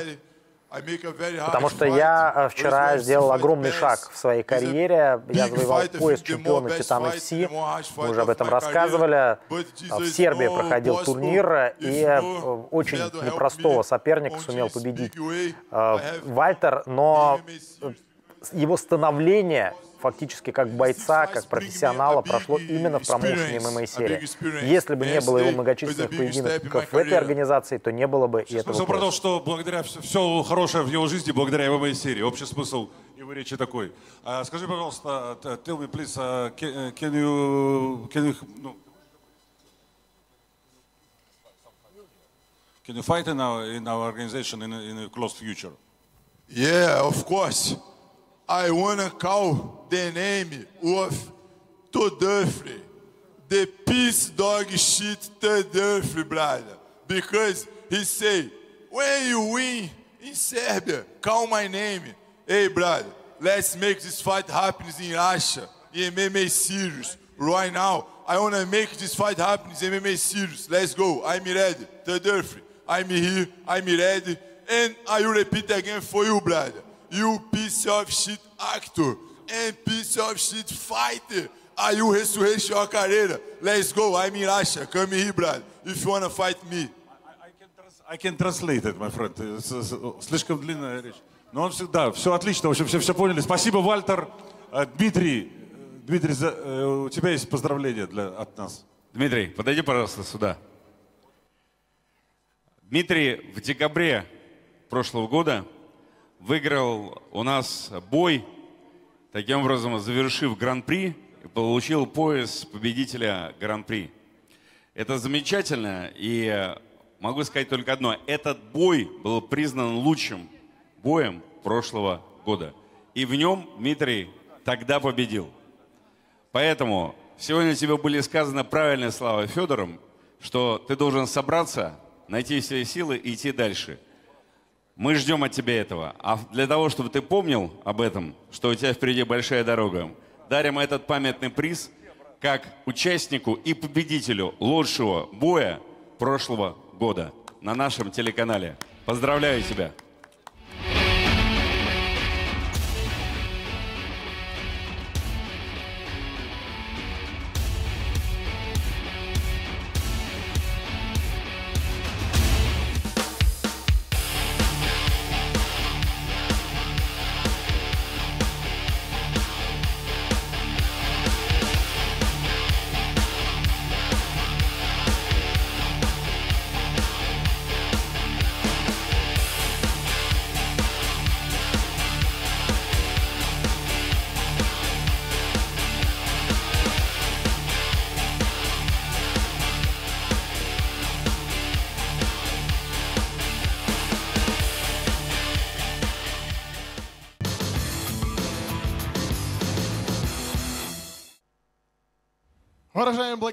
Генеральному партнеру турнира компании «Лудинг» за помощь в организации и проведении ММА-серии 68 в Астане. А у меня важная информация для всех любителей ММА, для тех, кто любит наш промоушен. Мы надеемся, что вы по-прежнему будете с нами. Уже сейчас покупайте билеты на грандиозный турнир лета ММА-серия 70 «Все звезды», который пройдет 1 июля в Москве, в Лужниках, в Международном центре бокса. Кстати, купив билеты и придя на событие, вы сможете выиграть настоящий мотоцикл боевой породы. Билеты на нашем сайте mmaseries.com. Главный бой сегодняшнего вечера. Meu nome é Lucas Nascimento Nogueira, sou do Brasil. Привет, меня зовут Лукас Насименто Нугейра. Я из Бразилии, из Рио-де-Жанейро. В Москве представляю клуб Гор ММА. Друзья, всех приветствую. Меня зовут Саид Хатиев. Я из России, город Нижний Новгород. Представляю клуб ММА Профи. В своем прошлом бою я защитил пояс против достойного крепкого бойца Ильи Варварского. Прошел бы всю дистанцию и во всех пяти раундах я одержал победу. И я, конечно, рад очень этой победе. Но сейчас для меня предстоит новое испытание. ММА-серия проводит очень крутые турниры. Я слышал это от ребят из Бразилии, которые у вас уже дрались. Спасибо за предложение выйти в октагон из-за такого конкурентного соперника. Я знаю, что он сильный боец, но я много тренировался, готов побиться с ним и забрать пояс. К этому бою я готовился в обычном для себя режиме. Просто также подтягивал все свои сильные и слабые стороны, оттачивая каждый свой навык. Соперника своего смотрел. Неплохой боец, но с таким, как я, он еще дела не имел. Поэтому я думаю, он тут пропотеет. В моем родном зале в Бразилии лучшая подготовка по джиу-джитсу. Поэтому я готов встретить его мощные удары. Захочет побороться, я не против. Мне есть что показать. Лукас, я желаю тебе выйти к бою в своей самой наилучшей форме. А я просто докажу тебе, что только не в Рио Жанейро бывает жара, но и в октагоне напротив меня. Саидик. Саид, жду тебя в октагоне. Обещаю, скучно не будет.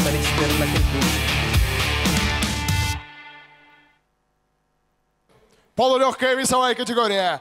Пять раундов по пять минут. И в синий угол октагона приглашается боец из Бразилии Лукас Насимента.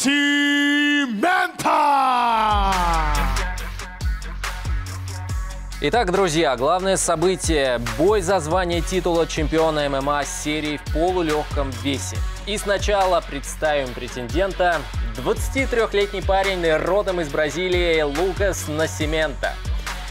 А, Тренировочный лагерь он проходил в Бразилии в составе IF Team, после чего отправился в Россию, где завершил подготовку в ГОР ММА.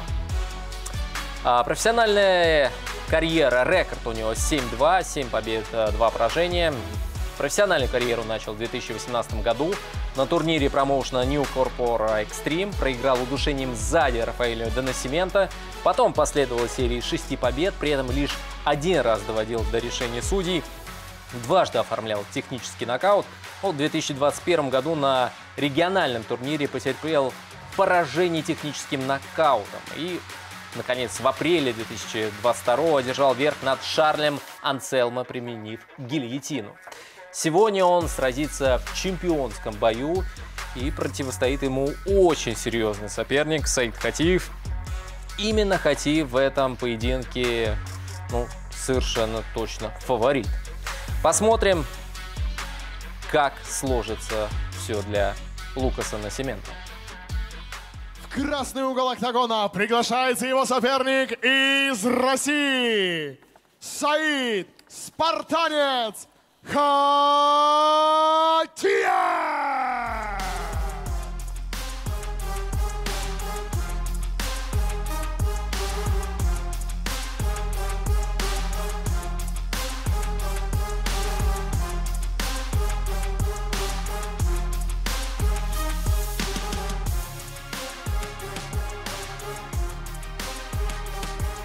А вот и Саид Хатиев на наших экранах.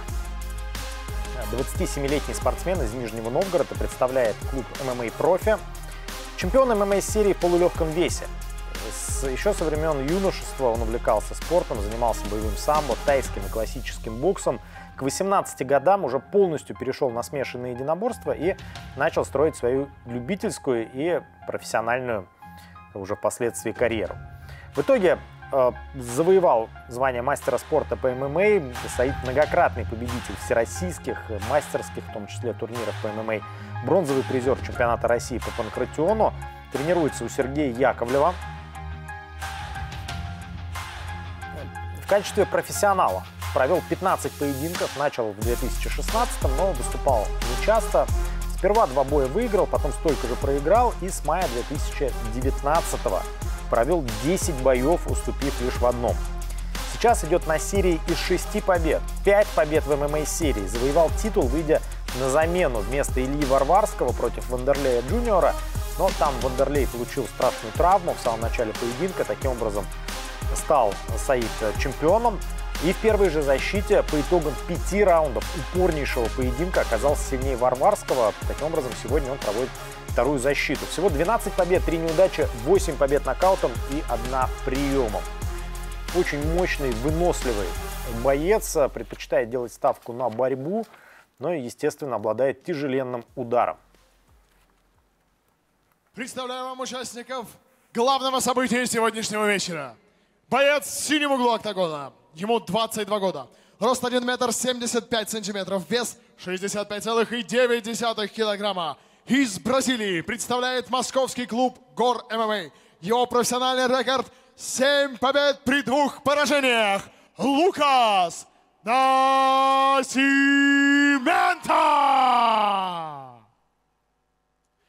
Его соперник в красном углу октагона. Ему 27 лет. Рост 1 метр 72 сантиметра, вес 66 килограммов ровно. Из России, Нижнего Новгорода. Представляет Центр единоборств ММА профи. Он мастер спорта по ММА. Его профессиональный рекорд 12 побед при трех поражениях. Саид Спартанец Хатиев!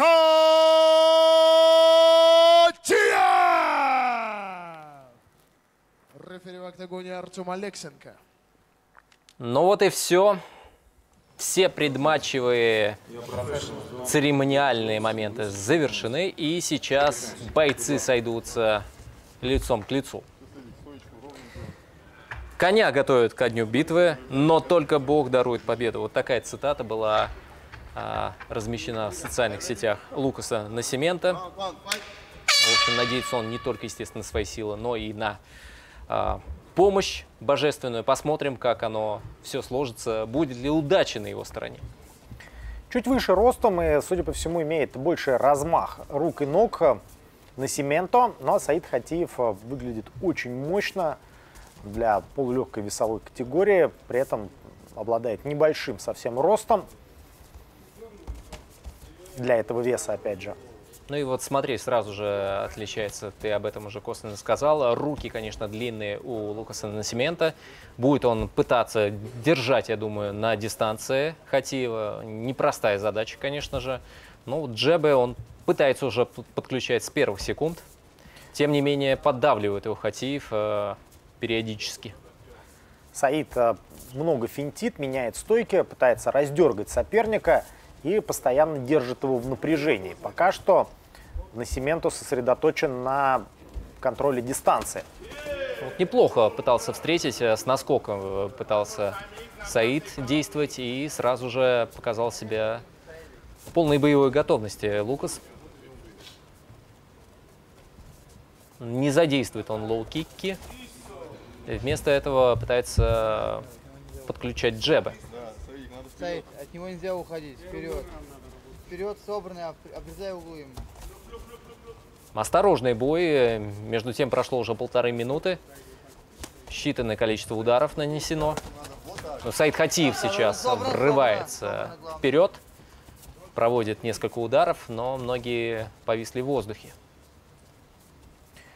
Минимальное количество точных ударов, ну, причем мы видим, два всего лишь зашло у Сатиева, в соответствии со статистикой, которую мы наблюдаем на экране, и 7 у Насименто. Хотя вот сейчас уже 8. Middle kick. Вот был точный. Засчитают Хатива? Да, засчитали. 8-3. Засчитали. Только что ты зафиксировал этот удар, но и мне показалось, он действительно побеспокоил Лукаса, потому что когда бойцы, боксеры так делают, обычно как раз эффект был. Ну и вообще, честно говоря, сейчас Саид Хатиев начинает более агрессивно действовать. Выкидывает он под разными углами удары и задействует хай-кики. Фронт-кик в исполнении Лукаса. В целом темп невысокий, много очень перемещений, много обманных движений, но середина раунда уже пройдена и интересно, когда же Саид Хатиев включит свою борьбу, свою сильнейшую сторону. Пока что в основном на дистанции развиваются события. Интересно в, в то же время, да, входит ли это в геймплан а Саида, ну, складывается впечатление, что именно такая задумка и была. Первый раунд, возможно, так проверить себя в стойке и соперника. Ну вот и сейчас а, размен такой пошел. Серия ударов, а, никто друг другу урона серьезного не нанес, но тем не менее вспыхивает бой периодически у нас. Ну и уже сейчас можно сказать, что Насименто боец э, жесткий, амбициозный, он приехал побеждать, он, э, у него есть определенный план на бой, который, судя по всему, заключается в том, как раз, чтобы э, действовать на дальней дистанции, контролировать эту самую дистанцию и за счет своего преимущества в антропометрии наносить ущерб и контролировать ход поединка ну, по первым впечатлениям складывается именно такое ощущение, что план, по крайней мере, большая часть плана именно в этом состоит. А вот в чем план а, Саида Хатиева, который как раз силен в борьбе и даже не попробовал ни разу провести тейкдаун, сейчас э, пока сложно понять. Раунд получается очень близким. Но с точки зрения, опять же, да, ребят, которые считают статистику, 14-9 в пользу Насименту. С точки зрения судей, может быть нечто иное. Хороший сейчас джеб навстречу, и пошатнулся даже Саид после этого пропущенного удара. Э, Получилось сложение энергии. Вот сейчас с вертушки попадает Сильный на удар. Сементо. Да. Вообще очень неприятные эпизоды пришлось пережить Саиду уже в концовке раунда. И постепенно начинает вырисовываться вот в такой игре определенное преимущество на Сементо. Еще один фронт-кик. Ну и, конечно, не забываем еще один момент, который как раз тоже может и Хатиев учитывать, что раундов у нас, э, так это чемпионский бой, не три, а пять. Поэтому это важный аспект, конечно же. Нужно разложить силы на все пять раундов. 17 на 9 по общему количеству ударов, на руках 12-5, 5-4 практически полное равенство по ударам ногами. Ну, естественно, так как э, поединок в основном проходил на дальней дистанции, то ни ударов локтями, ни коленями здесь не зафиксировано. Зафиксирован зато был тейкдаун, вернее, попытка тейкдауна в исполнении Хатиева. Честно говоря, не помню, когда это было. Но вот эти удары мы совершенно точно помним. Э, Начали рубиться в конце, так, э, пускай и с определенной осторожностью, но все-таки выбрасывать эти сильные удары. По поводу темпа, да, он, конечно же, не супер взрывной сейчас, но уже можно сказать, что бойцы разгоняются и, ну, наверное, так где-то четвертая, третья, четвертая передача уже сейчас э, точно включена у бойцов. Посмотрим, что будет дальше. Саиду нужна борьба. Ну, это, безусловно, мое субъективное мнение, но далеко не все у него получалось в первом раунде. Возможно, в этом как раз план на бой. Дать э, себя почувствовать уверенно сопернику. Э, Иногда бывает, ну, кстати, довольно редко, и для этого нужно быть там таким хладнокровным, как Петр Ян или там Майкл Чендлер, да, специально отдать два раунда. Ну, Чендлера такие истории были еще в Беллаторе. И чтобы потом просто форси... вби- утопить э, педаль газа и забрать уверенно три оставшиеся. Но это прям надо быть человеком с стальными нервами. Не знаю, такой ли план у Саида. Я хотел как раз а, этот момент отметить, ну, потому что хладнокровие нужно действительно иметь какое-то такое нордическое. Впрочем, Саид э, уверенный в себе человек, э, боец э, с уже богатым послужным списком. Но пока мы пытаемся разгадать этот ребус, его геймплан, его тактику, Лукас Насимента чувствует себя достаточно уверенно. И второй раунд будет пробовать реализовать то же самое. Хо-хо! Вот так вот. Вот так вот удар пропускает, который может завершить абсолютно все сейчас. А вот и борьба, да. Саиду Хатиеву нужно было это попадание, чтобы коршуном броситься вслед за соперником на настил и там продолжить его разбивать. Заправляет он одну ногу. Да, вечер перестает быть томным. Но этот удар, э, ты знаешь, он как раз не пришел как черт из табакерки, его заряжал Хатиев. Вот в этом и план был. Присматривался, зашел не на ближнюю дистанцию, даже средняя она была, но этот удар не увидел Насимента. По-прежнему он в э, потерянном состоянии. Хатиев рискует гораздо более агрессивно. э, Пошел вперед во втором раунде, нежели в первом. И теперь уже Насименту старается показать э, всем своим видом, что ему все ни почем, что он э, готов сражаться дальше. Наседает правой прямой, попал сейчас бразилец, Саид отступает и готов перехватить атаку соперника. Двойка от Насимента, фронт-кик следом, Саид не отвечает. Заряжает теперь уже собственную комбинацию, и бразилец уходит с линии атаки. Да, ну ты знаешь, как первые секунды показалось, что он хотел именно на публику показать, что все со мной в порядке. Нет, кажется, в плане физики он восстановился, но, естественно, Саид Хатиев почувствовал кровь, почувствовал, возможно, ту дистанцию, с которой можно пробивать, и это не останется таким, знаете, безнаказанным, без следа для Насимента не пройдет это. Но ему сейчас самое главное прийти в себя и провести какую-то, в свою очередь, успешную контратаку. Жесткий фронт-кик, э, джеб издалека. Удалось прорваться на среднюю дистанцию Саидо. Вот он подбирается опять, попал правым кроссом. И после серии попаданий по корпусу вновь борьба у сетки. Вырывает буквально бедра из-под соперника сейчас Саид. Сразу же на Сементу оказывается на четырех точках. а, Поднимается на ноги и такой очень бодрый у нас коленом достал Серьезнейший сейчас, да. удар. На самом деле мы сегодня говорили про одну из пар, что у них э, был какой-то свой свод правил. А Такое ощущение, что у Саида Хатиева сегодня тоже какая-то своя определенная игра. А Я могу тебя очень легко перебороть, но я хочу все-таки побоксировать. Вот такое ощущение он сказал себе сам это.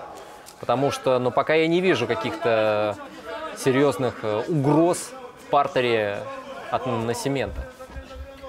Ну, Хатиев, э, как минимум, да, посмотрите, что творит сейчас. Э, Удалось ему заблокировать соперника у сетки. Там на тяжело приходится, но он находит в себе силы, чтобы встать. Обозначил удар коленом и все-таки вынужден выпустить соперника. Подсечка сейчас э, бросок не получился, вернее, получился он не до конца.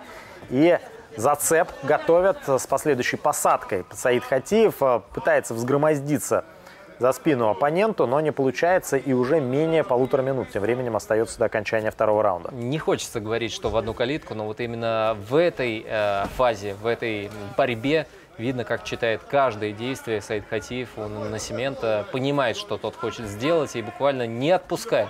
Вцепился как питбуль и здесь уже отрабатывает по полной. И еще сильнейший хайкик залетает, пусть и в блок, но почувствовал, я думаю, на Семента этот удар.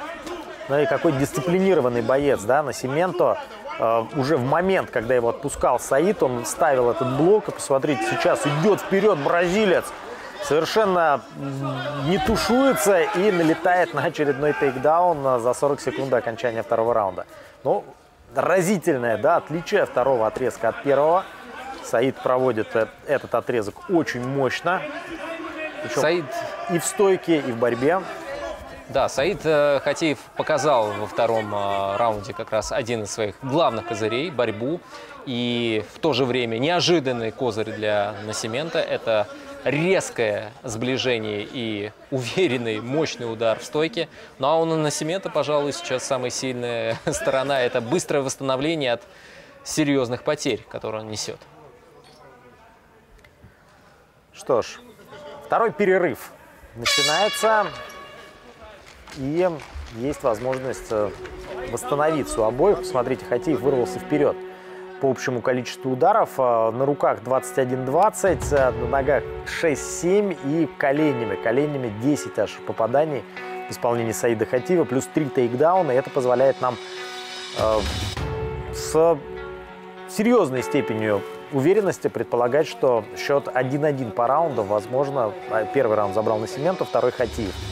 Но впереди все самое интересное. Если берем именно панчи, там плюс-минус было похоже, но вот на самом деле вот этот момент э, снимаю шляпу перед Насимента, потому что удар был коварный, опасный, и после этого последовало добивание, но смог восстановиться в считанные секунды Насимента. Не собирался совершенно отпускать его в этот момент Саид Хатиев. Я думаю, что он готов был бы и согласился бы завершить все уже во втором раунде. Но не получилось.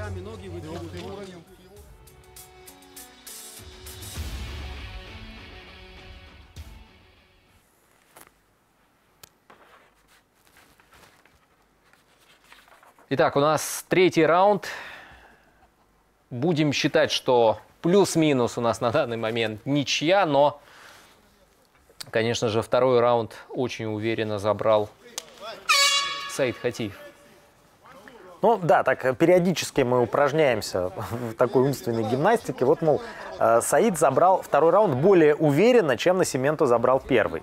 Да, такое есть, но э, по сути там, и там 10-9. И, сейчас Ну, можно так сказать, что бойцы начинают все сначала, потому что впереди три раунда, пока ничья, размен на средней дистанции. И они уже так э, разведку боем провели, уже знают, что друг от друга ждать, уже понимает Насименто, что в борьбе он проигрывает, уже понимает Хатиев, что на дальней дистанции действовать не самый лучший вариант.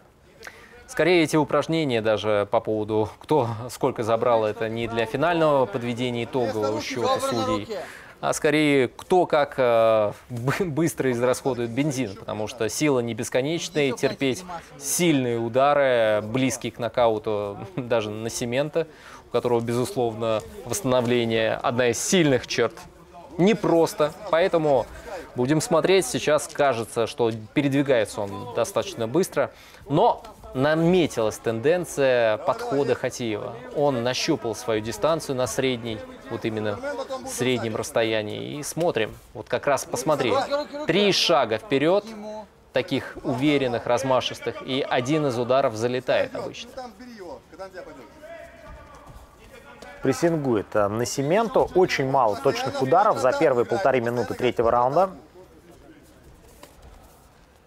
И очень много таких своеобразных тактических шахмат и игры кошки-мышки, кто кого перехитрит. Вот сейчас перехитрил Насименто. Неплохой джеб был, да. Несколько раз он отступал, уходил на дальнюю дистанцию, и когда уже Саид в третий или четвертый раз пошел вперед, налетел на джеб соперника, который внезапно включился навстречу. То есть у нас э, последние три боя это своего рода шахматы, разные совершенно. Предпоследние были ну, такие абсолютно академичные. Сейчас мы видим э, шахматы в стойке. и Для многих это удивление, потому что думали, что Саид Хатиев сразу же с первых секунд включит борьбу, но не тут-то было. Постреливает джебом, а Саид э, идет вперед. Черед атаковать теперь для Насименто. Бразилец не убирает, у него практически правая рука прилеплена к челюсти, он опасается мощнейшего левого бокового Саида Хатиева, который он уже почувствовал на своем лице несколько раз по ходу этой встречи. Ну, А вот Саид, кстати, по-моему, один из первых за долгое время удар э, использовал ногой. Это был middle kick. Но вообще, э, честно говоря, предпочитает сейчас он действовать именно в стойке руками, серийно. Третий раунд э, получается довольно сухим, с большим количеством перемещений. И здесь в основном парни действуют на набор очков, э, но и главная цель, конечно, поймать друг друга, приучить к определенной манере действий, потом удивить. И э, в целом поэтому возникает ощущение определенной однообразности с периодическими взрывами. Как раз вот в моменты, когда спортсмены пытаются друг друга подловить.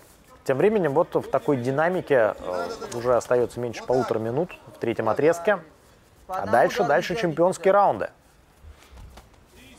Ну да, правильно ты подметил, это действительно замечается, особенно действие Саида Хатиева, который научил буквально как педагог во втором а, раунде а, на Семента, и сейчас любой момент, когда он показывает, что вот сейчас я взорвусь, пойду, делает буквально один шаг, и на Семента отскакивает на два шага назад. Безусловно, он опасается этого момента. В свою очередь на Семента, ну, только периодически дергает вот так вот и встречает джебами. Меньше минуты до конца третьего раунда. Минимальный ущерб. Вот э, я сейчас поймал себя на мысли, что минуты три, наверное, назад я бросил взгляд на цифры, и там было что-то вроде 37 или 38, а сейчас 39 у Насименко. Ну и у Хатиева было 40, я тебе скажу честно, по секрету. Сейчас 45. Так что да, И при этом нельзя сказать, что парни отдыхали, да, они проделывали серьезный объем работы, очень много перемещений, да, в основном э, на ноги пришлась э, эта вся нагрузка, но вот сейчас э, очень нужен тейкдаун вот, э, он пришел чтобы как нельзя, кстати, хорошо набрасывает, Саид забирает, Сильно. он забирает, И пассивная защита, и всё! всё! вот это да, какая победа! так вот, вот, так, так. вздулся, или я бы даже сказал сдул, а еще точнее лопнул на Сементо, как шарик на последних секундах третьего раунда, во время которого ничего не происходило. Что же там произошло-то? Травму получил бразилец. Нет, в какой-то момент, нет. когда он оказался потрясен. Нам показали а, сейчас... колено, колено показывает Саид. Колено, это был ключевой момент. Он нам показывает, как бы, если вам не показали повтор, я вам покажу сейчас. Это удивительное завершение. Все готовились, ну, не то чтобы к карнавалу, но к свистку, который ознаменует э, перерыв. Но получилось так, что прошел удар коленом, и ты увидел этот момент, вот скажи, без повтора. Я увидел только, когда Саид сам показал, что вот был удар коленом. И очень хотелось бы сейчас посмотреть повторы. Но уверен, мы их увидим сейчас после объявления победителя или до объявления победителя. Но так или иначе поздравляем Саида Хатиева. Это был тяжелейший для него поединок и э, физически, психологически, тактически. Насименту крутой парень, безусловно. Отдадим должное Федору Рыжову, который вновь э, сделал отличный бой в качестве главного события. И Конечно, Саид Хатиев э, очень крутой парень. Э, Отличный клуб ММА профи. Напомним, что Руслан Меджидов тоже из этого клуба. Ярчайший тяжеловес, победитель Гран-при ММА серии. Ну, знаешь, пока мы не увидим повтор, если возвращаться к этому победному моменту, сложно будет сделать до конца вывод. Но, честно скажу, со своей стороны, также хочется пару э, таких восторженных, э, комплиментарных слов в адрес Насимента. Действительно, показал он себя очень достойно. И вот это вот неожиданно За было даже. секунды до конца третьего раунда. Победу в главном событии 68-го турнира ММА серии техническим нокаутом одержал Саид Спартанец Хатия!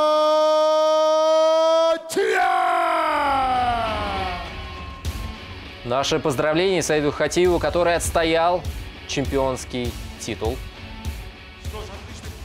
Отличный поединок. Э, Мы, честно сказать, когда позвали на Семента, как и в Вандерле, э, звали его тоже на категорию 61 килограмм, но э, вот так как он недавно прилетел, все-таки решили 66 сделать бой.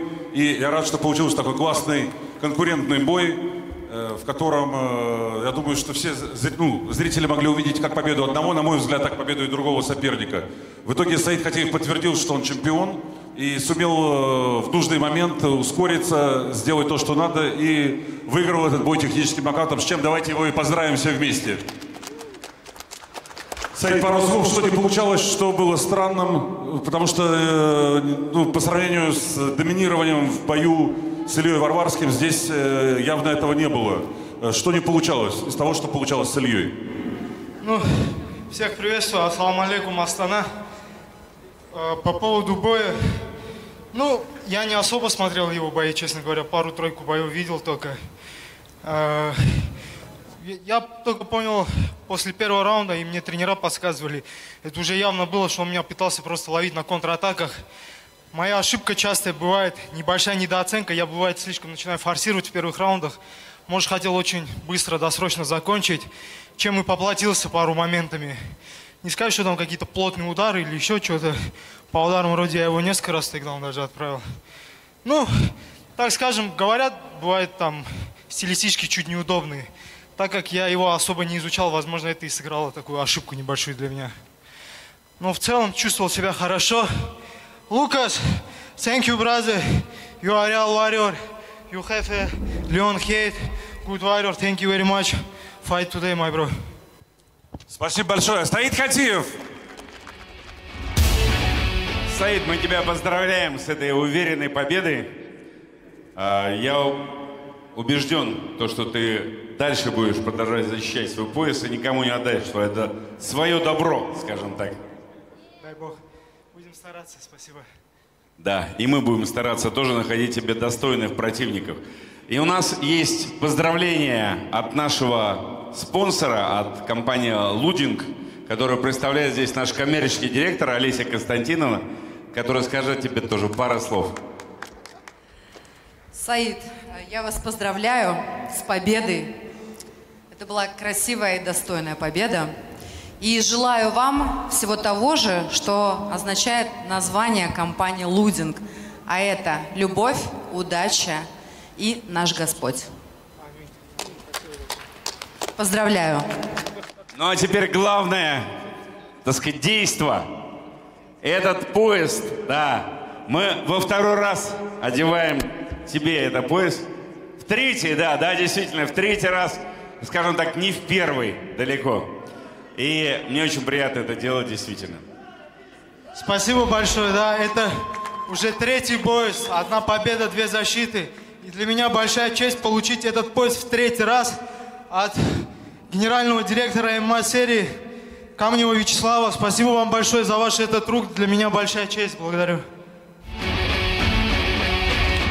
Но спасибо. Я думаю, что я как директор телеканала MMA TV могу сказать, мне очень приятно, что наша лига MMA серия имеет таких чемпионов. Ты наш первый чемпион, весовой линейный чемпион. И мы все очень рассчитываем, что будем с тобой сотрудничать долго, успешно. А если тебя куда-то и проводим, то, как говорят, с повышением, с большим. Но мы ждем, что ты будешь продолжать выступать у нас. На это рассчитываем. А сейчас, да, Да, вы все знаете, я обычно благодарю всегда свою команду. Как бы, конечно же, это результат работы всей нашей команды в том числе. Но в этот раз я бы хотел поблагодарить тех людей, которые, знаете, так скажем, всегда остаются в тени, но при этом всегда поддерживают и вносят огромную свою лепту в, в нашу, так скажем, профессию. Спасибо большое Васнецову Льву Давыдовичу, хозяину там, помещения, в котором мы тренируемся. Благородный человек, который помогает всегда нам.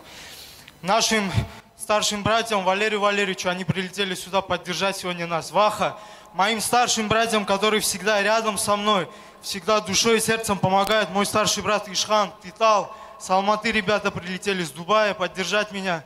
Роми, спасибо вам большое, братья. Отдельное большое спасибо старшему брату Ибрагиму Флитовичу. Он, я уверен, прямиком из Токио сейчас наблюдает. Для нас большая честь. Клиниками семейного врача, вот этим нашим компаньонам, которые нам помогают. И э, сказать просто хотел бы на нашем языке. Шикр бянавы худан имей арду азманра. Слава Богу за все, за то, что Он милостив ко мне, дарует мне эти победы. Для меня это большая ще- щедрость за мой труд. Хер божи млят имей корте езди, хер божи Курдистан. Слава Богу. Спасибо большое вам. Спасибо. Спасибо большое. Спасибо, Саид. Мы ждем тебя снова в клетке. А я хотел бы сказать еще пару слов. У нас сегодня у православных наших э, братьев, тоже моих, э, скажем так, людей, которых мы одной религии, я тоже православный. Сегодня родительская суббота. У каждого есть кого вспомнить, кто ушел от нас. У меня, меня два года назад ушел отец. Я помню его. Я надеюсь, что он где-то рядом с нами, наблюдает за нами. И ему нравится все то, что здесь происходит.